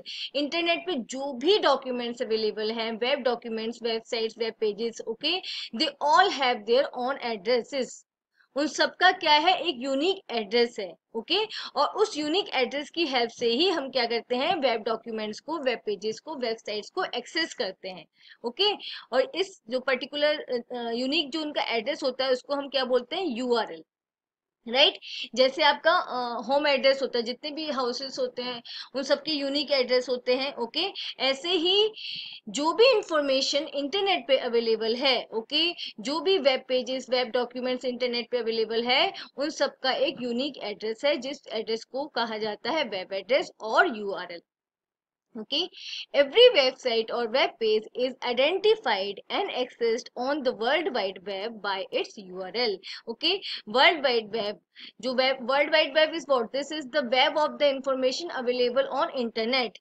world wide web एक इंफॉर्मेशन का क्या है जाला है जो हमें कहाँ से मिलता है इंटरनेट से मिलता है ओके तो आप किसी भी वेबसाइट या वेब पेज को वर्ल्ड वाइड वेब में से कैसे एक्सेस कर सकते हो, कैसे आइडेंटिफाई कर सकते हो with the help of its URL, with the help of its address. okay the most general form of url syntax is as follows अब url कैसे आप उसको डिफाइन करोगे, उसका सिंटेक्स क्या है? Let us see first we have the protocol then domain name then directory path and then object name now we will understand it one by one ठीक है सबसे पहले हमारे पास है प्रोटोकॉल प्रोटोकॉल क्या होते हैं प्रोटोकॉल रूल्स होते हैं ओके? प्रोटोकॉल्स वो रूल्स होते हैं जो नेटवर्क के अंदर फॉलो किए जाते हैं। In order to make the network feasible मतलब नेटवर्क को एक अच्छे तरीके से चलाने के लिए कुछ रूल्स फॉलो किए जाते हैं, उनको कहा जाता है प्रोटोकॉल जितने भी डिवाइसेस इंटरनेट से कनेक्ट होते हैं, वो सारे डिवाइसेस वो रूल्स फॉलो करते हैं राइट तो सबसे पहले यहाँ पे प्रोटोकॉल आपका स्पेसिफाई हुआ है ओके अब यहाँ पे ये प्रोटोकॉल क्या बता रहा है? It represents the name of the protocol which is use to transfer the data और वेब पेज यहाँ पे वो प्रोटोकॉल स्पेसिफाई होगा जो उस डेटा को क्या कर रहा है? ट्रांसफ़र कर रहा है। Sender to receiver, okay one place से दूसरे प्लेस पर जो प्रोटोकॉल डेटा को ट्रांसफ़र कर रहा है, डेटा को ले जा रहा है, ओके okay? जैसे बहुत सारे प्रोटोकॉल होते हैं, जो इंटरनेट का मेन जो इंटरनेट मेन प्रोटोकॉल यूज़ करता है वो टीसीपी आईपी प्रोटोकॉल होता है, transmission control protocol, internet protocol, okay और बहुत सारे प्रोटोकॉल्स प्रोटोकॉल्स होते हैं like F T P S T T P right तो यहाँ पे क्या सबसे पहले क्या स्पेसिफाई होता है? यू आर एल के अंदर कौन सा प्रोटोकॉल डेटा को एक्सेस सॉरी डेटा को ट्रांसफ़र कर रहा है? One place to another right then you have the domain name okay? It represents the name of the web server where the web page or web document resides. Okay? तो ये domain name क्या होता है? ये server name होता है जहाँ से आपके पास डेटा आ रहा है। Okay okay? जहाँ से आप वेब पेजेस को एक्सेस कर रहे हो। ओके वेब सर्वर क्या होता है? Server is is a you can see a computer एक जो सिंपल uh, टर्म में बोल देते हैं हम लोग a computer but a computer नहीं होता it is a setup a complete setup okay database होता है। एक कंप्लीट डेटाबेस होता है जिसको हम बोलते हैं सर्वर और उस डेटाबेस से हमारे पास क्या आता है? डेटा आता है राइट right? तो यहाँ पे हम वो डेटाबेस डिफाइन करेंगे मींस वेब सर्वर डिफाइन करेंगे जहाँ से हमारे पास क्या आ रहा है? डेटा आ रहा है ठीक है? जहाँ से डेटा एक्सेस हो रहा है। It consist of three elements okay अब सर्वर नेम को uh, क्या करते हैं? डिवाइड करते हैं थ्री पार्ट में। सबसे पहले आ जाता है host name dot domain name dot domain type okay? Host name क्या होता है? होस्ट नेम होता है the type of network which is sending the data to the user. Okay? यहाँ पे क्या है? होस्ट नेम बताता है कि किस नेटवर्क को आप यूज़ कर रहे हो। ओके? okay? यहाँ पे आप कौन सा नेटवर्क यूज़ कर रहे हो? कहाँ से डेटा आप एक्सेस कर रहे हो? तो हम कहाँ से डेटा एक्सेस कर रहे हैं? वर्ल्ड वाइड वेब से डेटा एक्सेस कर रहे हैं। फिर domain name, dot domain name. Domain name क्या होता है? Server name. तो किसका सर्वर है? ये एग्ज़ाम्पल की हेल्प से मैं समझा रही हूँ। माइक्रो लेटर सपोज़ माइक्रोसॉफ्ट की वेबसाइट को आप एक्सेस करना चाह रहे हो तो यहाँ पे आपका सर्वर क्या हो गया? माइक्रोसॉफ्ट राइट सबसे पहले टाइप ऑफ़ नेटवर्क मीन्स आप from where you accessing the data ठीक है? Okay then okay then after you have domain name domain name means server name जहाँ से आपके पास डेटा आ रहा है and then dot domain type domain type मतलब किस टाइप का डोमेन है? किस टाइप का सर्वर है? कमर्शियल बिज़नेस ऑर्गेनाइजेशन है या डॉट ओ होगा तो नॉन प्रॉफिटेबल ऑर्गेनाइजेशन है, डॉट जी होगा तो गवर्नमेंट का सर्वर है, डॉट एम होगा तो क्या होगा? मिलिट्री का सर्वर है। तो ये डिफाइन करते हैं कि किस टाइप का सर्वर है, किस टाइप के सर्वर से आपके पास क्या आ रहा है? डेटा आ रहा है, आपके पास वेब वेब पेजेस आ रहे हैं, ओके? okay? तो समझ आ गया डोमेन नेम क्या होता है? Domain name is the name of the server okay from where you are accessing the web pages right okay अब जब, जो भी सर्वर होता है, वो डेटा किस फॉर्म में स्टोर करता है? वो डायरेक्टरीज की फॉर्म में स्टोर करता है, ठीक है? डायरेक्टरीज की भी सब डायरेक्टरीज होती हैं, उसकी भी सब डायरेक्टरीज होती है and then these sub directories contains files folders right तो अब हमने क्या किया? सबसे पहले प्रोटोकॉल डिफाइन कर दिया कि कौन सा प्रोटोकॉल यूज़ हो रहा है। फिर किस सर्वर से से आपको डेटा चाहिए? मतलब कौन सी वेबसाइट आप एक्सेस कर रहे हो? Right right? उस वेबसाइट्स में, उस सर्वर में जाके आप डायरेक्टरी डिफाइन करोगे, ठीक है? आप डायरेक्टरी का पाथ दोगे, क्योंकि एक डायरेक्टरी होगी, फिर उसकी सब डायरेक्टरी होगी, फिर सब डायरेक्टरी होगी लाइक दिस ठीक है? इट रिप्रेजेंट द पाथ और location of the web document on the server right and later suppose यहाँ पे हमारे पास दो डायरेक्टरीज है और सेकेंड uh, डायरेक्टरी के एक फोल्डर के अंदर क्या है? आपकी फ़ाइल है जो आप एक्सेस करना चाहते हो। तो वो क्या हो गया? आपका ऑब्जेक्ट राइट ऑब्जेक्ट क्या हो गया? It represent the name of the web document with its extension object क्या है? वो फ़ाइल है जो आपने एक्सेस की है और फ़ाइल uh, uh, कैसे आएगी? विद एक्सटेंशन आएगी। Like dot E X dot S T M L like this understood what is web address web address is the address of web document right and इसको आपने कैसे define uh, किया है? सबसे पहले प्रोटोकॉल आएगा colon double slash domain name domain name क्या होता है? सर्वर नेम ओके और उस सर्वर के अंदर क्या होगा? आप डायरेक्टरी का पाथ स्पेसिफाई करोगे कि सर्वर के अंदर आप कौन सी डायरेक्टरी के अंदर जाओगे okay then you have your main object slash and then you have your main object along with the extension okay okay okay. अब यहाँ पे हम यू आर एल को एग्ज़ाम्पल की हेल्प से समझते हैं। Here we have two U R Ls यहाँ पे हमारे पास दो दो यू आर एल है। F T P okay colon double slash W W W dot P C Webopedia dot com slash E N slash tough dot E X okay and second one S T T P colon double slash W W W dot P C Webopedia dot com slash U S slash index.html okay the first example specifies an executable file जो हमारा first example है वो क्या specify कर रहा है एक executable file specify कर रहा है dot exe आया देखो dash should be fetched using the ftp protocol और इसको हम किसकी help से fetch कर रहे हैं ftp protocol की help से हम उसको fetch कर रहे हैं मतलब उसको access कर रहे हैं fine and the second example specifies a web page. That should be अब the second example है, उसमें क्या है? हमारे पास web page है. Dot html है. Okay okay? इसके एक्सटेंशन तो क्या एक वेब पेज है, जिसको हम किसकी हेल्प से हेल्प किस, कौन से प्रोटोकॉल की हेल्प से एक्सेस करें S T T P hyper hyper text transfer protocol की हेल्प से. Right okay? तो प्रोटोकॉल्स हमारे हमने स्पेसिफाई कर दिए टाइप्स ऑफ़ फाइल्स भी नो अब यहाँ पे देखो. Here these U R L consist of क्या इस यूआरएल में क्या क्या है? सबसे पहले प्रोटोकॉल्स आगे। प्रोटोकॉल्स हमारे कौन कौन से हैं? एफ़ फ़र्स्ट यूआरएल में and S T T P second URL में, ठीक है?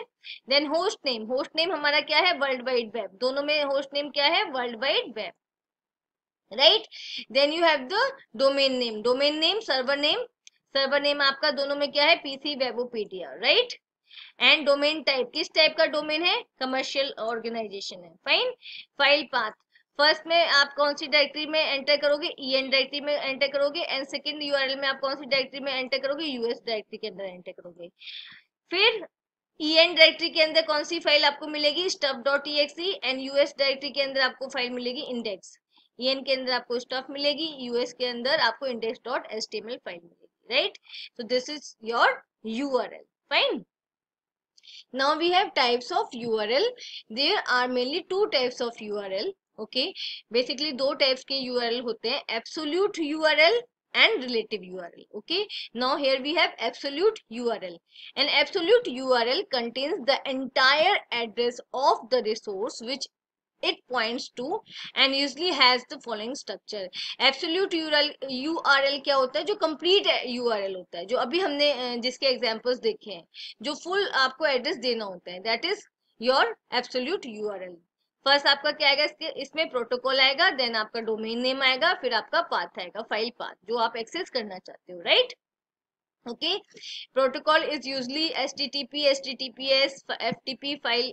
protocol तो they are so many protocols so यहाँ पे आप प्रोटोकॉल आपका स्पेसिफाई होगा then domain name domain name is the name of your website आपका वेबसाइट का नेम सर्वर का नेम होता है लाइक एग्ज़ाम्पल दिया हुआ your business dot com okay the path is the pathway of the directory and subdirectories to where the file is located and name and extension of the file okay तो यहाँ पे हम किसका देते हैं directories subdirectories और आपका जो फ़ाइल आप एक्सेस कर रहे हो उसका path right along with the name of the file right? जैसे यहाँ पे दिया हुआ है डायरेक्ट वर्ड प्रेस देन ये आपका डायरेक्टरी का नेम होगा, उसकी सब डायरेक्टरी है डब्ल्यू पी कंटेंट्स फिर उसकी सब डायरेक्टरी है या सब फोल्डर है इंक्लूड्स और उसके अंदर आपकी फ़ाइल है file one dot S T M fine तो ये आपका कंप्लीट पाथ हो गया। Right okay the complete absolute URL for example would be तो यहाँ पे कंप्लीट यूआरएल का एग्जांपल दिया हुआ है, सबसे पहले protocol S T T P S then आपका डोमेन नेम देन आपका क्या है फ़ाइल पाथ ओके okay, जहाँ पे वर्ड प्रेस क्या डायरेक्टरी डब्ल्यू पी कंटेंट उसकी सब डायरेक्टरी हो सकती है। उस सब डायरेक्टरीज के अंदर कोई फोल्डर हो सकता है या या फिर उसकी ही डब्ल्यू पी कंटेंट्स की भी कोई सब डायरेक्टरी हो सकती है। इंक्लूड जिसके अंदर आपके पास फ़ाइल है file one dot S T right now we have relative URL relative URL आप कब यूज़ करते हो? जब आप मेन वेबसाइट को एक्सेस कर चुके हो आप मेन मेन वेबसाइट के अंदर हो उस उसके पेजेस को एक्सेस कर चुके हो okay and now after that you want some other page और और some other file from that server only समझ आया? जैसे आप एक एक uh, uh, मान लो आपने सीबीएसई e की वेबसाइट को एक्सेस किया हुआ है मतलब उसको ओपन किया हुआ है राइट? आपने उसके अंदर एक फोल्डर को ओपन किया दूसरे फोल्डर को ओपन किया लाइक दिस अब आप एक और फोल्डर ओपन करना चाहते हो तो सिंपली आप क्या करोगे सिर्फ़ उस फोल्डर का एड्रेस दोगे ओके? okay, आपको फुल आपको सीबीएसई e की कंप्लीट वेबसाइट का एब्सोल्यूट यूआरएल देने की ज़रूरत नहीं है राइट? वहाँ पे आप सिर्फ़ उस फोल्डर उस पर्टिकुलर फ़ाइल का नेम दोगे राइट? ओके? देखो, अब यहाँ पे रिलेटिव यूआरएल क्या होता है? The a relative URL usually contains only the folder name, ठीक है? रिलेटिव यूआरएल में क्या करते हैं? हम सिर्फ़ या तो फोल्डर नेम देंगे एंड फ़ाइल नेम और even just the file name okay? या folder name along with the file name specify करोगे या सिर्फ़ क्या स्पेसिफाई करोगे? File name okay? We can use these partial URLs when we are pointing to a file that's located within the same folder or on the same server that we have entered already, ठीक है? अभी मैंने आपको बताया, ये relative URL कब use करते हैं? जब हम ऑलरेडी सर्वर के अंदर एंटर कर चुके हैं वेबसाइट को एक्सेस कर चुके हैं ओके उसके अंदर वेबसाइट आप एक्सेस कर चुके हो, आपको एक पर्टिकुलर फ़ाइल चाहिए तो आप क्या क्या करोगे? फ़ाइल का नेम दोगे या फिर फ़ाइल का पाथ दोगे right While an absolute URL can locate a file from anywhere on the internet, a relative URL can only be used to locate a file if you are on the same website. ठीक है ये क्या कह रहा है? Absolute URL का use करके आप कहीं से भी किसी भी वेब पेज को वेब डॉक्यूमेंट को किसी भी फ़ाइल को एक्सेस कर सकते हो ओके बट रिलेटिव यूआरएल आप तभी यूज़ कर सकते हो जब आप ऑलरेडी उस वेबसाइट के अंदर हो उसको एक्सेस कर चुके हो। Right right? उसे फेच कर चुके हो। It shows where the file is in relation to where you currently are on the website ठीक है?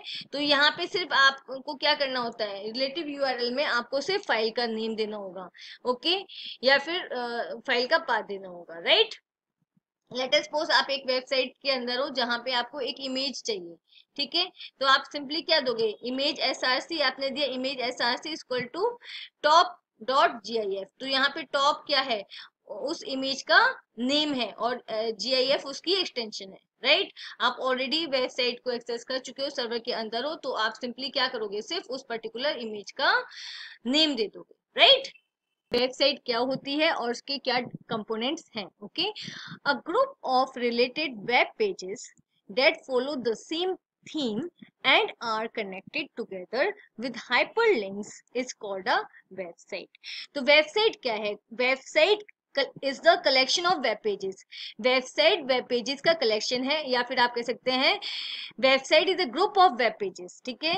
एक वेबसाइट क्या है? ग्रुप है. किसका? वेब पेजेस का ग्रुप है ओके और ये जितने भी वेब पेजेस एक पर्टिकुलर वेबसाइट में होते हैं, वो क्या करते हैं? सेम थीम को फॉलो करते हैं.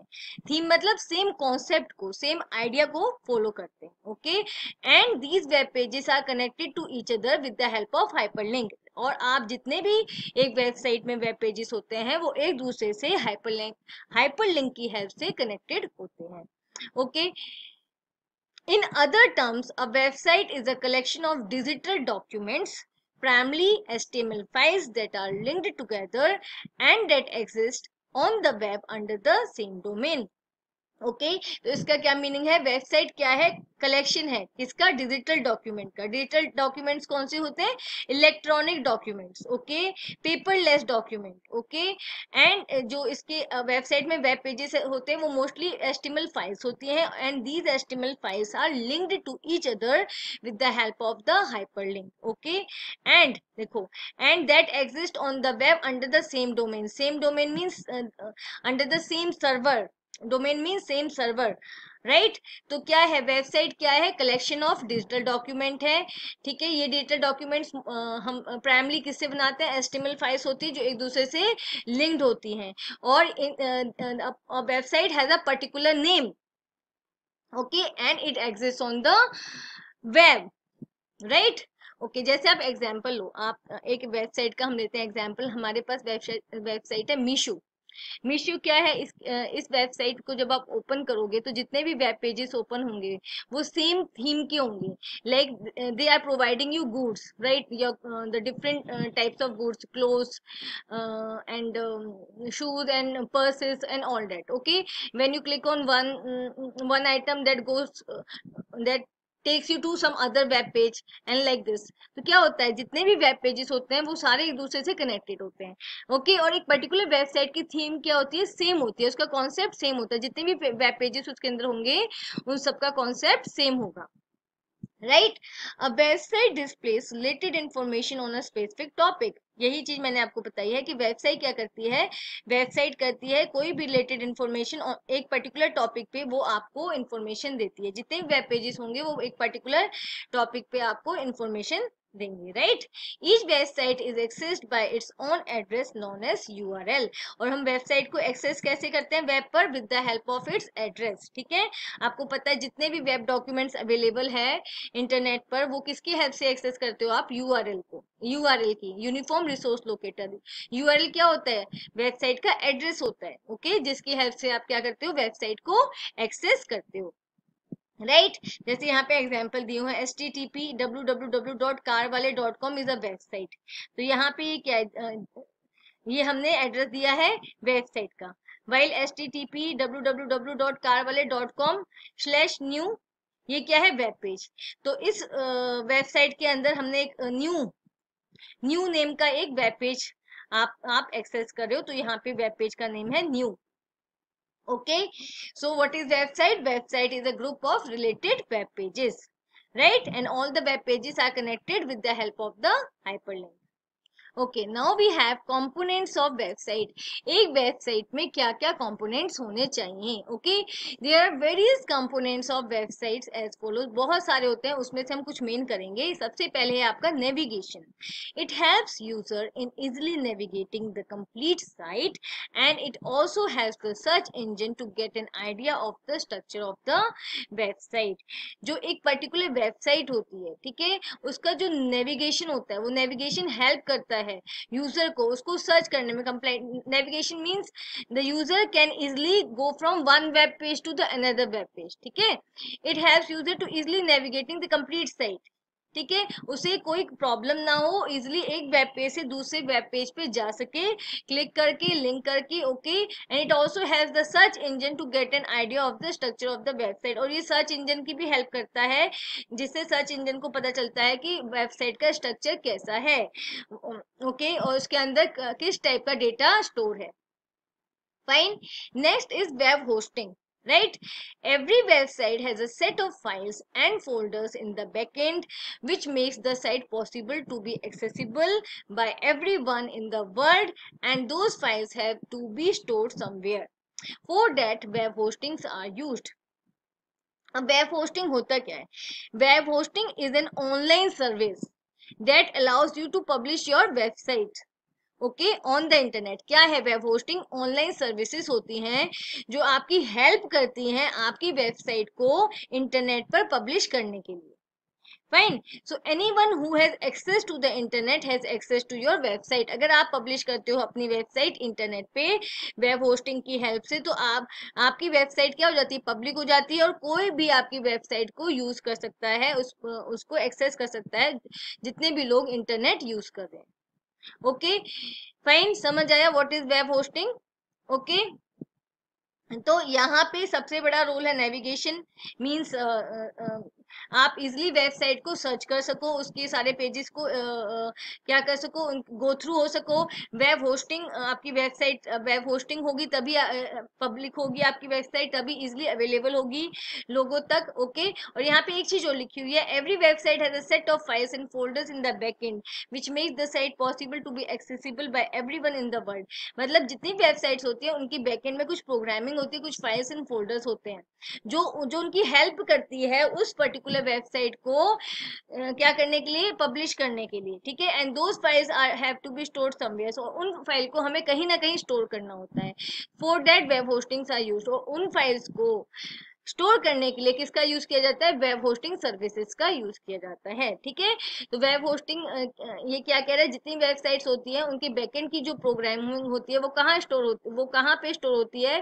किसकी हेल्प से स्टोर होती है? वो वेब होस्टिंग की हेल्प से स्टोर होती है fine then we have the content okay content जो वेबसाइट का कंटेंट होता है that is very important this depends on which type of website you have blogs will require different content then services और business websites okay तो ये कह रहा है कि कंटेंट किस पे डिपेंड करता है? कंटेंट डिपेंड करता है टाइप ऑफ़ वेबसाइट ओके जैसे ब्लॉग्स हैं। ब्लॉग्स जो आप ब्लॉग्स वेबसाइट्स होती हैं, उनका कंटेंट डिफरेंट होता है। सर्विसेज़ एंड बिज़नेस वेबसाइट्स होती हैं, उनका कंटेंट डिफरेंट होता है। But content will be needed for every website. लेकिन हर वेबसाइट में कंटेंट चाहिए। हर वेबसाइट का कंटेंट डिफरेंट होता है बट हर वेबसाइट में क्या चाहिए? Content okay publish unique and relevant content and focus on providing value to your readers तो ये क्या कहा जा रहा है कि यूनिक और रेलिवेंट कंटेंट आप अपनी वेबसाइट पे पब्लिश करें मतलब पब्लिश करना चाहिए एंड फोकस करना चाहिए कि आप एक वैल्यू प्रोवाइड कर रहे हो। ठीक है? कंटेंट के थ्रू वैल्यू प्रोवाइड कर रहे हो अपने रीडर्स को। ठीक है? मतलब रीडर्स को पढ़ के आपका कंटेंट एक्सेस करके लगे कि हाँ they have got something they have achieve something ऐसा लगे कि I have wasted my time on this website okay okay. Now, the next component of the website is home page. The first or main page of a website is called home page. Home page क्या होता है? जो किसी भी website का first page होता है। वो बहुत इंपॉर्टेंट होता है। अगर आपने होम पेज ही आप वेबसाइट का क्या है? अट्रैक्टिव नहीं है, ठीक है? लोगों को अट्रैक्ट नहीं कर रहा है तो तो people will not go for the further web pages of the website okay so it also matters the what kind of home page a particular website is having right? Then you have address. This is the url or address of the website, ठीक है?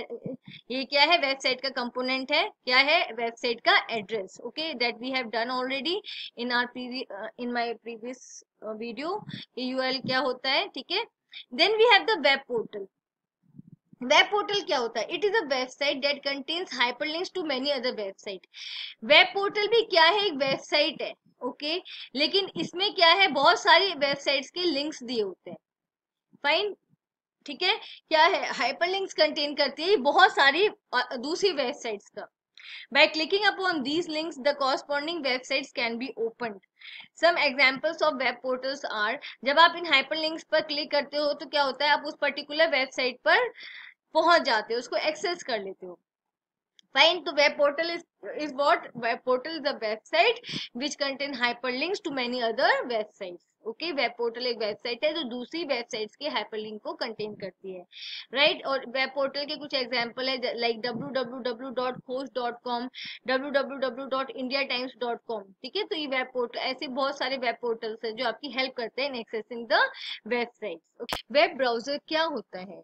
Web browser also referred to as an as an internet browser or simply a browser is an application software for accessing the world wide web web browser क्या है एक application software है okay okay? एक software है जिसको आप अपने system पे इंस्टॉल करते हो, अपने कंप्यूटर पे, अपने लैपटॉप पे इंस्टॉल करते हो in order to access the world wide web world wide web को एक्सेस करने के लिए जो इंफॉर्मेशन इंटरनेट पे अवेलेबल है, जो वेबसाइट्स वेब डॉक्यूमेंट्स इंटरनेट पे अवेलेबल है, उसको एक्सेस करने के लिए ओके okay? उसको अपने सिस्टम पे डिस्प्ले कराने के लिए okay okay? World wide web पे अवेलेबल है या फिर लोकल वेबसाइट्स लोकल वेबसाइट्स को भी एक्सेस करने के लिए ब्राउजर्स का यूज़ होता है okay when a user request a web page from a particular website the web browser retrieves the necessary content from the web server and then displays the page on the user's device तो web browser का क्या function होता है? Web browser कहाँ पे होता है install user के कंप्यूटर पे। यूज़र क्या करता है? जो भी वेब डॉक्यूमेंट चाहिए, उसकी रिक्वेस्ट सेंड करता है। और ये रिक्वेस्ट किसके थ्रू सेंड होती है? ये वेब ब्राउज़र प्रोग्राम के थ्रू सेंड होती है। Right right? आपकी रिक्वेस्ट कहाँ जाती है? सर्वर कंप्यूटर के पास जाती है। और सर्वर कंप्यूटर पे जो प्रोग्राम इंस्टॉल होता है, वो कौन सा प्रोग्राम होता है? Web server web server program web browser की रिक्वेस्ट को एक्सेप्ट करता है और उस रिक्वेस्ट के अकॉर्डिंगली उसको डेटा सेंड कर देता है वेब पेजेस सेंड कर देता है। और वेब पेजेस आपके स्क्रीन पे कौन डिस्प्ले कराता है? आपका वेब ब्राउज़र डिस्प्ले कराता है। Fine web browsers are used a range of devices including desktop, laptop, tablets and smart phones okay तो वेब ब्राउज़र को हम बहुत सारे डिवाइसेस में इंस्टॉल कर सकते हैं यूज़ कर सकते हैं, चाहे वो डेस्कटॉप हो लैपटॉप्स हो टैबलेट्स में आप यूज़ कर सकते हो स्मार्टफोन्स में आप वेब ब्राउज़र का यूज़ कर सकते हो fine some example of web browsers are Internet Explorer Google Chrome Safari Opera Firefox तो ये कुछ एग्ज़ाम्पल है वेब ब्राउजर्स के। Okay Internet Explorer Google Chrome Safari Opera Firefox तो बेसिकली वेब ब्राउज़र क्या है? एक सॉफ्टवेयर है एप्लीकेशन सॉफ्टवेयर है जो आप अपने सिस्टम पे इंस्टॉल करते हो in order to use the services provided by the internet right और आप इसको, इसकी हेल्प से क्या करते हो? इंटर आप इसकी हेल्प से वर्ल्ड वाइड वेब को एक्सेस करते हो वेबसाइट्स को एक्सेस करते हो वेब डॉक्यूमेंट्स को एक्सेस करते हो। एक्सेस करते हो मतलब आप आपके पास वो अवेलेबल होती है, आपकी स्क्रीन पर डिस्प्ले होती है। फाइन आप छोटा सा एग्जांपल लो क्या आप आपके सिस्टम पे अगर पेंट ब्रश है तो क्या पेंट ब्रश की हेल्प से आप इंटरनेट को एक्सेस कर सकते हो? या आपकी सिस्टम पे कोई दूसरा सॉफ्टवेयर है लाइक वर्ड है वर्ड की हेल्प से क्या आप उसको एक्सेस कर सकते? हो नो आपको अगर इंटरनेट को यूज़ करना है, ओके? इंटरनेट की सर्विस को यूज़ करना है तो आपको उसको यूज़ करने के लिए क्या करना है? वेब ब्राउज़र सॉफ्टवेयर को इंस्टॉल करना होता है अपने सिस्टम पे, fine? Now how does the browser work एक ब्राउज़र काम कैसे करता है? The browser acts as the part of the client server model ये क्लाइंट सर्वर मॉडल का ही पार्ट है, ठीक है? जहाँ पे क्लाइंट आपका कंप्यूटर है और सर्वर से आपके पास क्या आ रहा है? आपके पास वेब पेजेस आ रहे हैं फाइन ओके okay. अब browser is a client program browser क्या है? क्लाइंट प्रोग्राम है क्योंकि क्लाइंट कंप्यूटर पे इंस्टॉल होता है as it run on a user's computer और mobile device and contact the web server for the information requested by the user तो ये क्या है? क्लाइंट प्रोग्राम है। ये क्या करता है? सर्वर कंप्यूटर से को, से कॉन्टेक्ट करता है और उसे रिक्वेस्ट सेंड करता है। ठीक है? पर्टिकुलर वेब पेज की। Right on behalf of the users the browser send requests to the web servers all over the internet by using the hypertext transfer protocol और ये request कौन से protocol की help से send करता है hypertext transfer protocol की help से ये request send करता है okay When the server receives the request, it collects information about the requested document and forwards the information back to the browser. Okay. Browser क्या करता है? सर्वर को request send करता है। ओके okay, सर्वर उस request को receive करता है। ओके एंड अकॉर्डिंगली जो भी रिक्वेस्ट आई होती है उसके अकॉर्डिंगली वो क्या करता है? रिक्वेस्टेड डॉक्यूमेंट्स को क्या करता है? कलेक्ट करके अगेन वो क्या करता है? सर्वर सॉरी ब्राउज़र के पास सेंड कर देता है।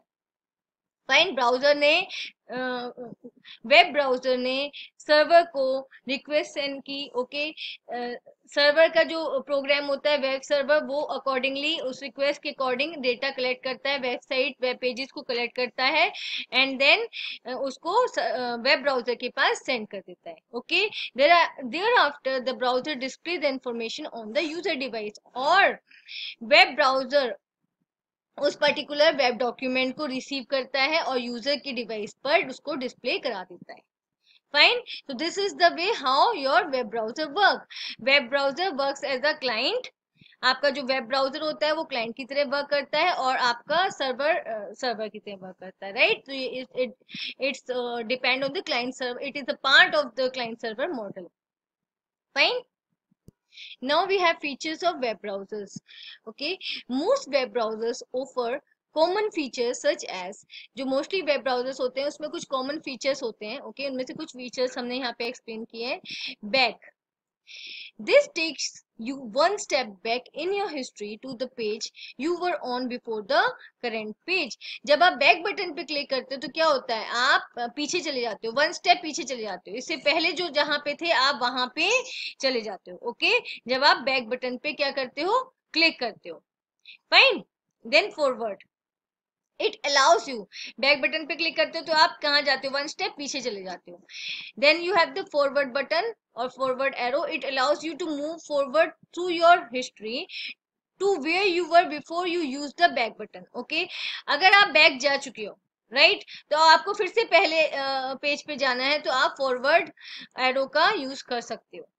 Fine okay not button these are the arrows okay back arrow और फॉरवर्ड एरो का बैक एरो कहाँ यूज़ होता है? पीछे जाने के लिए और फॉरवर्ड का कहाँ पे यूज़ होता है? आगे जाने के लिए राइट फॉरवर्ड का होता है आगे जाने के लिए okay then you have the refresh button refresh button allows the website to reload the content of the web page अगर आप चाहते हो कि आपकी वेबसाइट ढंग से uh, क्या होती है? लोड नहीं हुई है तो आप क्या कर सकते हो, उस पर रिफ्रेश बटन को आप यूज़ कर सकते हो, जिससे क्या होता है, वो रिफ्रेश होके क्या होती है रीलोड हो जाती है। ओके समझ आया? सबसे पहले बैक अगर आपको पीछे जाना है तो आप बैक बट एरो का यूज़ करोगे, आपको आगे जाना है तो आप फॉरवर्ड एरो का यूज़ करोगे ओके आपको अपने वेब पेज को रिफ्रेश करना है तो आप रिफ्रेश जो आपका आइकन दिया हुआ है, उसका यूज़ करोगे। Fine okay, next you have the address bar. It allows the user to enter a web address in the address bar and visit the website. अगर आपको एक पर्टिकुलर वेबसाइट को एक्सेस करना होता है तो आप क्या करते हो? उसका वेब एड्रेस एड्रेस बार पे टाइप करते हो ओके और जैसे आप वेब एड्रेस एड्रेस बार में टाइप करके एंटर प्रेस करते हो ओके तो क्या होता है? वो पर्टिकुलर वेबसाइट डिस्प्ले हो जाती है। Then you have tabbed browsing tabbed browsing features का क्या meaning है it provide users the option to open multiple website on a single window okay tabbed browsing की हेल्प से आप एक ही विंडो पे बहुत सारी वेबसाइट्स को ओपन कर सकते हो fine it helps user to read different website at the same time आप इसे क्या करते हैं? डिफरेंट डिफरेंट टैब्स ओपन हो गए तो आप किसी भी टैब पे क्लिक करके, कोई भी टैब ओपन करके देख सकते हो right for example when you search for anything on the browser it provides you list of search result for your query जब हम कोई भी चीज़ क्या करते हैं? सर्च करते हैं तो क्या होता है? पूरी हमारे पास लिस्ट आ जाती है लिस्ट ऑफ़ वेबसाइट्स आ जाती है, ठीक है?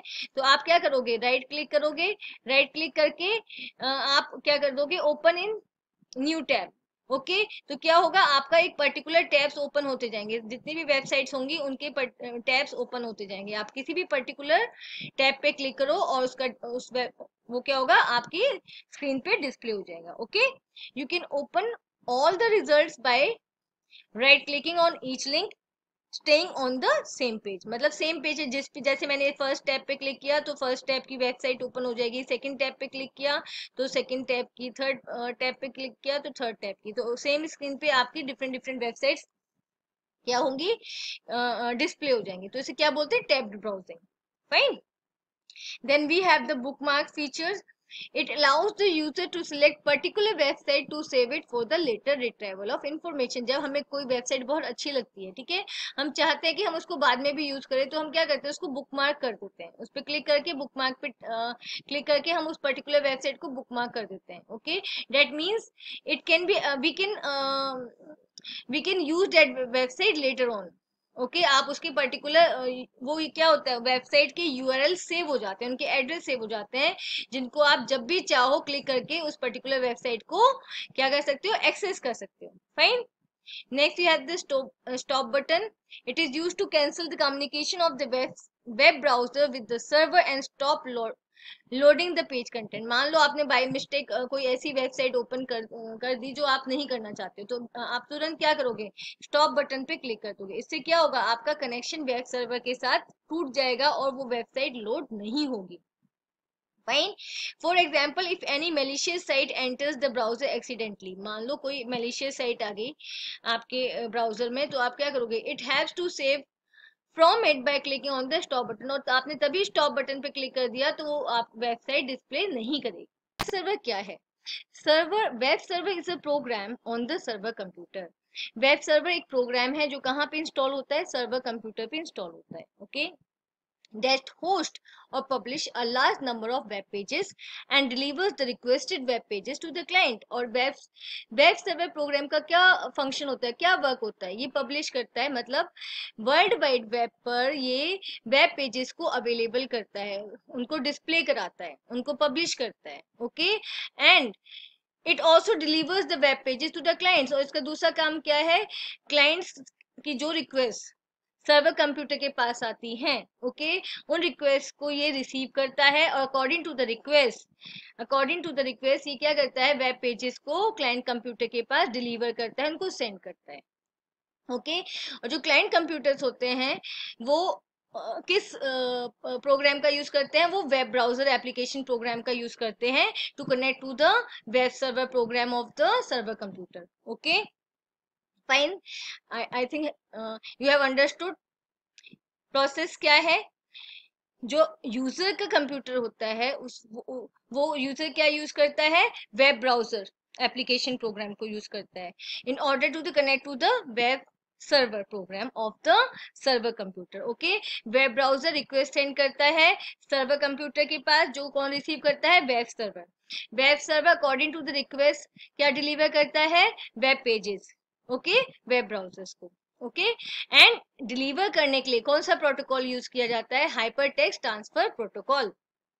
Fine, okay no see, the basic objective of the web server is to store, process and deliver web pages to the user. तो बेसिक फ़ंक्शन क्या है वेब सर्वर का? वेब पेजेस को store करना, उनकी प्रोसेसिंग करना और उनको डिलीवर करना, okay to the user.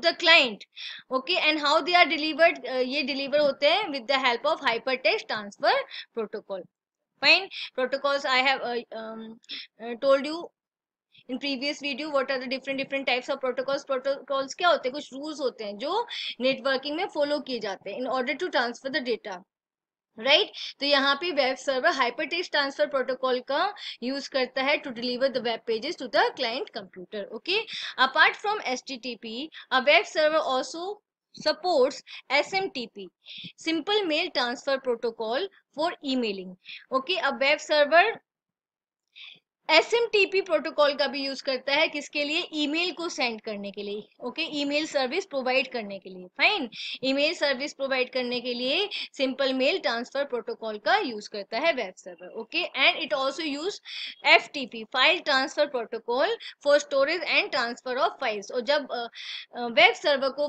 Files को ट्रांसफ़र करना है, करना होता है फाइल्स को स्टोर करना होता है तो कौन से प्रोटोकॉल का यूज़ करता है? File transfer protocol okay now how the web server works web server कैसे काम करता है देखो when client sends request for a web page the web server search for the requested page जब client request send करता है किसी particular web page के लिए web server के पास तो web server क्या करता है उस web page को search करता है फाइन सबसे पहले क्या करेगा? क्लाइंट कंप्यूटर वेब ब्राउज़र की हेल्प से रिक्वेस्ट को सेंड करेगा। फाइन वो रिक्वेस्ट कहाँ जाएगी? सर्वर कंप्यूटर के पास। तो उस सर्वर कंप्यूटर पे उस रिक्वेस्ट को वेब सर्वर प्रोग्राम रिसीव करेगा। Fine okay then according to the request it will search the web page और वो उस पर्टिकुलर वेब पेज को सर्च करेगा। If requested page is found then it will send it to the client अगर उसको जो request आई है वो वाला वेब पेज मिल जाता है वेब डॉक्यूमेंट मिल जाता है तो वो क्या करेगा? उसको क्लाइंट के पास सेंड कर देगा okay with the help of hypertext transfer protocol okay if the requested web page is not found और अगर उसको वो पर्टिकुलर वेब पेज नहीं मिलता है right web server will send an H T T P response error four zero four not found तो वो क्या करेगा? एक मैसेज सेंड कर देगा हाइपर टेस्ट ट्रांसफ़र प्रोटोकॉल की ही हेल्प से एक मैसेज सेंड करेगा and that error message is error 404 not found means that particular web page और that particular web document has not the server has not found that particular web document ठीक है? Server को वो particular web document नहीं मिला है। The web server can handle simultaneous requests from multiple clients. Web server एक साथ बहुत सारे clients की request को handle कर सकता है. Okay, अब uh, are uh, एक टाइम पे बहुत सारे यूज़र्स बहुत सारे clients web same web server को रिक्वेस्ट सेंड कर सकते हैं okay and that particular server okay can receive all the request and the web server program can handle all the requests, okay? And then it can reply to all the requests one by one. Okay now some example of web servers are web server के कुछ example है Apache web server Oracle iPlanet web server Microsoft Internet Information Server I I S तो ये different different organisation हैं companies हैं जिनके अपने खुद के सर्वर हैं, उसके एग्जाम्पल्स हैं right right? Now here we have services provided by a web server okay तो क्या क्या services web server provide करता है equipment और resource sharing in network printers and scanners can be attached directly and only authorized users are able to use these shared equipments like printers and scanner web server handles resource sharing request अगर एक network में क्या क्या कर सकते हैं एक particular network में प्रिंटर्स और स्कैनर्स को अटैच कर सकते हैं right right? Okay? And printers and scanners. Okay? एक नेटवर्क में अटैच करने के बाद और जितने भी कंप्यूटर्स हैं, जितने भी डिवाइसेस हैं, उसको उस प्रिंटर और स्कैनर्स को यूज़ कर सकते हैं। They can share these devices okay and जो शेयरिंग की जो रिक्वेस्ट आती है, वो कौन हैंडल करता है? वो वेब सर्वर हैंडल करता है। Are you getting my point okay let us suppose there is a network जहाँ पे बहुत सारे डिवाइसेस हैं बहुत सारे कंप्यूटर्स हैं राइट एंड उस पर्टिकुलर uh, uh, उसमें नेटवर्क में क्या है? One printer is attached and one scanner is attached fine and these are the computers ये कंप्यूटर्स हैं। I am just making it तो कंप्यूटर्स तो all the computers can share all the computers can uh, share that particular printer and the scanner right and इनको share करने की request कौन handle करता है वेब सर्वर हैंडल करता है okay means all are connected in a network okay and all are using the internet as well okay all are connected to the internet as well fine in that case web server accept the request for sharing the printers or any device any hardware right? Okay and accordingly it will allow the devices to share the equipments. samajh aaya then we have centralized file storage. Server helps the user to save their files or data on file server and access that data on any network computer. Okay? हम आप क्या कर सकते हो? आप servers पे computers पे different websites पे अपना डेटा अपनी फाइल्स को स्टोर कर सकते हो। फ़ाइल सर्वर्स पे अपने डेटा को अपने फाइल्स को स्टोर कर सकते हो। आपकी और किसी भी कंप्यूटर से जो नेटवर्क से अटैच्ड है ओके okay, उस पर्टिकुलर डेटा को एक्सेस कर सकते हो। Fine Centralized virus scanning. Most file servers run virus scanners constantly to detect and take care of viruses introduced by any user on any computer. Okay, तो ये server का एक काम और भी होता है ये क्या करता है आप जो भी फ़ाइल स्टोर कर रहे हो सर्वर पे ये पहले उसको क्या करता है स्कैन करता है right with the help of the scanner और ये वायरस को क्या डिटेक्ट uh, करता है एंड वायरस को रिमूव करता है अदरवाइज़ ये उस पर्टिकुलर फ़ाइल को ही डिलीट कर देता है it does not store that particular file उसको स्टोर ही नहीं करता है फाइन तो यहाँ पे ये क्या करता है आपको एक वायरस स्कैनिंग भी मिल जाती है okay then you have the centralized backups A website or web document needs backup at regular intervals. Web server has to maintain backup of web documents and save data from many adverse situations. आप अपनी website को web server पे host करते हो, publish करते हो right तो अब यहाँ पे वेब सर्वर का क्या काम है? वो आपकी वेबसाइट को मेंटेन करता है, उसका बैकअप करता है राइट और उसको किसी भी एडवर्स सिचुएशन से बचाता है। Fine Web hosting is an online service that enables you to publish your website or web application on the internet. तो वेब होस्टिंग क्या है? एक ऑनलाइन सर्विस है एक इंटरनेट की सर्विस है ओके okay, जिसकी हेल्प से आप क्या करते हो? अपनी वेबसाइट को या अपनी वेब एप्लीकेशन को इंटरनेट पे पब्लिश कराते हो। पब्लिश कराने का मतलब आप उसको वर्ल्ड वाइड वेब पर अवेलेबल कराते हो for the users okay any user from any corner of the world can can see your website can use your website, okay? Right right? Publish करने का क्या मतलब होता है? उसको वर्ल्ड वाइड वेब पे अवेलेबल कराना fine when you sign up for और ये फैसिलिटीज़ कौन प्रोवाइड करता है? वेब होस्टिंग की फैसिलिटीज़ प्रोवाइड करती है, कुछ companies okay companies web hosting के लिए आपसे कुछ चार्ज लेती है, कुछ अमाउंट लेती है ओके एंड इसके बदले में वो आपको क्या प्रोवाइड करती है इसके बदले में वो आपकी वेबसाइट या वेब एप्लीकेशन को वर्ल्ड वाइड वेब पर पब्लिश करती है। Fine When you sign up for a web hosting service, you basically rent some space on a physical server where you can store all the files and the data necessary for your website to work properly. Now what what it is telling you ये क्या कह रहा है ये कह रहा है कि जब आप वेब होस्टिंग की सर्विस के लिए साइन अप करते हो तो उसका क्या मीनिंग है उसका मीनिंग है कि आपको एक पर्टिकुलर वेब सर्वर पर कुछ स्पेस प्रोवाइड किया जाता है ठीक है और उस स्पेस में आप अपनी फाइल्स को अपने डेटा को जो कि आपकी वेबसाइट के वर्क के लिए ज़रूरी है उसको स्टोर कर सकते हो। फाइन एंड इस पर्टिकुलर सर्वर के लिए आपको कुछ रेंट देना होता है कुछ अमाउंट देना होता है अपनी uh, अपनी वेबसाइट या अपने वेब एप्लीकेशन को पब्लिश करने के लिए okay companies providing web hosting services are sometimes called web host और जो कंपनीज़ ये आपको सर्विस प्रोवाइड करती है वेब होस्टिंग की उनको वेब होस्ट भी कहा जाता है right right? A server is a physical computer that runs without any interruption so that your website is available all the time for anyone who wants to see it. अब अब यहाँ पे क्या कहा जा रहा है? ये कहा जा रहा है कि सर्वर एक ऐसा कंप्यूटर होता है ठीक है या ऐसा सेटअप हो, होता है जिसके अंदर क्या है जो विदाउट एनी इंटरप्ट जो विदाउट एनी इंटरप्शन चलता है। सर्वर हमेशा चलता रहता है। इट इज़ अ कंप्लीट क्योंकि server is what it is a complete setup okay? okay, उस पर उस पर बहुत सारे लोग वर्क करते हैं और उसको आ, हर टाइम चलाने के लिए मतलब वो कभी रुकता नहीं है उसको चलाने के लिए पूरा एक ऑर्गेनाइज्ड पूरा एक मैनेजमेंट होता है fine okay? That run without interruption so that your website is available all the time इस वजह से आप क्या होता है आपकी वेबसाइट हर समय अवेलेबल होती है। आप 24 फोर आवर्स में आप उसे कभी भी एक्सेस कर सकते हो और आप इसको वर्ल्ड के किसी भी कॉर्नर से एक्सेस कर सकते हो। Fine now we have how does it work web hosting कैसे वर्क करता है? ठीक है?